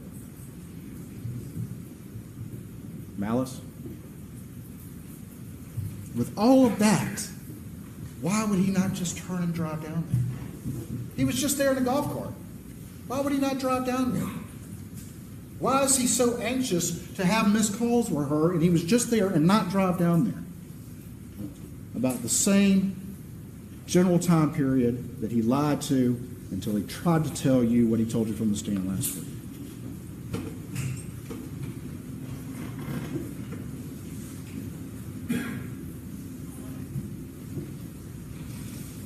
Right here, he Suburban connects to the uh, Alex's iPhone. He calls Maggie at 90652, and he's getting in the Suburban right at that time. Maggie's backlight goes off from 907 to 931, and you've heard the testimony from the various experts about the backlight. And then he leaves Moselle Road at 90706. All of this is fitting together. He's on the move. Hi, Abby. We're 90836. He's right here doing 42 miles an hour, and there's Maggie's phone location. And then 90842, he's just past it. And at 90858, just 20 seconds after he's almost at that location, he texts Maggie's phone and says, Going to check on him, be right back. That text was unread. Now, there's been a lot of discussion from all the experts about the backlight issue. Yes, there has. Every single one of them said that there's a lot of variables about that light coming on. Every single one of them said it's not going to record an orientation change unless that light is on. And you heard from each one of the experts about those variables and about the fact that there's no guarantee that it's going to come on or not come on. And you heard from Paul McManigal about that issue. And they cross examined him about that and all the rest of it, but it's just a common sense determination about how iPhones work. About how they work. That raised awake feature is set for actual somebody lifting it up in the normal course. It is not yeah, I set wouldn't. I don't. I don't know. to respond necessarily. I don't think it's the smartest thing for them to remind the jury about Paul McManigal, and not that it's his fault. Like that wasn't his. You know, it was that was just so silly. The tossing the phone in the office. I mean, they asked him to do it. You know, um, I would I would try to pretend like that never happened. to violent motion like flipping it. And every single expert testified to that. Every single one of them did. And then, besides that, you'd have to accept the fact that Alec is driving by just moments prior to that time. All of this, all of these circumstances would have to go the other way of the reasonable inferences in this case. Paul Mc- McManigal got up there and testified as to these issues. No. And as to the fact that there's no guarantee, in fact, more likely than not, Yeah, that the- I don't know. violently Great, thrown and or come on now. or Frisbeed or whatever, Yeah. it's not going to light up. And that's consistent with what every other expert said. 907 to 922. The defendant's on the way to Almeda, and you heard testimony from Mr. Rudofski about this, from Agent Rudofski. He's hitting 74 miles an hour at night on that particular route. What's he in a hurry about? That's faster than he drove to work. Why is he in a hurry? Because he knows he has to compress that timeline. And then along the way, he's manufacturing the alibi by making these short calls 60 seconds. He calls Chris Wilson. He calls John Marvin. Chris Wilson calls him back. He's on the phone the entire way. Does he say to any of them, hey, I can't get Maggie on the phone? Say anything like that? They're very short. He doesn't talk about much. And then we get down here at 920, there's a 131 second call, which means that call is over at 922.45, and that's also when we see the vehicle go into park. That's when we have the arrival at Almeda as well. And you heard from defense witnesses that, well, people would park around back right there. Okay. It's also, though, near these structures. There's that line right there. But what do we see? From 922 to 932, we've got 195 steps taken. We have him calling Libby Murdaugh, which would be calling the house two minutes later. And then from This there, the we part- have at 931 and 932. This is the part I was talking about that was kind of unclear um, prior to now. I'm really glad he's circling back to this. Like, first of all, he's talking about the time period that elapsed between calling Libby to be let in and then coming inside. That was really hard to um, pick up from Miss Shelley's testimony. I didn't understand that there was like a significant gap there. Um, and then also he's going to talk more about that those system startups. So this is all he's tying this together, which is great because again, this was not this was kind of lost from the testimony. Black Widow says she has terrible hiccups. I'm sorry. I wish you know, I I I wish they had a solution. Right? It's like you hear of all these things to make hiccups go away, and I don't know. You guys let me know if you've tried anything that works. I I have not found anything that works for me. I haven't had hiccups in a while, but as far as I know, there's no actual cure. There's touted cures, but um, whoever comes up with a cure for hiccups is gonna become like a you know I don't know rich and famous or something, a millionaire, a millionaire. Um, but yeah, but this is a good testimony, or not good testimony, but this is good. Uh, good job on Creighton's part for tying this testimony uh, together here. We have system startups on the Suburban, which you've heard from the experts could be from having that remote key in your pocket Right. and walking near the car. 922 to 932 is the steps. And 931, you've got two system startups. And what did you hear from Shelley? That he called, but it still took a number of minutes before he came in. Well, that's about six minutes right there.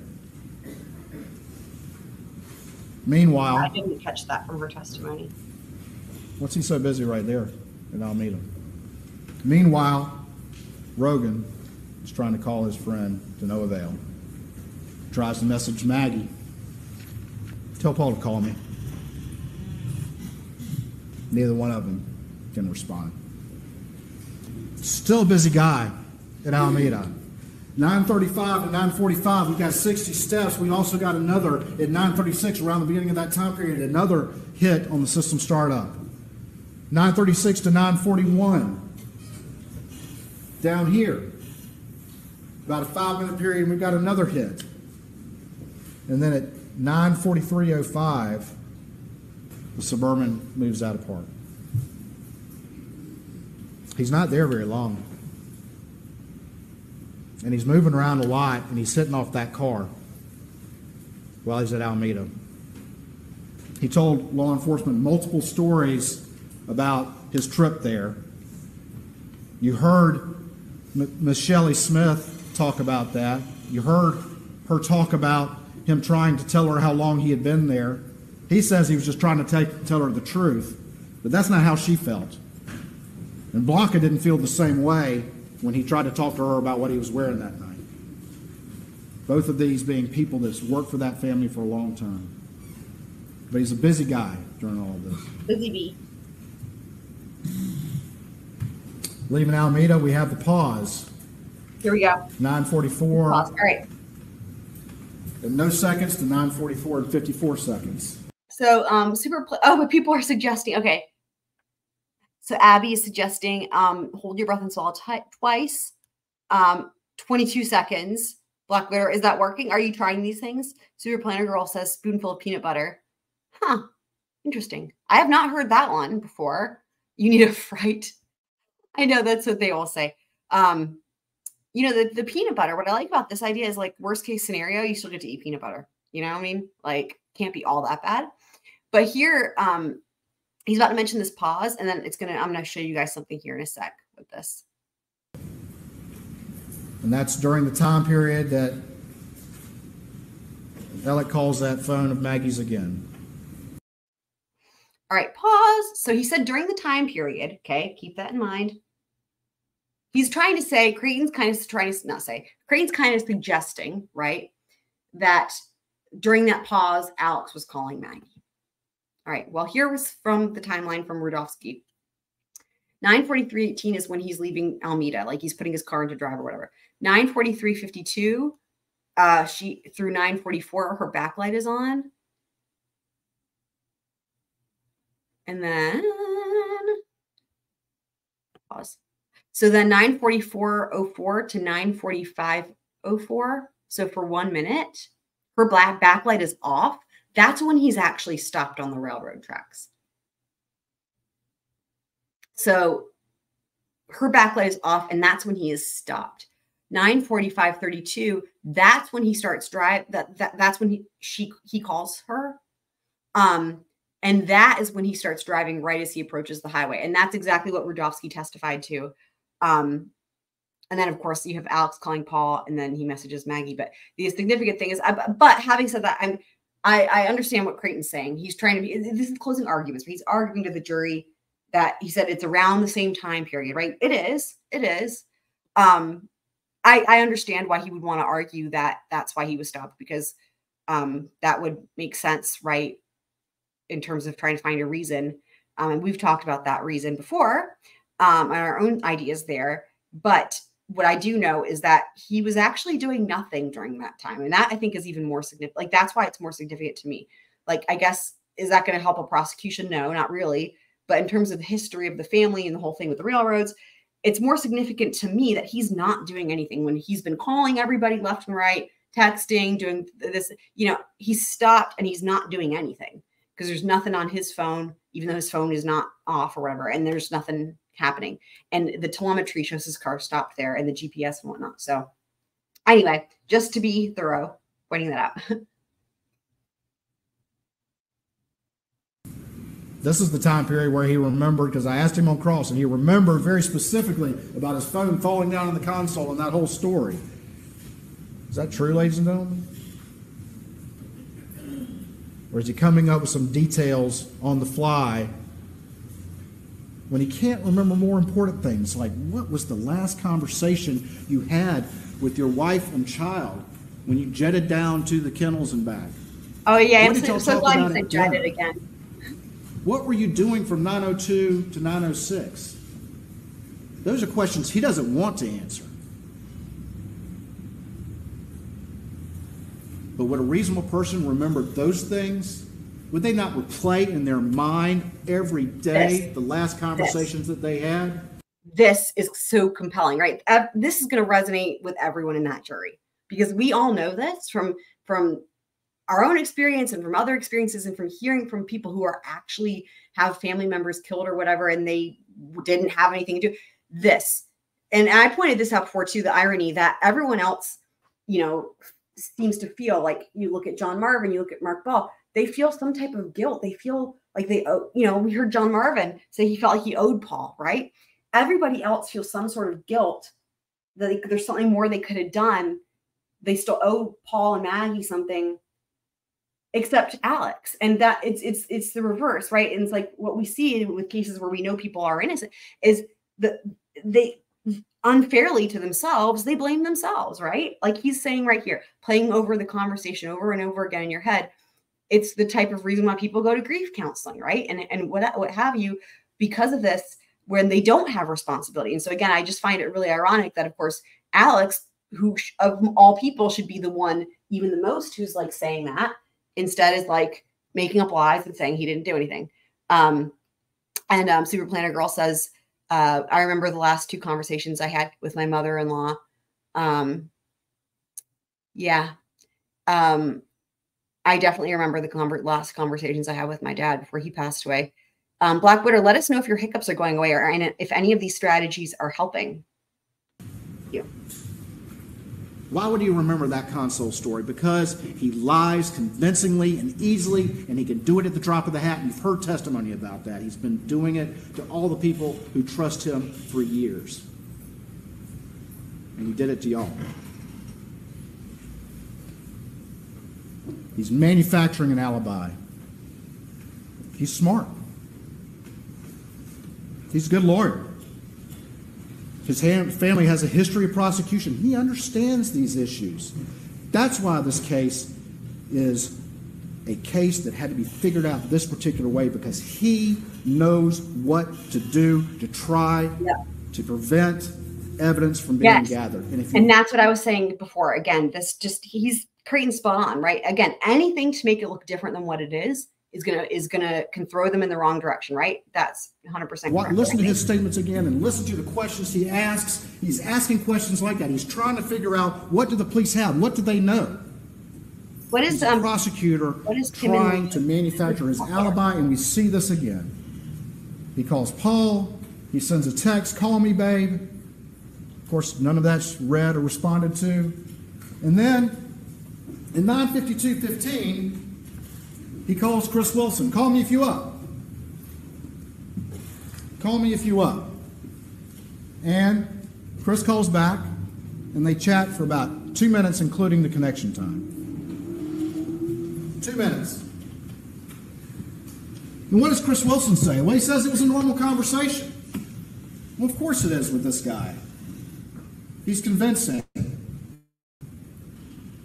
But what does Chris say? The only thing that they talked about was Chris bringing up some case. And then Alex was like, hey, I got to go. I'm at Almeda. Did Alex say, hey, I'm trying to get home. I can't get Maggie on the phone. I've called her like six times. Paul won't answer either. Did Alex say, he said, call me if you up. Did he say, did Chris say that Alex said, I got to ask you a question or let's talk about this? No, Chris brought up some case and it was mundane. It was mundane. It's manufacturing an alibi. He's calling anybody who will answer the phone for these short conversations. And it's the first one of the first things out of his mouth in the first interview. Look at my phone. I called this person, I called this person, I called this person, I called this person. Now I want to say, well, actually, hold on. Let me. I'm going to hold that thought. He's manufacturing this alibi. Also, throughout all of this, all of this relevant time period, you see from the Dillon Hightower extraction, you'll see that over and over again, all these call logs that are deleted from the extraction. They're deleted, which occurred on June 10th. What's up with that? All right. So here, you know, you all know I love Creighton. Um, I'm I'm just gonna say something here, not trying to be super critical, but this is one of the few things I could say that is is, you know, I don't know. Um, they all say, you know, you're not supposed to like ask questions you don't have the answer to. That's a question when questioning a witness. But here, it's like he shouldn't be asking. The, like that's actually something a defense would do, right? Like, what's up with that? Like, so, like providing a question and saying we don't have the answer, right? And that's a gap in the in the prosecution's theory, for example. So for him to say what's up with that and then to not answer it, um, he's supposed to be answering the questions, not asking them. But second of all, besides that, um, there's this whole thing that is a well-known problem that we have heard a lot of talk about and a lot of discussion, which is this: it's that there's a problem with the fact, the idea that he's trying to create an alibi, right, with all these phone calls, but also he's deleting his calls. So what I wanted to address this. Black Widow said she went in the wood to frighten herself. Did it work? um, I wanted to address this because I think it's interesting. So, you know, I think that, okay. Is it possible? Okay, is it possible that he was making all these phone calls because he wanted to make sure his phone would be using cell towers?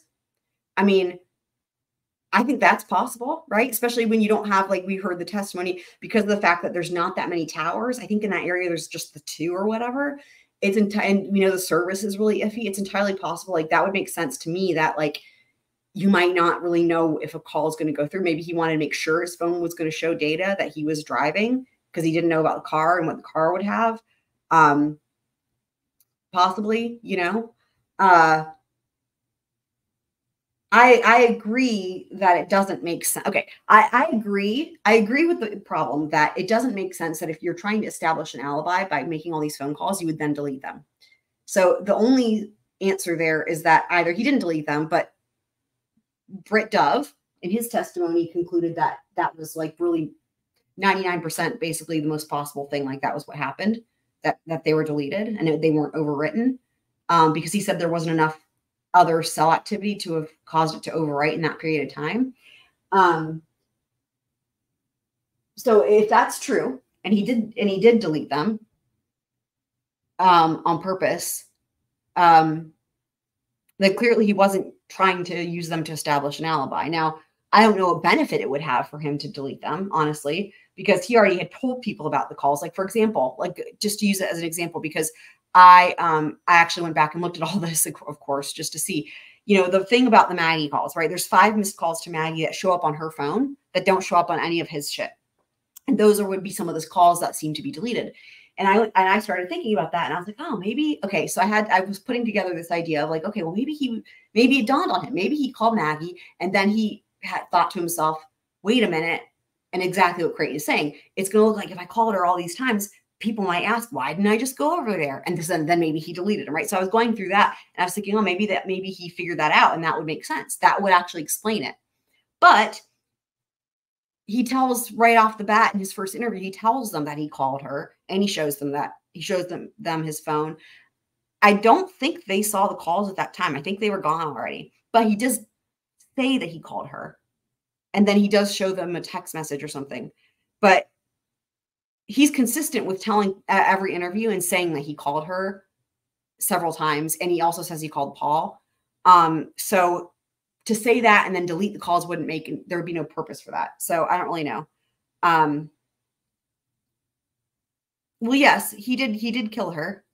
Um i'm just i'm just trying to i'm just trying to work through the idea of like he's trying to call her to create an alibi but also he deleted the calls. So like why would you delete the calls if you're making an alibi? Um, but here's what I think. I think whether I think I don't know, it doesn't really make sense that he did delete them. You know, like there's no reason for that. But what I do think is this: I think that in terms of where where, where does the alibi thing, where does it make sense to me in terms of the calls, right? I mean, because going to Almeda, that yes, that's 100% trying to establish an alibi. That's I'm here, right? I'm somewhere else. But in terms of the calls there and back, and the way Creighton's saying he's trying to establish an alibi. Here's what I think about that. I think the purpose of the alibi is something that isn't maybe uh, I think they didn't point out, which is this: the alibi isn't that I'm making phone calls. The alibi is exactly what happened, which is he same reason why he called everybody to come to the crime scene, right? He wanted to make all these phone calls to have all these people come in and testify that he sounded normal. I think that was the point of the alibi. And that's exactly what happened. And Creighton even says that. He says, Yeah, he called Chris Wilson and Chris Wilson said everything was normal, blah, blah. I think that was the reason. I think that he figured the more people he can call and that they, yep, he was normal. Just like when he called them all over the crime scene. Of course, there were multiple reasons for that that we can think of. But I think one of them was because he knew that when they would all testify, they would say he seemed distraught. You know, um, he was upset. He was crying, all that. Um,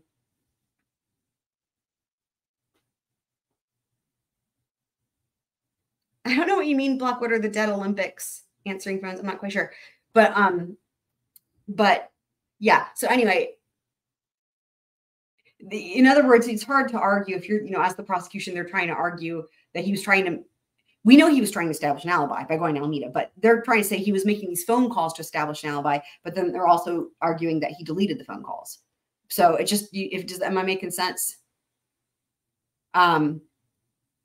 Well, yeah. I mean, of course. And then everybody says that too, right? I mean, in the end, um, that he was a huge liar. So, um, but that, I'm just saying that was, I think that was his intention. I think that was his intention with making the calls. Um, again, it, it could also possibly have been because he wanted to make sure his phone was going to be pinging off those towers to show that he was not at the property. Um,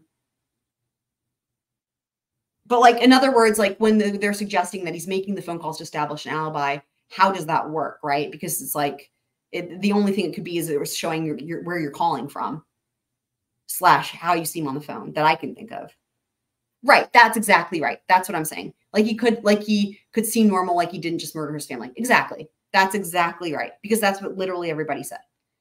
And that's exactly what i'm saying. Yeah 100% um I so yeah, that's that's that's where I think it's a it's quote unquote establishing an al- alibi, which isn't it's not by definition an alibi, but it is I, that would be the idea, you know, pseudo alibi, if you will, something.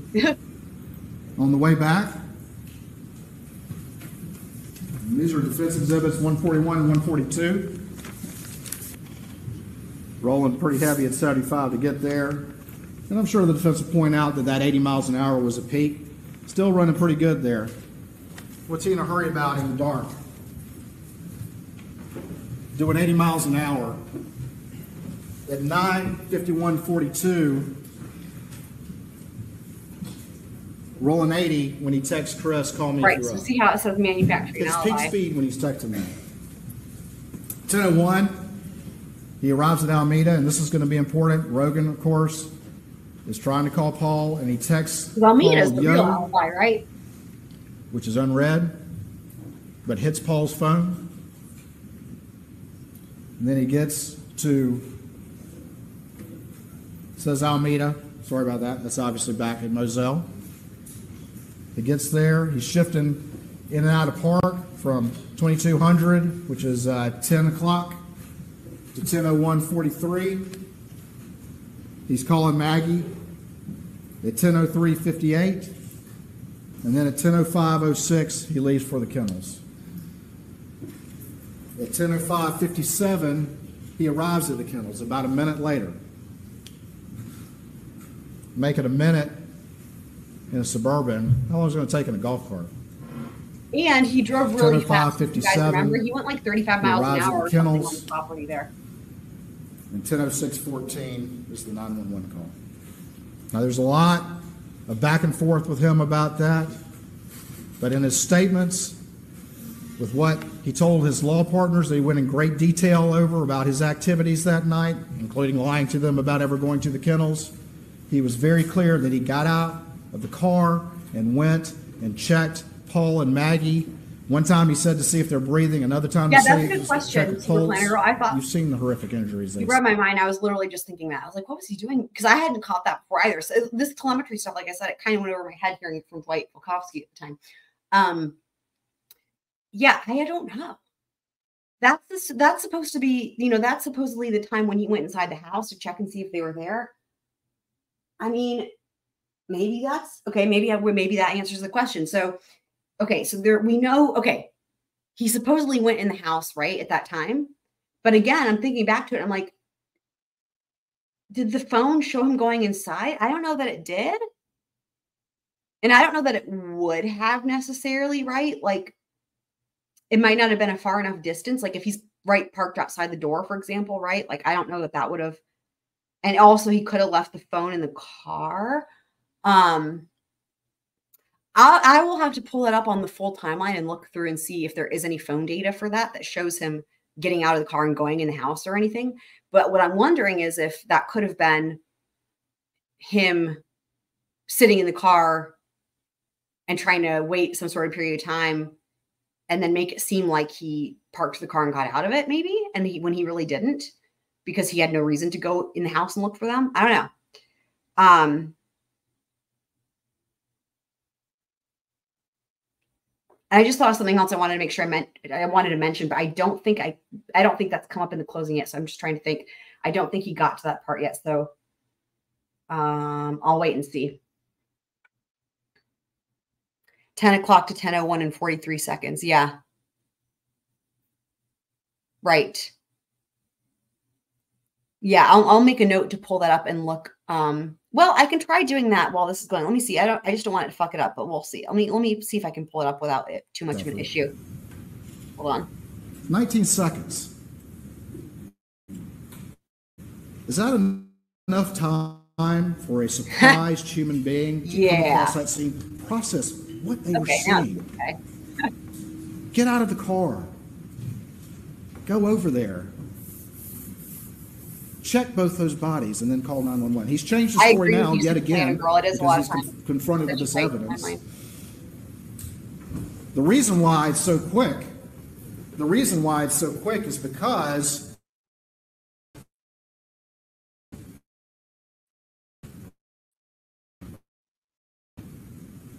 he knew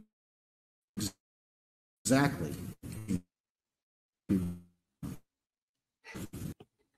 Don't die, computer. Okay, I'm pausing the video. So, oh, right. And I had pulled this up. Okay, let me rewind. I'm gonna rewind the video a smidgen as I so it'll we can hear that part again because I have I have the I have the timeline pulled up. Okay, so okay, so let me let me I know you're not gonna be able to see it, but I'm gonna pull it up. Um, so Right. I'm looking at where it says the vehicle part equals true and it's different colors and it makes no sense. Right. And that's part of the reason why it's like, yeah, I don't understand what this means. So no wonder we didn't get it until he pointed it out. So at 10 o'clock and 30 seconds, he turns on a 4147 Moselle Road, it says on the full timeline. And then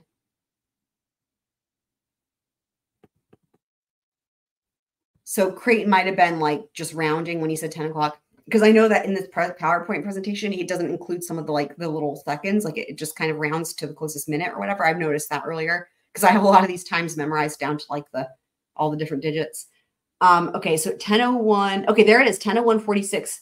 I see here. Okay, I see, I see, I see. Yes, 100146. I'm gonna read. Why is it? Okay, interesting. I'm gonna read it. Um, it's showing shit on Maggie's phone. Okay, so 100146. I see, I see what that is. Okay, 100146, it shows his device connection to iPhone. So hold on. So then does it say where it disconnected? I I don't understand this at all because it has all this vehicle shit that is doesn't make any sense looking at it, right? Unless you know. Uh, and then at 10 o'clock on 10 o'clock 30 turns on to 4147 Moselle Road. So I have a question on this because why the heck do we have another mystery still to solve? I thought we'd solved all the mysteries. Well, most of them. Um, but this then at 100146, de- his device shows connection to iPhone. So where did it deconnect or disconnect rather? Um, huh. That's interesting. And then we have him calling Maggie at 100358. Let me see what you're saying here in the chat, but I don't know. Um, stopped to check for Amazon packages. Yeah, right. Um, it's weird. I don't. I don't know. Um, this this file. I don't know if I've put this. I could put the. Actually, it's probably too large for me to share it in the Discord. I was just gonna say I could have. Yeah, I don't think I'll be able to. I. I think it would be too large actually for the documents to have in the Discord but um, you should be able to find if, if anyone is interested in want in the chat and wants to be able to read this since i'm you know i can't show you guys like i'd have to plug in some stuff and do all that and it'd be hard to do on stream to get it set up to where i could screen share it but if you want if, if for for at any point in time you, you should be able to like find this It's on. It's, it's available for free on the internet, of course. Um, the full timeline here, but yeah, it, it is weird. Um, let me look at this data for the latitude and longitude. Um, it's showing him driving. Yeah, I don't know. That is weird. The 100146 shows device connection to iPhone. I mean, that would make it seem like he did get out of the car, but I just don't know why it doesn't show that his phone disconnected. Because that doesn't make sense. So maybe he did actually go inside. Does Creighton say how many times it shifts in and out of park? Here, I'm going to rewind it a second again and listen to that again. Because if it's like it shifts in and out of park once, that would make sense if he parks the car, gets out, goes inside, comes back, right? But if it's like multiple times, let me rewind it just a smidgen and see. With what he told his law partners. They went in great detail over about his activities that night, including lying to them about ever going to the kennels. He was very clear that he got out of the car and went and checked Paul and Maggie. One time he said to see if they're breathing, another time to say to check a pulse. You've seen the horrific injuries they suffered. 19 seconds. I didn't go back far enough. Is that enough time for a surprised human being to come across that scene, process what they are seeing? Get out of the car. Go over there Gotcha. Roger that, it. from the extraction. Roger that. They're deleted, which occurred on June 10th. What's up with that? On the way back, these are defense exhibits 141 and 142. Rolling pretty heavy at 75 to get there. And I'm sure the defense will point out that that 80 miles an hour was a peak. Still running pretty good there. What's he in a hurry about in the dark? Doing 80 miles an hour. At 9:51:42,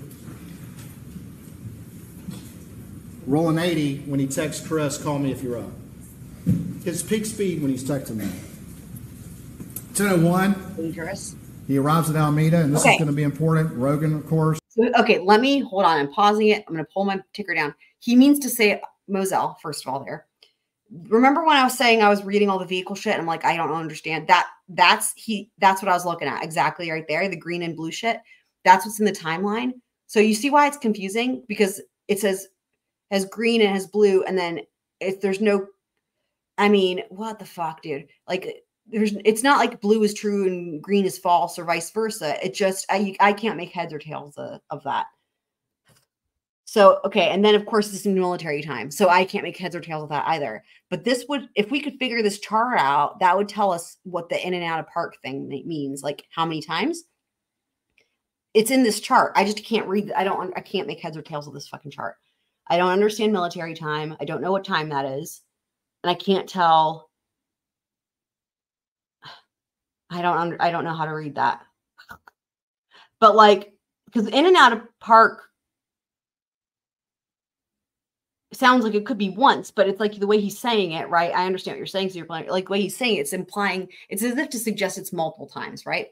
But the question is this: is that the important thing to think about it is it's not about the answer. Sometimes it's the um, question. So, like for example, maybe they don't have like the answer. Like he doesn't give the jury the answer. He doesn't say the answer of how many times. We don't know how many times. This is this is stupid and pointless. This chart. Um, but may, but maybe we can infer something from the fact that he's asking that question. So for for what I mean by that is, would there be some reason why Creighton would rather suggest that he put his car in and out of park a bunch of times? Is that to say he did that instead of going inside the house? Is there some like? There's got to be some theory behind that, right? That they that they think that that's important, if that makes sense. So 2200 is 10 p.m. Okay. So then 22, okay, I see. So, but see, the problem is I can't tell if each one of those means it goes in and out or if it means some of them means it's still registering the same. I just, is green in part, like I can't, I just have no clue. Yeah, then he maybe never left the car. So maybe that's the what he's trying to suggest. Possible. I mean, if in fact all that shit means in and out of park in that period of time, then clearly he didn't leave the car, right? There's no way he left the car. There's no way he went inside. And maybe he disconnected his iPhone and then plugged it back in or whatever so that it would make it look like he got in the car, you know? I again, I don't know why it's missing that his iPhone disconnected from because it wasn't that was not on the timeline. I have no idea. I wish I knew how all this shit worked. Because it is interesting, right? Like, I don't think that's even something that he could have manipulated because that would have been from the car fucking OnStar data. He couldn't have had any control over making that delete or go away, right? If he disconnected the phone and then tried to delete that or what, like, I don't think he could have, he could have had no control. Like, even if he deleted, there would be nothing to even delete from the phone. That's just getting out in and out of the car. It's like connecting to Bluetooth. Yeah. He couldn't have had any way to manipulate that anyway. So, um, yeah, I know the twisted brain. Exactly. All right. Well, we'll keep thinking about this. We'll keep this in our back pocket. is trying to call Paul, and he texts Paul, yo, which is unread, but hits Paul's phone. And then he gets to, says Almeda. Sorry about that. That's obviously back at Moselle. He gets there. He's shifting in and out of park from 2200, which is uh, 10 o'clock, Okay. to 100143. He's calling Maggie at That's all he 100358. And then at 100506, Great. he leaves for the kennels. couldn't you be more specific? At 10:05:57, he arrives at the kennels about a minute later. Make it a minute in a suburban. How long is it going to take in a golf cart? I guess I could go back and try to find that part. in 10:05:57, testimony and he, arrives at the it, but That kennels. didn't really explain much. I feel like And Because he couldn't. 10:06:14. He was just kind of giving you the record. Now, there's a lot of back and forth with him about that. But in his statements, with what he told his law partners, that he went in great detail over about his activities that night, including lying to them about ever going to the kennels. He was very clear that he got out of the car and went and checked Paul and Maggie. One time he said to see if they're breathing, another time to say to check a pulse. You've seen the horrific injuries they suffered. 19 seconds. Thank you, Super Planner Girl. Is that enough time for a surprised human being to come across that Can same he? process? Okay. Can he also tell us? Should I pull the chart back up? Okay. Could he also? Can he also tell us what the green and the blue then means? Okay. Let me let me go back. Let's get your super smart hubby over here to help help us. Help us, hubby. Okay. Where is that? So that that one is showing. Okay, we I don't I think we need to go back further. I don't know why. I don't I don't know. I don't understand. Okay. Help! Help us. uh yeah, if you can make heads or tails of this chart, then you win. For sure.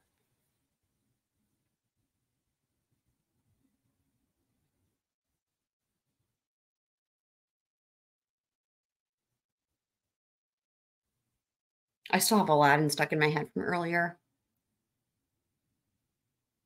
But now I am thinking of the the opening song, uh, the other, the not the song from that we were singing, but the other one from the opening. But I don't remember the lyrics, but I have the melody stuck in my head. Anyway, we're waiting to hear from Super Planner Girl, Super Smart Hubby, to see if he can enlighten us as to this chart. Uh, because like the colors, right? It's like normally the colors should match. And I remember they try to kind of touch on this when Dwight Falkowski's testifying, but I just remember being like, because part of it we couldn't see what they were even pointing at. and That made it just added to the difficulty. So they're talking about it, and we couldn't see what the jury was seeing. They're probably looking at this shit, and it was like, what is happening? Um, it just went like I think over my head and probably most people's, but um, I suppose I, if I went to if I were to go back to the testimony and have the timeline pulled up and be looking at this, then it maybe I don't know maybe make more sense of it. But I just don't, it just doesn't like logically, that does not look like the way things should look, right? Because what's the colors? What are the colors for?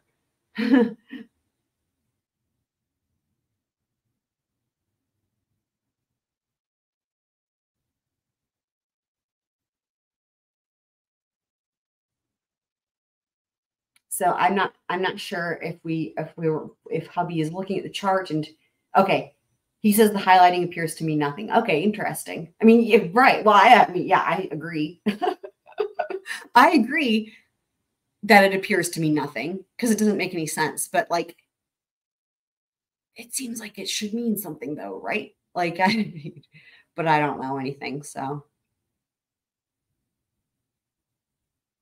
it looks like it's supposed to establish a pattern, yet there's no pattern with the colors. Okay, well, we'll continue onward then. Me go forward just a smidgen. A minute in a suburban. How long is it going to take in a golf cart? 10:05:57. He arrives at the kennels.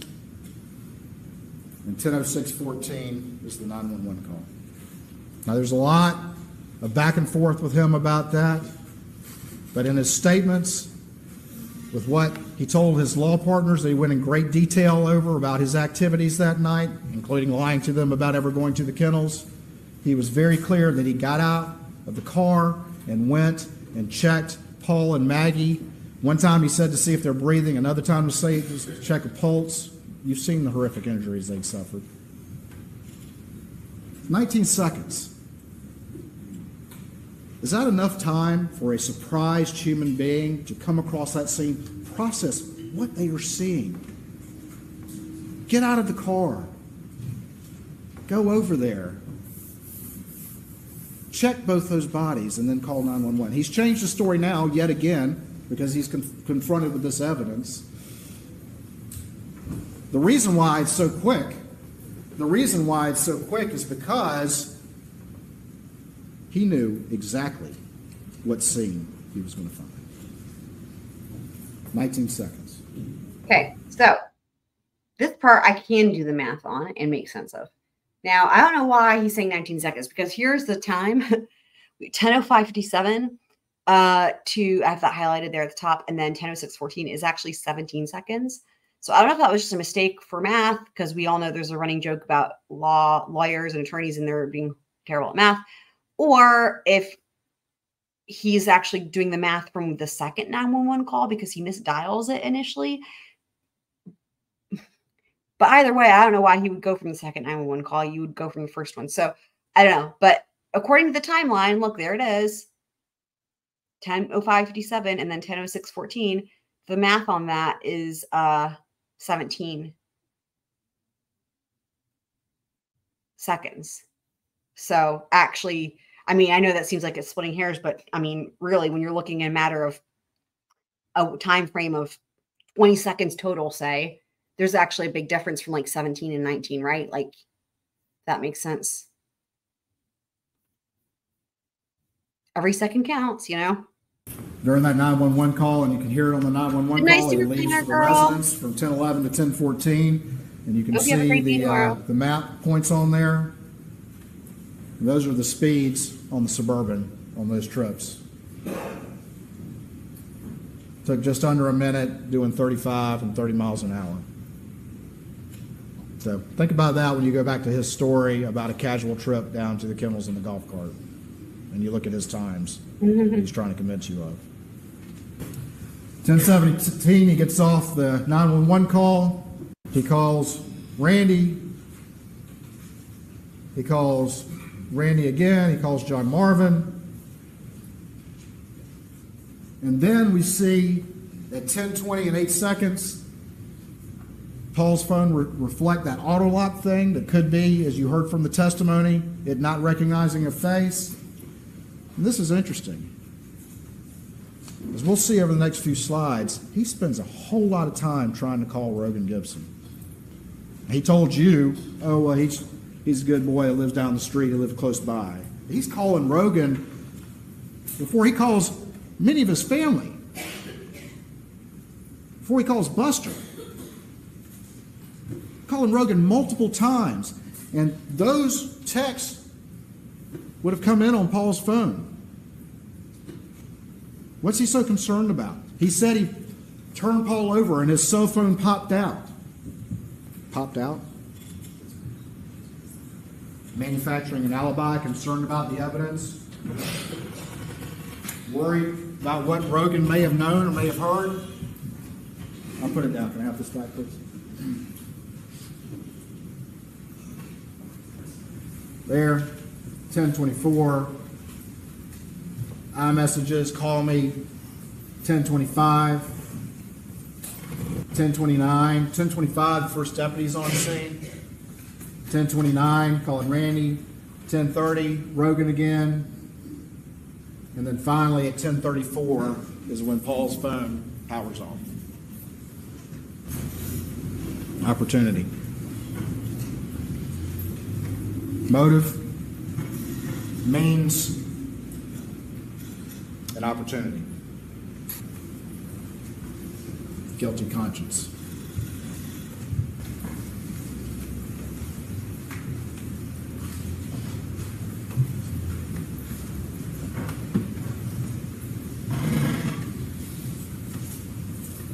I've already kind of talked about these, so I'm not going to belabor the point, but you heard from Blanca Simpson.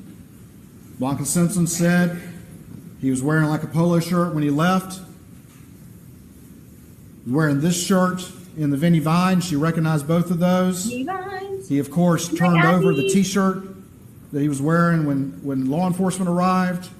And then you heard Blanca say he later tried to convince her that he was wearing a Vinnie Vine shirt. Three shirts in one day, and a fourth one he tried to get Blanca to say. And you, and you heard her testimony. She felt very uncomfortable by that. Multiple changes of shoes in the day. He wouldn't be wearing those shoes if he were out riding the property. I've already mentioned the text from Maggie that Alec wants me to come home, but he can't even be clear about that point because that doesn't fit with his narrative. Marian Proctor says the same thing, but he can't admit that because that doesn't fit with his narrative. She was surprised that Maggie didn't go along to Almeda. And then she said, Alec made an interesting comment, one of many, some of which came from that stand that we'll talk about in a little bit. Whoever did this thought about it for a really long time. Why would he say that? Because he told you that it was just random vigilantes from the boat case, of which there is no evidence whatsoever that you've seen in this record. Trials depend on evidence. There has to be evidence to make a decision. And his claims trying to manufacture something about the Babe case, there's been no evidence whatsoever of any specific other individual. There has to be evidence to consider, not just mere allegations that have no basis in any sort of evidence. Whoever did this thought about it for a really long time. I think if you think about the defendant's statements and some of the things he says, a lot of times he says things in one context, but he means them in another. When he says things like, I hurt the ones I love the most. We talked about Shelley after Randolph's funeral. He shows up early. She might have said Wednesday, but there was other information that Randolph's funeral was on Monday. But anyway, shows up with something blue, shows up early, wants to come in, goes and moves some vehicles. And then there's that raincoat. Huge raincoat. She calls it a tarp, but it's a huge raincoat. And it's got a ton of GSR on the inside. And it's found in a closet upstairs. He was a busy guy at Almeda, as we just saw. Was moving around, kept hitting off of his suburban. And then, of course, as you heard, he was with family for the next few days. After the funeral, he's back. And it was weird enough and interesting enough that Shelley said something about it. I'm also saying that in her experience, it was unusual for him to come that late. Then we have the defendant and his many statements. Went through a lot with the defendant who told you that the reason why he was telling this you, you this new story was because he was paranoid because he had a bag of pills in his pocket, because he had a distrust of SLED, because David Owen asked him about his relationship with Maggie. And his law partners told him that he should have an attorney present, which one is in here, one of his law partners sitting in the back. I hate to have to do this. I understand. Yeah. I totally Yeah. understand. So you don't you don't have any problem with it. I asked him repeatedly, is this the point where you decided to lie? At which point did you decide to lie? Or was it this point, when he first says, I was at the house? I was at the house. Or was this the point? He said, he mentioned specifically, and he kept adding factors, and one of the things was, well, Dave Owen asked me how my relationship was. You This know what's question, funny? this is when he decided to is like as much as of a much as much of a disaster as this first interview is i think it's his strongest interview um between this like when you compare this to the second one and then the like they get worse each time i think in my opinion like especially like at, at least in this one he can kind of come across as just you know traumatized confused whatever and like like even like the nonsensical CB Rose story being like a ninja not a ninja, you know, Navy SEAL, all that like is so insane. But it's like it almost seems like he's you know he could be like out of his mind. Like I don't know, it, it, it's just and any details he doesn't remember at the immediate moment. Right, this is right after. Like it, it just he he does the best job here. I feel like it. Um, but it, it gets goes downhill. Um, do do the house as if it's a house. You got it. It's a house. um. So yeah, I think it just goes downhill from here after this first interview. You know, he has the second interview was June 10th, and then the other one is uh August 11th. I know it makes me happy too. Here we'll we'll do the we'll do all the funs fun ones. Um, Hey, he's got a bird in his mouth. This is a chicken. It's a house.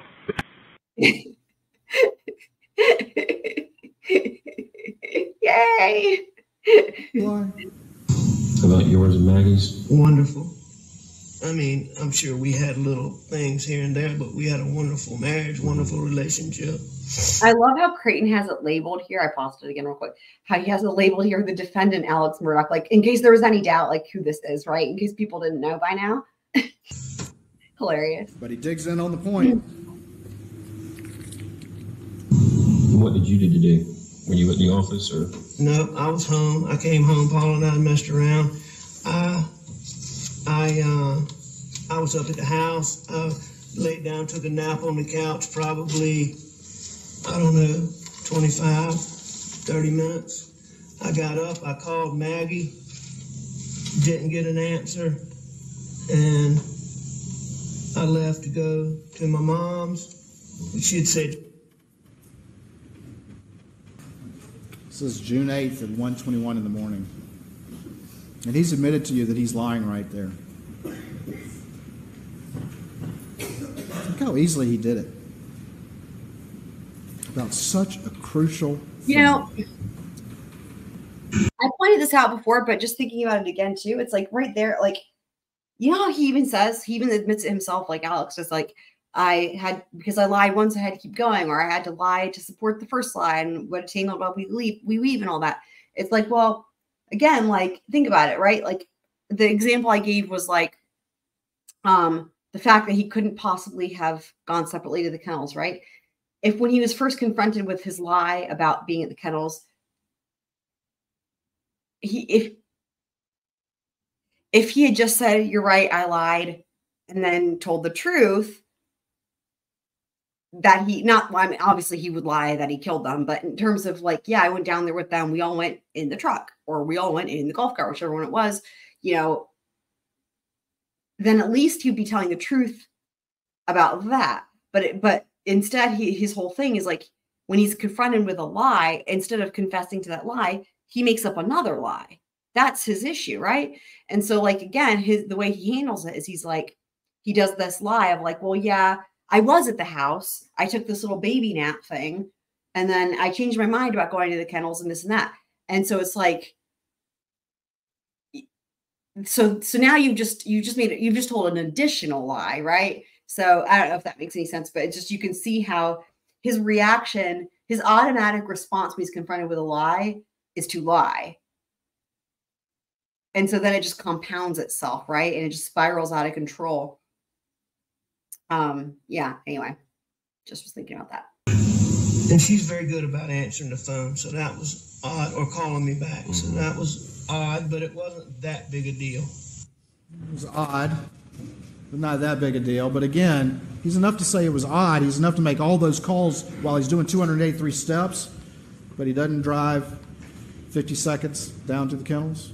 well that's why he says it was odd and then he changes his mind and says it wasn't that big a deal Going to the next interview. so Again, So what's here, the tone of this? here, see if see if you guys agree with me. I mean, you don't have to agree with me. You can disagree totally, but but I'm curious if you guys agree with me. So he because he's going to go through this one snippets of this one and then the next interview. See if you guys th- agree that you think it gets significant. It goes downhill with each one. Interview. How is he being treated? Pretty traumatic. That's okay. Um, yeah, I know so, you yeah. need to ask me. You ask me what you need to. So, Is that a aggressive interview? Is that something to make somebody paranoid? I'm a defendant in a civil case involving my son. I told you about the boat wreck. yes, sir. And there were some motions coming up in that on Thursday, and I was mostly just getting ready for those things, and then other junk. Mentions the boat case. Paul and Paul left. And I'm assuming, you know, I'm assuming Paul left Okay. because of, you know, Gotcha. what happened. I mean, I'm assuming Paul Yeah, yeah. went to the kennels. Okay. Um, and what did you do once once Maggie and Paul left? I stayed in the house. Okay. and I was watching TV, looking at my phone, and I actually fell asleep on the couch. Okay.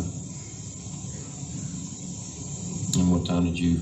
You know, I What don't time know wake up? exactly what time I woke up, but when y'all get my phone, you know, I think one of the first things I did when I got up was call Maggie Mm-hmm. because I was going to my mom's.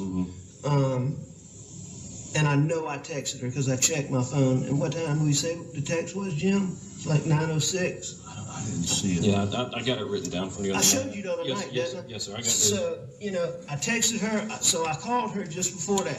Mm-hmm. And Like to me, this is just even worse than the first one. At that point, um, and I left to go to my mom's. So easy for him to do. And you say you said you It's laid like down. he's trying too hard, among other things. And when you got up, Maggie and Paul was gone, or did they leave when you laid down? Or before? I, I, I believe that.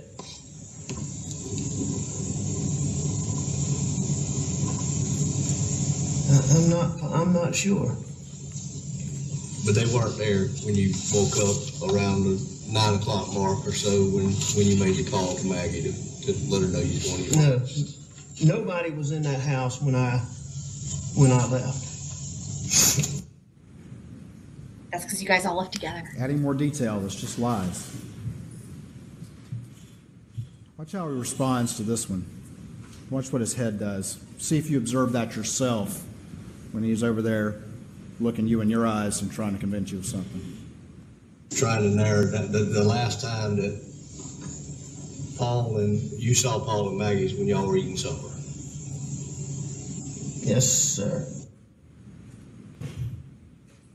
When the when when Paul's phone came out, did you you just pick it up and put it on you know place it back down on him or You know, Now remember, yeah, I did not try to open it or anything. You know, remember with potential scenario C that we went through earlier after the intermission, if we look at that timeline with the, the with Paul's phone activity and we go with the possibility that Paul was actually shot at 8:49:01 and that's when his phone locked, then remember that would mean that Paul didn't put the phone in his pocket, that he dropped the phone, and then Alex put the phone on Paul's butt from the feed room to try to make it seem like it had been in Paul's pocket and it fell out. So anytime that he's being funny about this phone business with Paul's phone, you know, I know that uh, I think Creighton kind of is going along the lines of suggesting that maybe he's trying to do something with looking at Rogan's messages or whatever. But we let's just keep this in mind that remember that was the whole thing was like it's possible that he that he moved that phone and then he turned the orientation lock off because that's the first and only time that there is an orientation change logged on Paul's phone is at 1024. I don't know how I had in my mind that I needed to not mess anything up. I had that, I had that, you know. To the third interview on August 11th. And after dinner, Maggie and Paul went to the kennels or? You know, I don't know exactly how that went. Um, I stayed on the couch and I dozed off. Video on Paul's phone of um, you and him on the that night. And you were in khaki pants and a dress shirt. You were playing with a tree. I don't remember playing with a tree. Yeah. I guess there was a tree sapling or something that was had fallen over or bending over, and you were trying to get it to stand back, stand up. Um, but I mean, the, the question in that is, when I met you that night, you were in shorts and a t-shirt. At what point in that evening did you change clothes? I'm not sure. I, you know, it would have been Before dinner or after dinner? No, it would have been. What time of day was that? I would have thought I'd already changed. Uh, there's not a timestamp on it because there's so many posts. Um, but I want to say it's, it looks to be about dusk. That would have been 7:30, 8 o'clock. I guess I changed when I got back to the house. He had some very specific recollections for y'all when he testified with his new story that had never been heard until last week. Did he and I? No, but Rogan Gibson told me about um, the dog's tail and somebody saying his leg was broken. The line right there, he was down at the kennels, shaking his head forward. You were just down there with Paul. You left and went back to the house for dinner. You know, I mean, Paul and I were just knocking around up at the shop, the shed, the kennels, and the, you know, just the whole property. And and that was before dinner yesterday. And you didn't go back down there after dinner until your return trip from visiting your mother. Yes, sir.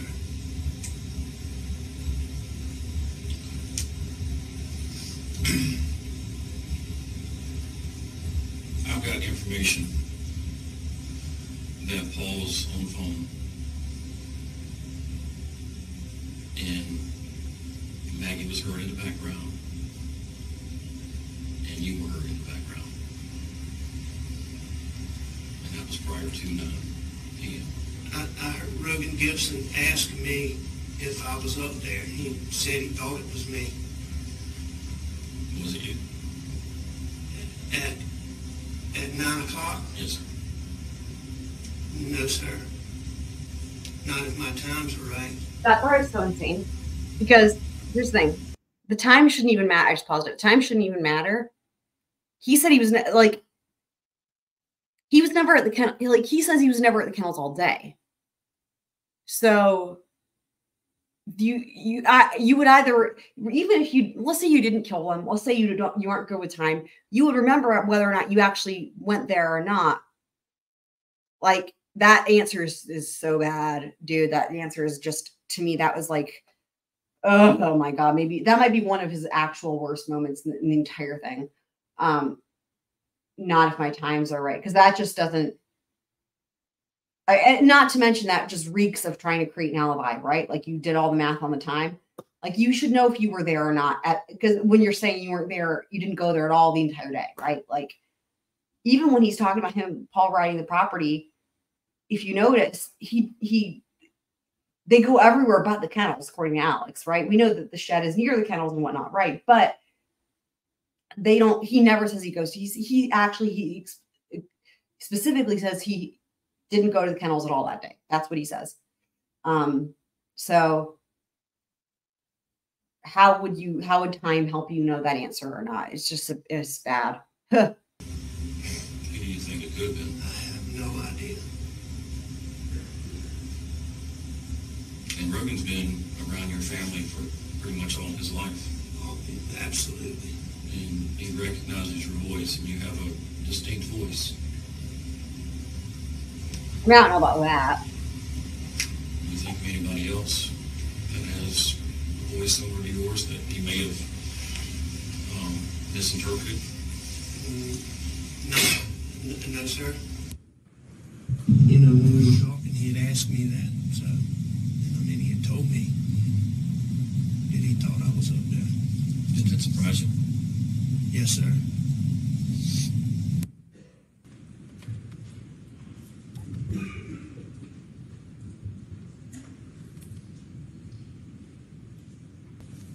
Come back to that. But I want to talk a little bit about the crime scene. You guys went out to the scene today and you saw how it looks now. Take a good look at those trees and where they were back in the day of the incident. I'll put this up on the Elmo in a second. And you can see Hey, the Elmo. proximity of the kennels to that residence back on June 7th, 2021. All right, Dr. Riemer. You've heard from Dr. Riemer, you heard from Kenny Kinsey, and you heard from the defense experts. So, Paul, first blast to the chest, stippling, arms down, not fatal for a buckshot blast to the chest. This is where there was some dispute from the defense experts. The second injury went into the left shoulder, into the cheek, with an exit wound on the top of the head, with instantly fatal and terminal collapse. Dr. Riemer's done 5,500 autopsies. She does an independent autopsy. She actually physically examined the victim, and she was very clear that it could not have happened from the top without destroying Paul's face. And I could show the image again. I'm reluctant to because I know y'all have seen it enough. So I'll rely on y'all to recall that his face was intact. I'll rely on y'all to recall, and this is sealed, all the evidence up top here at the top of the door. I will rely on y'all to recall Kenny Kinsey's testimony that buckshot don't reverse course, that the kinetics energy is going in one direction. I rely on y'all to recall all the biological matter that you see at the top of this door. Y'all to recall, looking at states 339, which is the wadding from the shot to kill Paul. Because if you recall, the wadding from the chest shot was found still in his chest right here. This is the wadding on the ground from the shot to his head. And if one of the things that you recall from Dr. Riemer's testimony and looking at Paul's face was the abrasions around that cheek wound that came from the wadding as it entered there. You heard from Dr. Reamer that the reason for the shape on the shoulder was because it went along the shoulder and opened up that area there, but still was focused and then expanding as it entered in here. But she also testified that if it was here, that force would not have left his face intact. Manner of death, homicide. Then you heard from Dr. Kenny Kinsey. What we described earlier, Paul was first shot in the feed room, largely agrees with her. Arms were not up. He believes the shot was a little closer and the lack of stippling could be talk, chalked up to the black t shirt, but also agrees, as she does, no defensive wounds. Looking at the blood spatter locations there, and he testified in great detail and testified yesterday, there was no high velocity blood spatter on the ground at the entrance to the feed room, which would be necessary for the shot to have occurred in the manner in which the defense suggested. The spatter travels upward in an upward direction, uh, upward direction, you can see that on the door. He spoke of the blood, the void area, and then he spoke of the blood on the ground that was around where Paul drops, and that it's low speed spatter. He talked about the dents in the feed room door, the pellet lodged in the door frame upward.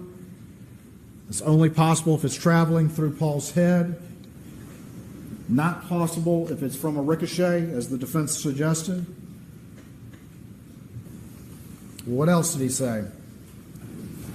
Dr. Kinsey said that he, I think, three dozen times that he's observed contact wounds to the head with a shotgun, including one that happened in front of him, actually observed it. And he also said that any sort of contact wound like that would have destroyed the head and destroyed the face. And he was clear about that. He's actually seen them. And I think what you see with the defense experts is they're coming to you with absolutes to try to make you consider that there's the possibility that a crime scene can definitively establish whether there's one or two shooters or whether or not they're of a certain height. And that's just not how it works. And you heard that from Dr. Kinsey. That's not how it works. Not how it worked in this scene. It's a red herring, ladies and gentlemen. It's a red herring. You've seen the testimony from Kenny Kinsey. He returned to talk about these issues. You saw the demonstration over there in the doorway. That seem realistic to you?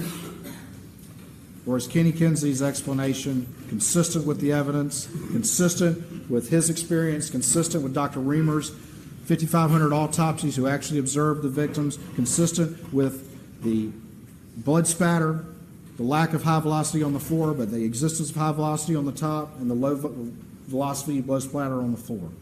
What's consistent with the evidence? Again, no defensive wounds. The first two shots to her abdomen and her leg on a parallel path, and likely in close succession. Stippling, close range, the mark on the back of her leg. Running to her baby, didn't see it coming. Bends over, maybe on her hands and knees in pain. You saw me demonstrate that with both Dr. Rader Oh, yeah. and Kenny Kinsey. Love it. And that's when she suffers that third rifle injury. And you heard their expert come in and say, no, it had to be going this way instead of this way. Going up with that graze, hitting her breast and into her head here. And Dr. Riemer actually performed the autopsy physically. She looked at the hole. She described the hole. She talked about the injury coming up into the head. And she showed you that. And she took issue with this idea that you can look at skin tags and that sort of thing and come to any conclusion about directionality. But what she told you is, I looked at this wound. I saw the hole as it went up into the brain. This was an entrance wound up into the head. Instantly fatal and terminal collapse. The wrist wound could have been an extraneous wound or it could be associated with this third rifle injury, and then, of course, the fourth rifle injury to the back of the head that had the canyon effect. Would have been instantly fatal, except for the fact that this one, there has to be some clearance for that third shot to come up. Again, manner of death is homicide.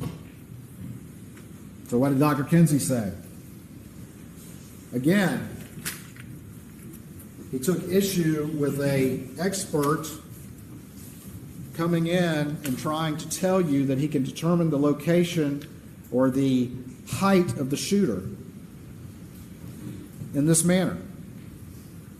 He told you the cardboard that cannot be relied upon. And while he did agree with the angle on the doghouse, he showed you how changing the aspect of the shooter could easily fit with Alec. And that it is too far and way out over its skis to try to assert that you can determine from such information that the shooter had to be 5'2. That's not what you can do. Dr. Kinsey is a crime scene analyst. How many crime scenes did he said he'd done? Over 800. Hundreds of 800. homicides, thousands of pieces of evidence, real world stuff. That's what he comes and talks about.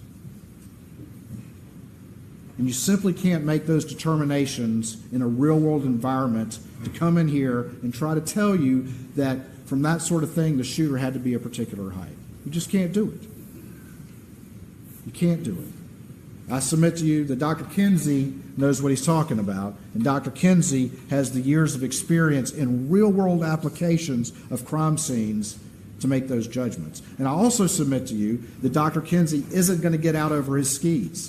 For anyone who's wondering what getting out over his skis means, um, it's basically like flying a bridge or uh, flying too flying too close to the sun, or um, trying to stretch your opinion maybe a bridge too far from where you should. Um, so yeah, hopefully, hopefully that makes sense. and try to make assertions to you in absolutes. The guy with the two five two people refused to even concede the possibility of variables. But Dr. Kinsey knows that that's how reality works, and he's not going to get out of her, over his skis and try to tell you something that simply not cannot be too close to the supported by the evidence. And that's what the defense expert did. He's not going to travel a bridge too The far. shooter could easily be six four ta- or taller and fit all those bullet trajectories. Of course, one thing that the defense expert didn't consider and wouldn't even consider is all his little gray people yes, that hold the yes. guns down like this. I forgot he said that. Hold on, I need to hear that No again. consideration I, I I love it. Great, you're my favorite. sitting, You said little gray people. Oh my god. all his Can't. little gray people are holding the guns Hold down on. like this. One more time. One more time. One more time. consider as all his little gray people are holding the guns down like this. Yes. I love no it. No consideration of kneeling, Oh, wow, that might even be sitting, better than two great boys. being I don't know. in any sort of different position. But the reality is, these are fluid. Maggie is running to her baby. She's moving. And when she gets hit, most likely when she hits her leg against that Polaris, there's biological uh, evidence on that Polaris. And she comes forward and collapses as Alec is moving around her, firing. They had that expert come in yesterday, and I've kind of mentioned this, but I'll mention it again, who came in yesterday, the day before. Even I've lost track of time at this point. But try to get out over his skis again and testify to you that it He's making a big appearance towards the end shooters of his because closing. there were two it. guns. And why would you not just use the blackout? Is that opinion helpful or makes sense?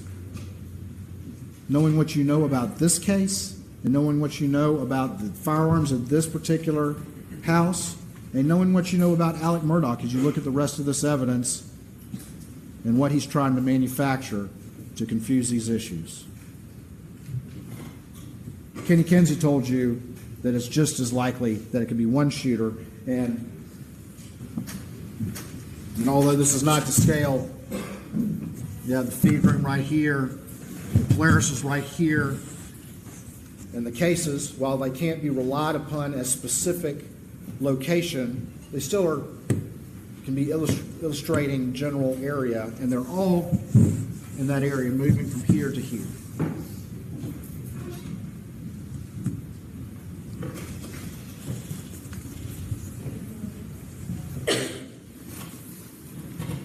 GSR on the defendant's hands and seatbelt, Maggie's DNA on that Super Black Eagle, DNA on the Suburban steering wheel, no DNA or blood identified on the floorboards.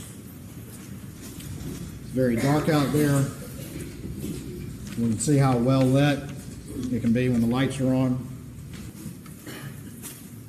We'll talk finally a little bit more about the defendant's story to you that he told on Thursday. We've already talked about it. Just a couple more things. I asked him when he went down there, those dogs are clearly out in the kennel video. I asked him if the dogs were alerting on anybody nearby or in the woods, as dogs do. And he said no. He said that their dogs were not doing that.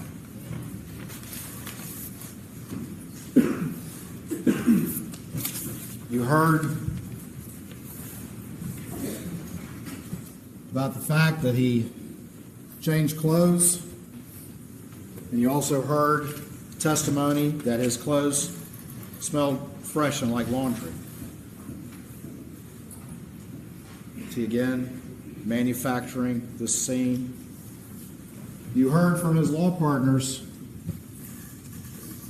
that he was not, and also from Marian, that he was not overly concerned with figuring out what happened or any threats to Buster. And in fact, you heard in the telephone interview after the side of the road, they specifically asked him, Are there any threats to Buster? And he said no.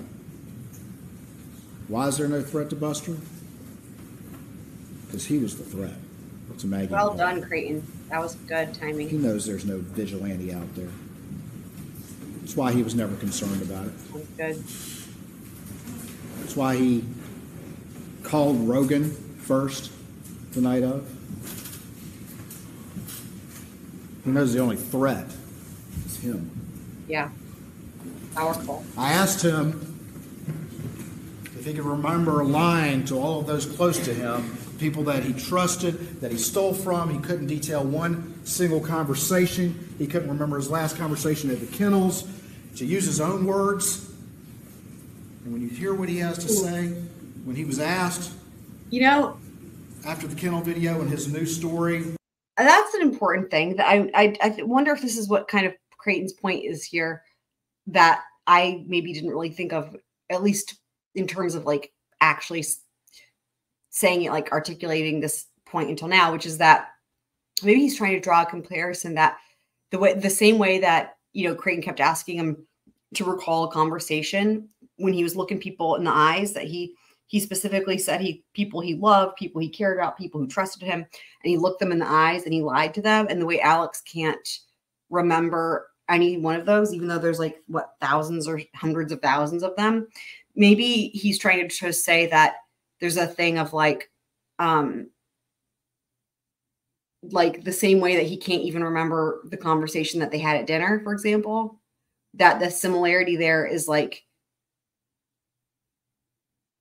he's unable to talk he's unable to if it's a situation where he's lying to somebody that he loves or that somebody who trusts him right that that's a similarity there that he handles that by saying i don't remember. I don't know. Am i making any sense with that? Because he's trying it definitely seems like he's trying to draw a comparison there between how he handled all those um you know clients with the financial crimes and how he handled um his family that night what he did, he said, I got out of there. He's got that photographic memory, but can't do, remember what he was doing when he was his most active yeah on that day. He didn't say, if only I had been there. If only I had gone to the kennels. If only I could have stopped it. If only I had been there a little longer. He says, I got out of there.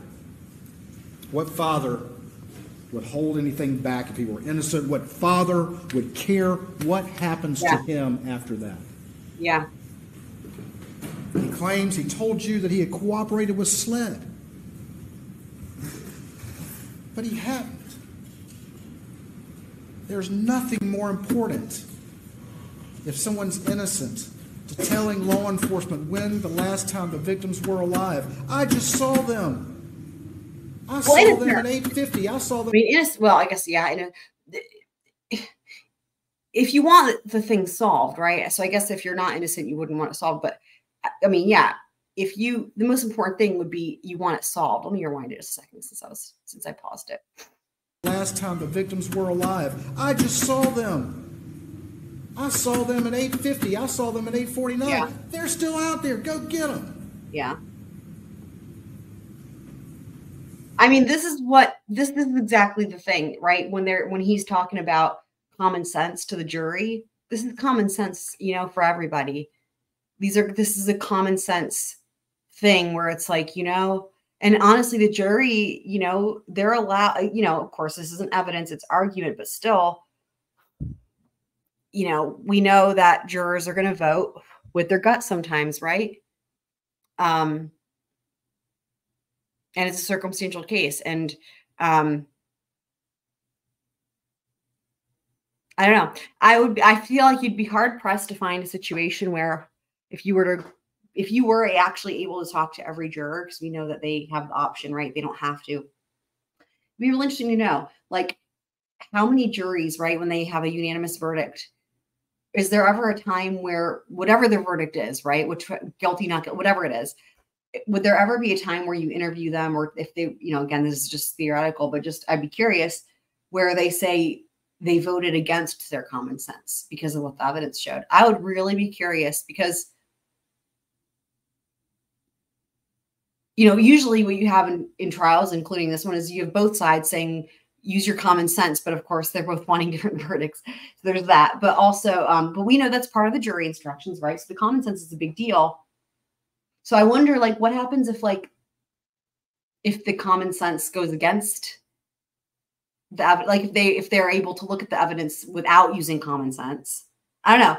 Um, I would just be curious if they're like, yeah, common sense was like, yeah, this didn't ma- this didn't make sense and this didn't feel right, blah blah. But like the evidence showed otherwise, so we went with this verdict, whatever. You know, again, just, I, I would just be curious if they ever if that ever happened, or if you, you would find that they never go against their common sense. So I don't know. Just a thought.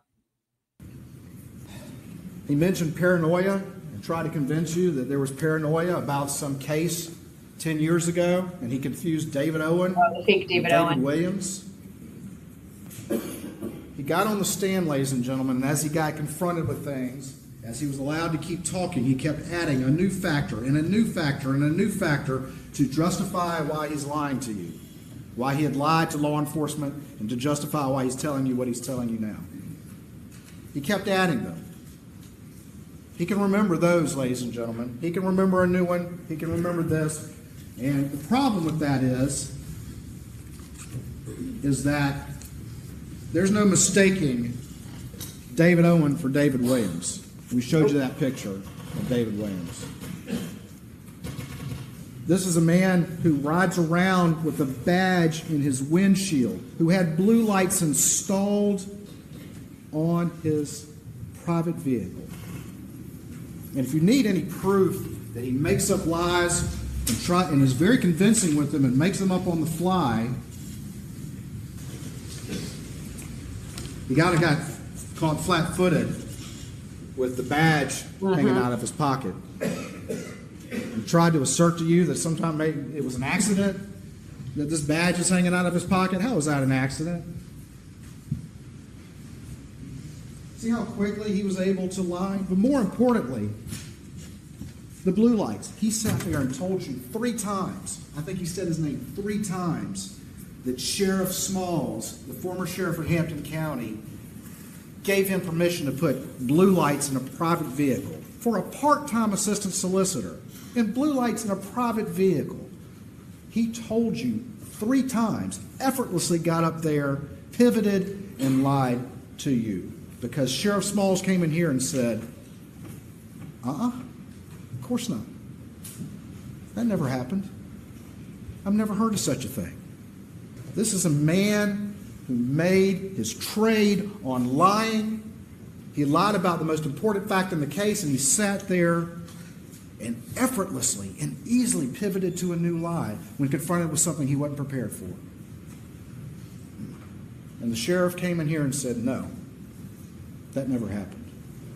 Of course not. But he looked y'all in the eyes and told you that. Mm-hmm. Looked you all in the eyes and told you that. As if, what's your problem, Mr. Waters? Sheriff Small said it was okay.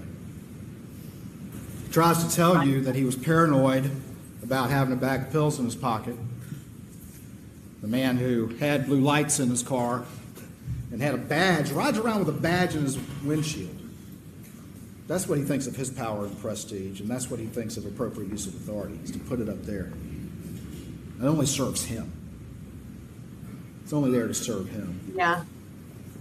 Good But point. he tried to also tell you that he gets paranoid, and so he's tried to lie about the most important fact that he could offer law enforcement when his wife and son were brutally murdered because he had a bag of pills in his pocket.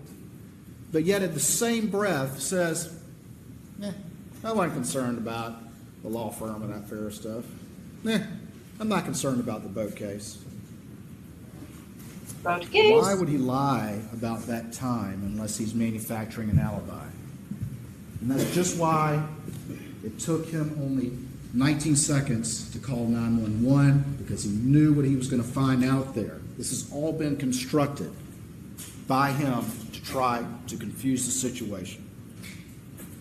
That lie that he told you, he tried to make it seem like he'd been trying to tell this, but he also admitted on the stand that, and as did his brother, that his own brothers heard it for the first time last week. That his own attorney was repeating the story that he was napping the whole time and never went to the kennels on HBO in November, just a couple months ago. A lot of people lie, ladies and gentlemen. A lot of people lie. When it's really important, something like this, this brutal murder, most people are going to come clean about a bag of pills.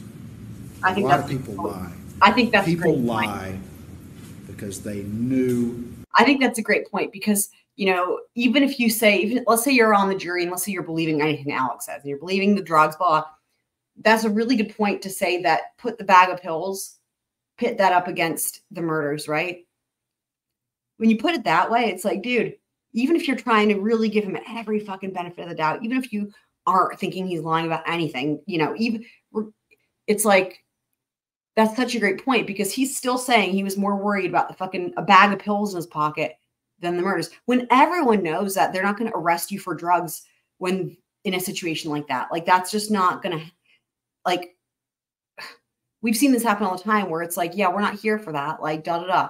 Like not to mention the fact that he had all this leeway and all this privilege and the badge and shit on purpose so he could get out of like anyway, it's just but even without all the privilege and stuff, I think that's such a powerful argument of like a bag of pills. Why are you going to be more worried about that than like compared to the murders, you know?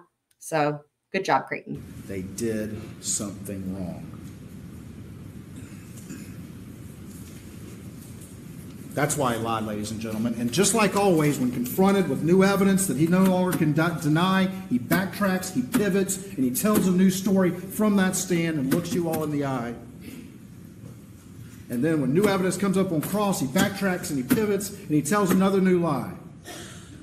And I'm sure if he could get up there again, he'd be telling, well, let me rephrase that. He's told, he said so many witnesses are lying on him. They're all lying on him. But the one thing we know is a constant is that he lied to them. Mark Tinsley's lying. Jeannie Seckinger's lying. Shelley Smith is lying. Blanca's lying. Everybody's lying on the master liar. Yeah. You heard him answer the questions about whether or not he killed his wife and son. You heard me ask him if he was a family annihilator. When he answers those questions, did you see him do this? Did you see him do that on those videos too and ask questions where well, now we know he was lying?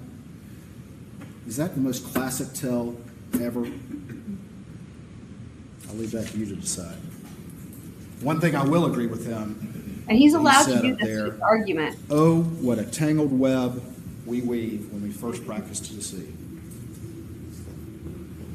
How appropriate coming from that man.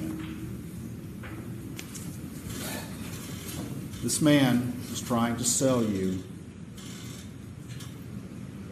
on an idea that he was at the kennels, that he jetted back, that he went inside so quickly and quickly dozed off from the shortest nap in the history of the South. I love that. That's my favorite. And then he got in his car seconds after these supposed vigilantes. These vigilantes that apparently are five two, that knew somehow that Paul and Matt. This is where he's saying, here's how much common sense you would have to ignore to go with this. Like, in you have you would have to like he's saying he's showing how nonsensical this is, as we all know, right? It's why it was so funny. But again, they're always told to use their common sense, and it's like this is not rational. This is not common sense. Maggie would be both at Moselle on the evening of June 7th between 8:44 and 9:02 that also knew that they would be alone at this time. They they knew that Alec would not be at these kennels. And they also knew the property well enough to get to the kennels. They also assumed that they would find ammunition and guns there, so they didn't bring those. And they traveled the same route as Alec after his short 20 second nap and knew that he would be visiting his mother at Almeda during that time. Those are the circumstances that you'd have to accept. Mm-hmm. The 5 2 vigilantes that arrived somehow in that tiny time period between 849 and 902, and that's given him every benefit of the, of the doubt as to the story he told you, sprinkled with a bunch of new lies as well. That somehow they arrived during that time. The dogs never heard them or ran to them. Somebody put the dogs up, put the dogs up in the wrong kennels. Somebody rolled up the hose.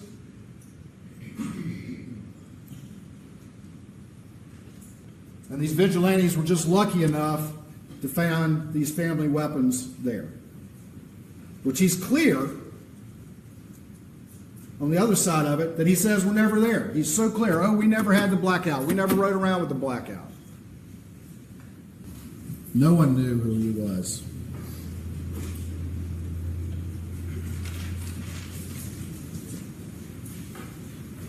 No one knew who this man was. He'd avoided accountability his whole life. He had relied on his family name. He had a powerful family. He carried a badge and used that authority. He lived a wealthy life. But now finally, he was facing complete ruin. His father, who he idolized, who I worked with on occasion, was dying.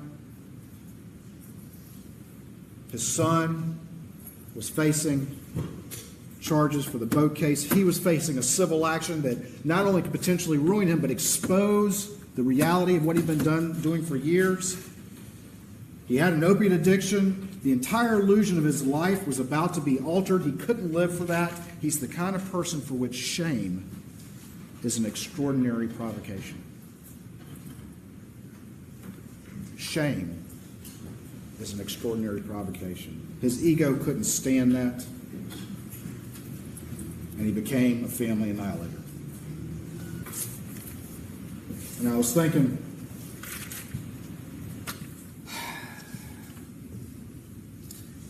that people who get the last word in this courtroom are y'all. And a lot of witnesses have testified over the last six weeks, but there's a couple that never get to testify but are important, and that's common sense and human nature. And there's two more that don't get to testify. We couldn't bring you any eyewitnesses because they were murdered. But common sense and human nature can speak on behalf of Maggie and Paul. When you look at this in its totality, common sense and human nature can speak for them. And they deserve a voice.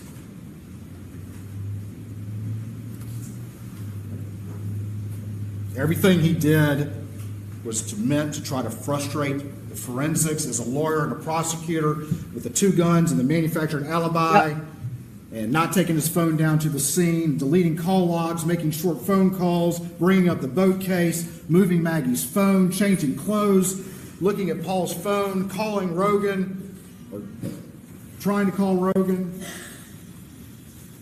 One man controlled this crime scene initially, and that was Alec. But there were some things he couldn't control. And we brought those to you. A couple things that the defendant said that I agree with. He said,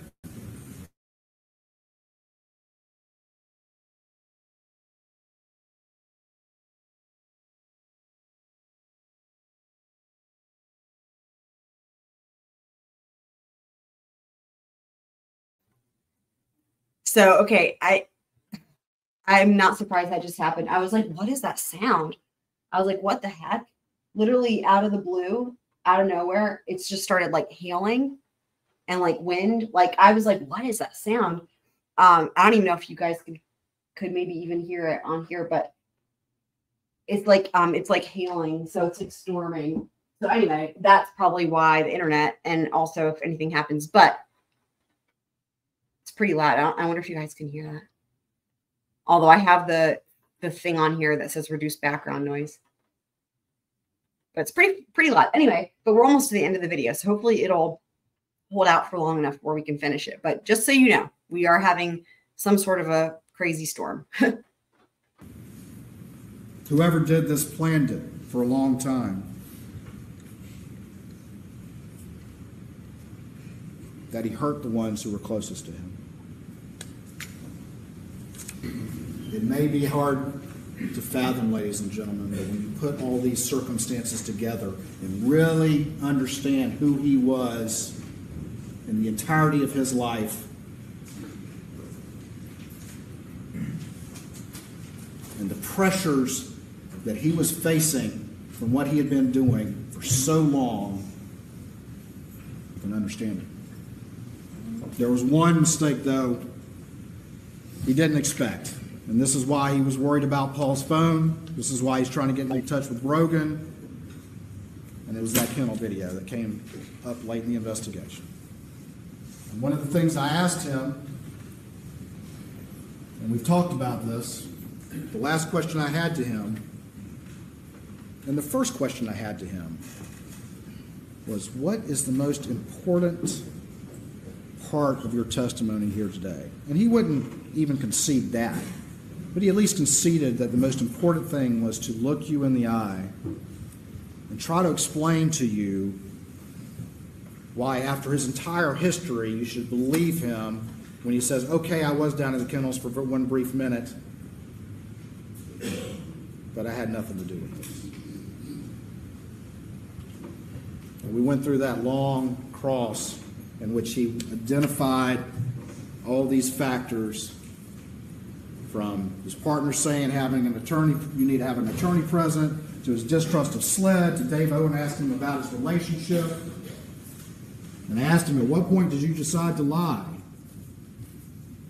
And he finally agreed, okay, it was in this interview. It was that moment in the June 8th interview. It was during that interview. But in his 911 call, ladies and gentlemen, at 1006, when he was asked when he last saw them, he said an hour and a half and then changed it to approximately two hours. Consistent with what he would later say. Before any of those factors that he sat there and ran through with y'all is the reason for his decision even ever existed. And if that's not enough, ladies and gentlemen, you saw, and I played it for him, Daniel Greene's body cam, where he was asked the same question. And he said that it was one and a half hours plus 45 minutes. And all those factors that he identified to you as to why he supposedly lied, he was lying to you, ladies and gentlemen, when he made those up. Yeah. He was lying Powerful. to you when Powerful. he made those up. Powerful. Just like he's lied to everyone close to him. Powerful. And he's good at it. He's good at it.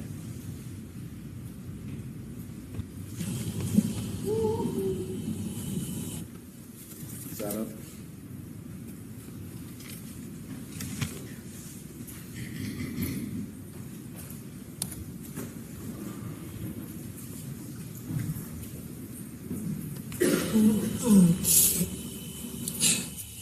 It was earlier tonight. Uh, I, don't, I don't know the exact time, but I left. I was probably gone an hour and a half from my mom's, and I saw them about 45 minutes before that. Okay. I rode around with Paul. Motive.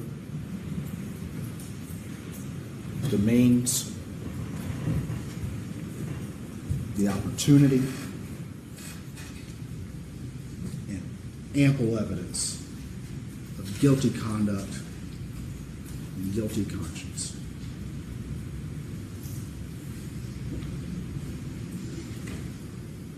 All four factors are present.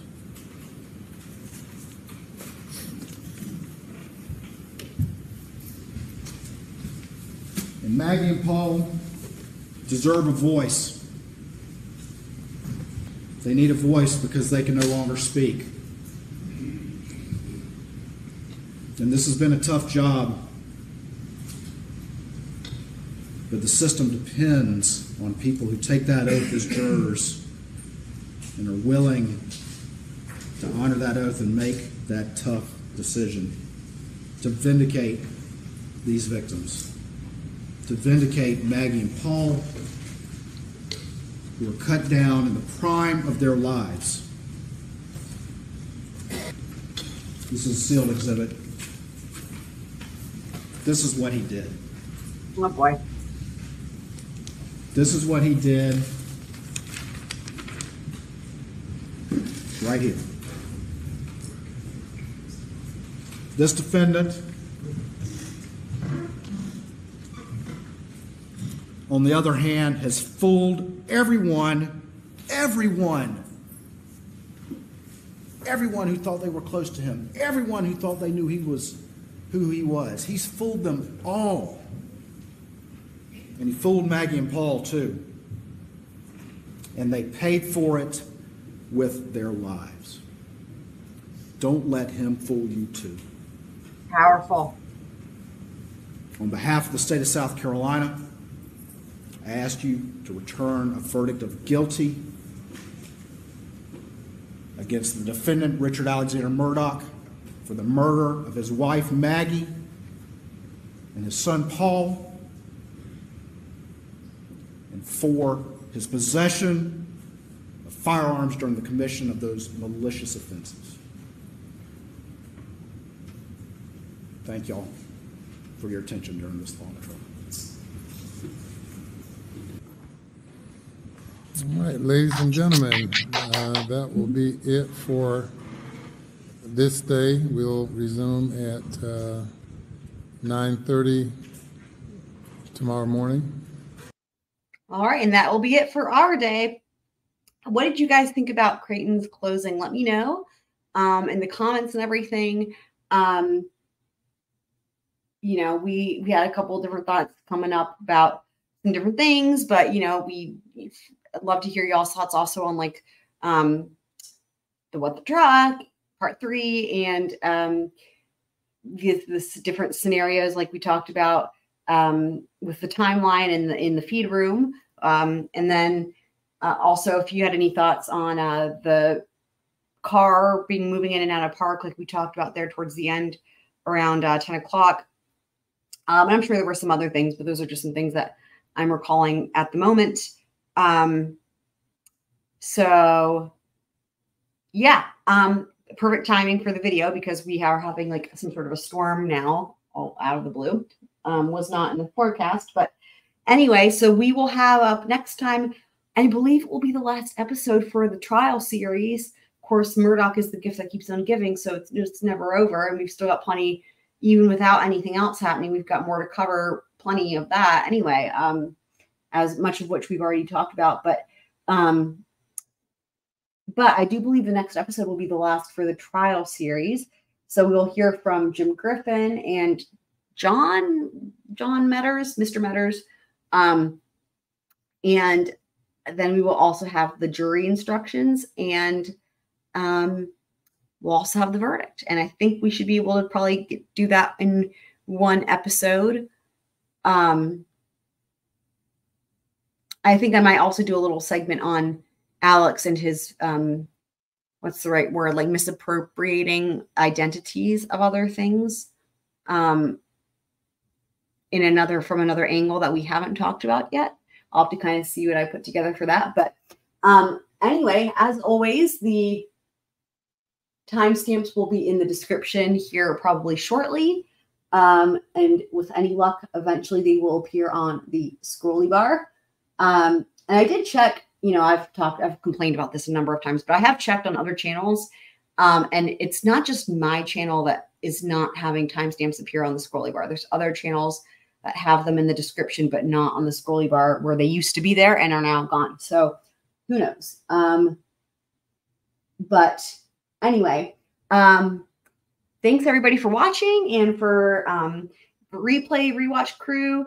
Um, it's been a long trial, but we are we are we are wrapping it up, and I think we've we've definitely made a lot of strides in terms of the insight that you guys have brought, um, and all the interest that you've brought, and you know, um, working through all this stuff with me and with each other, trying to understand it make sense of it, and um, it'll be it'll be uh, it'll be probably bittersweet getting to the end. Um, but like I said, you know, it, it won't be the end, but it'll be the end of, of the trial. Um, and, uh, and we have other stuff to cover as well. So anyway, I think that sums it up. And again, thank you guys so much for watching. And I will go ahead and let me pull down my ticker. Actually, first, there we go. And I'll go ahead and roll the outro.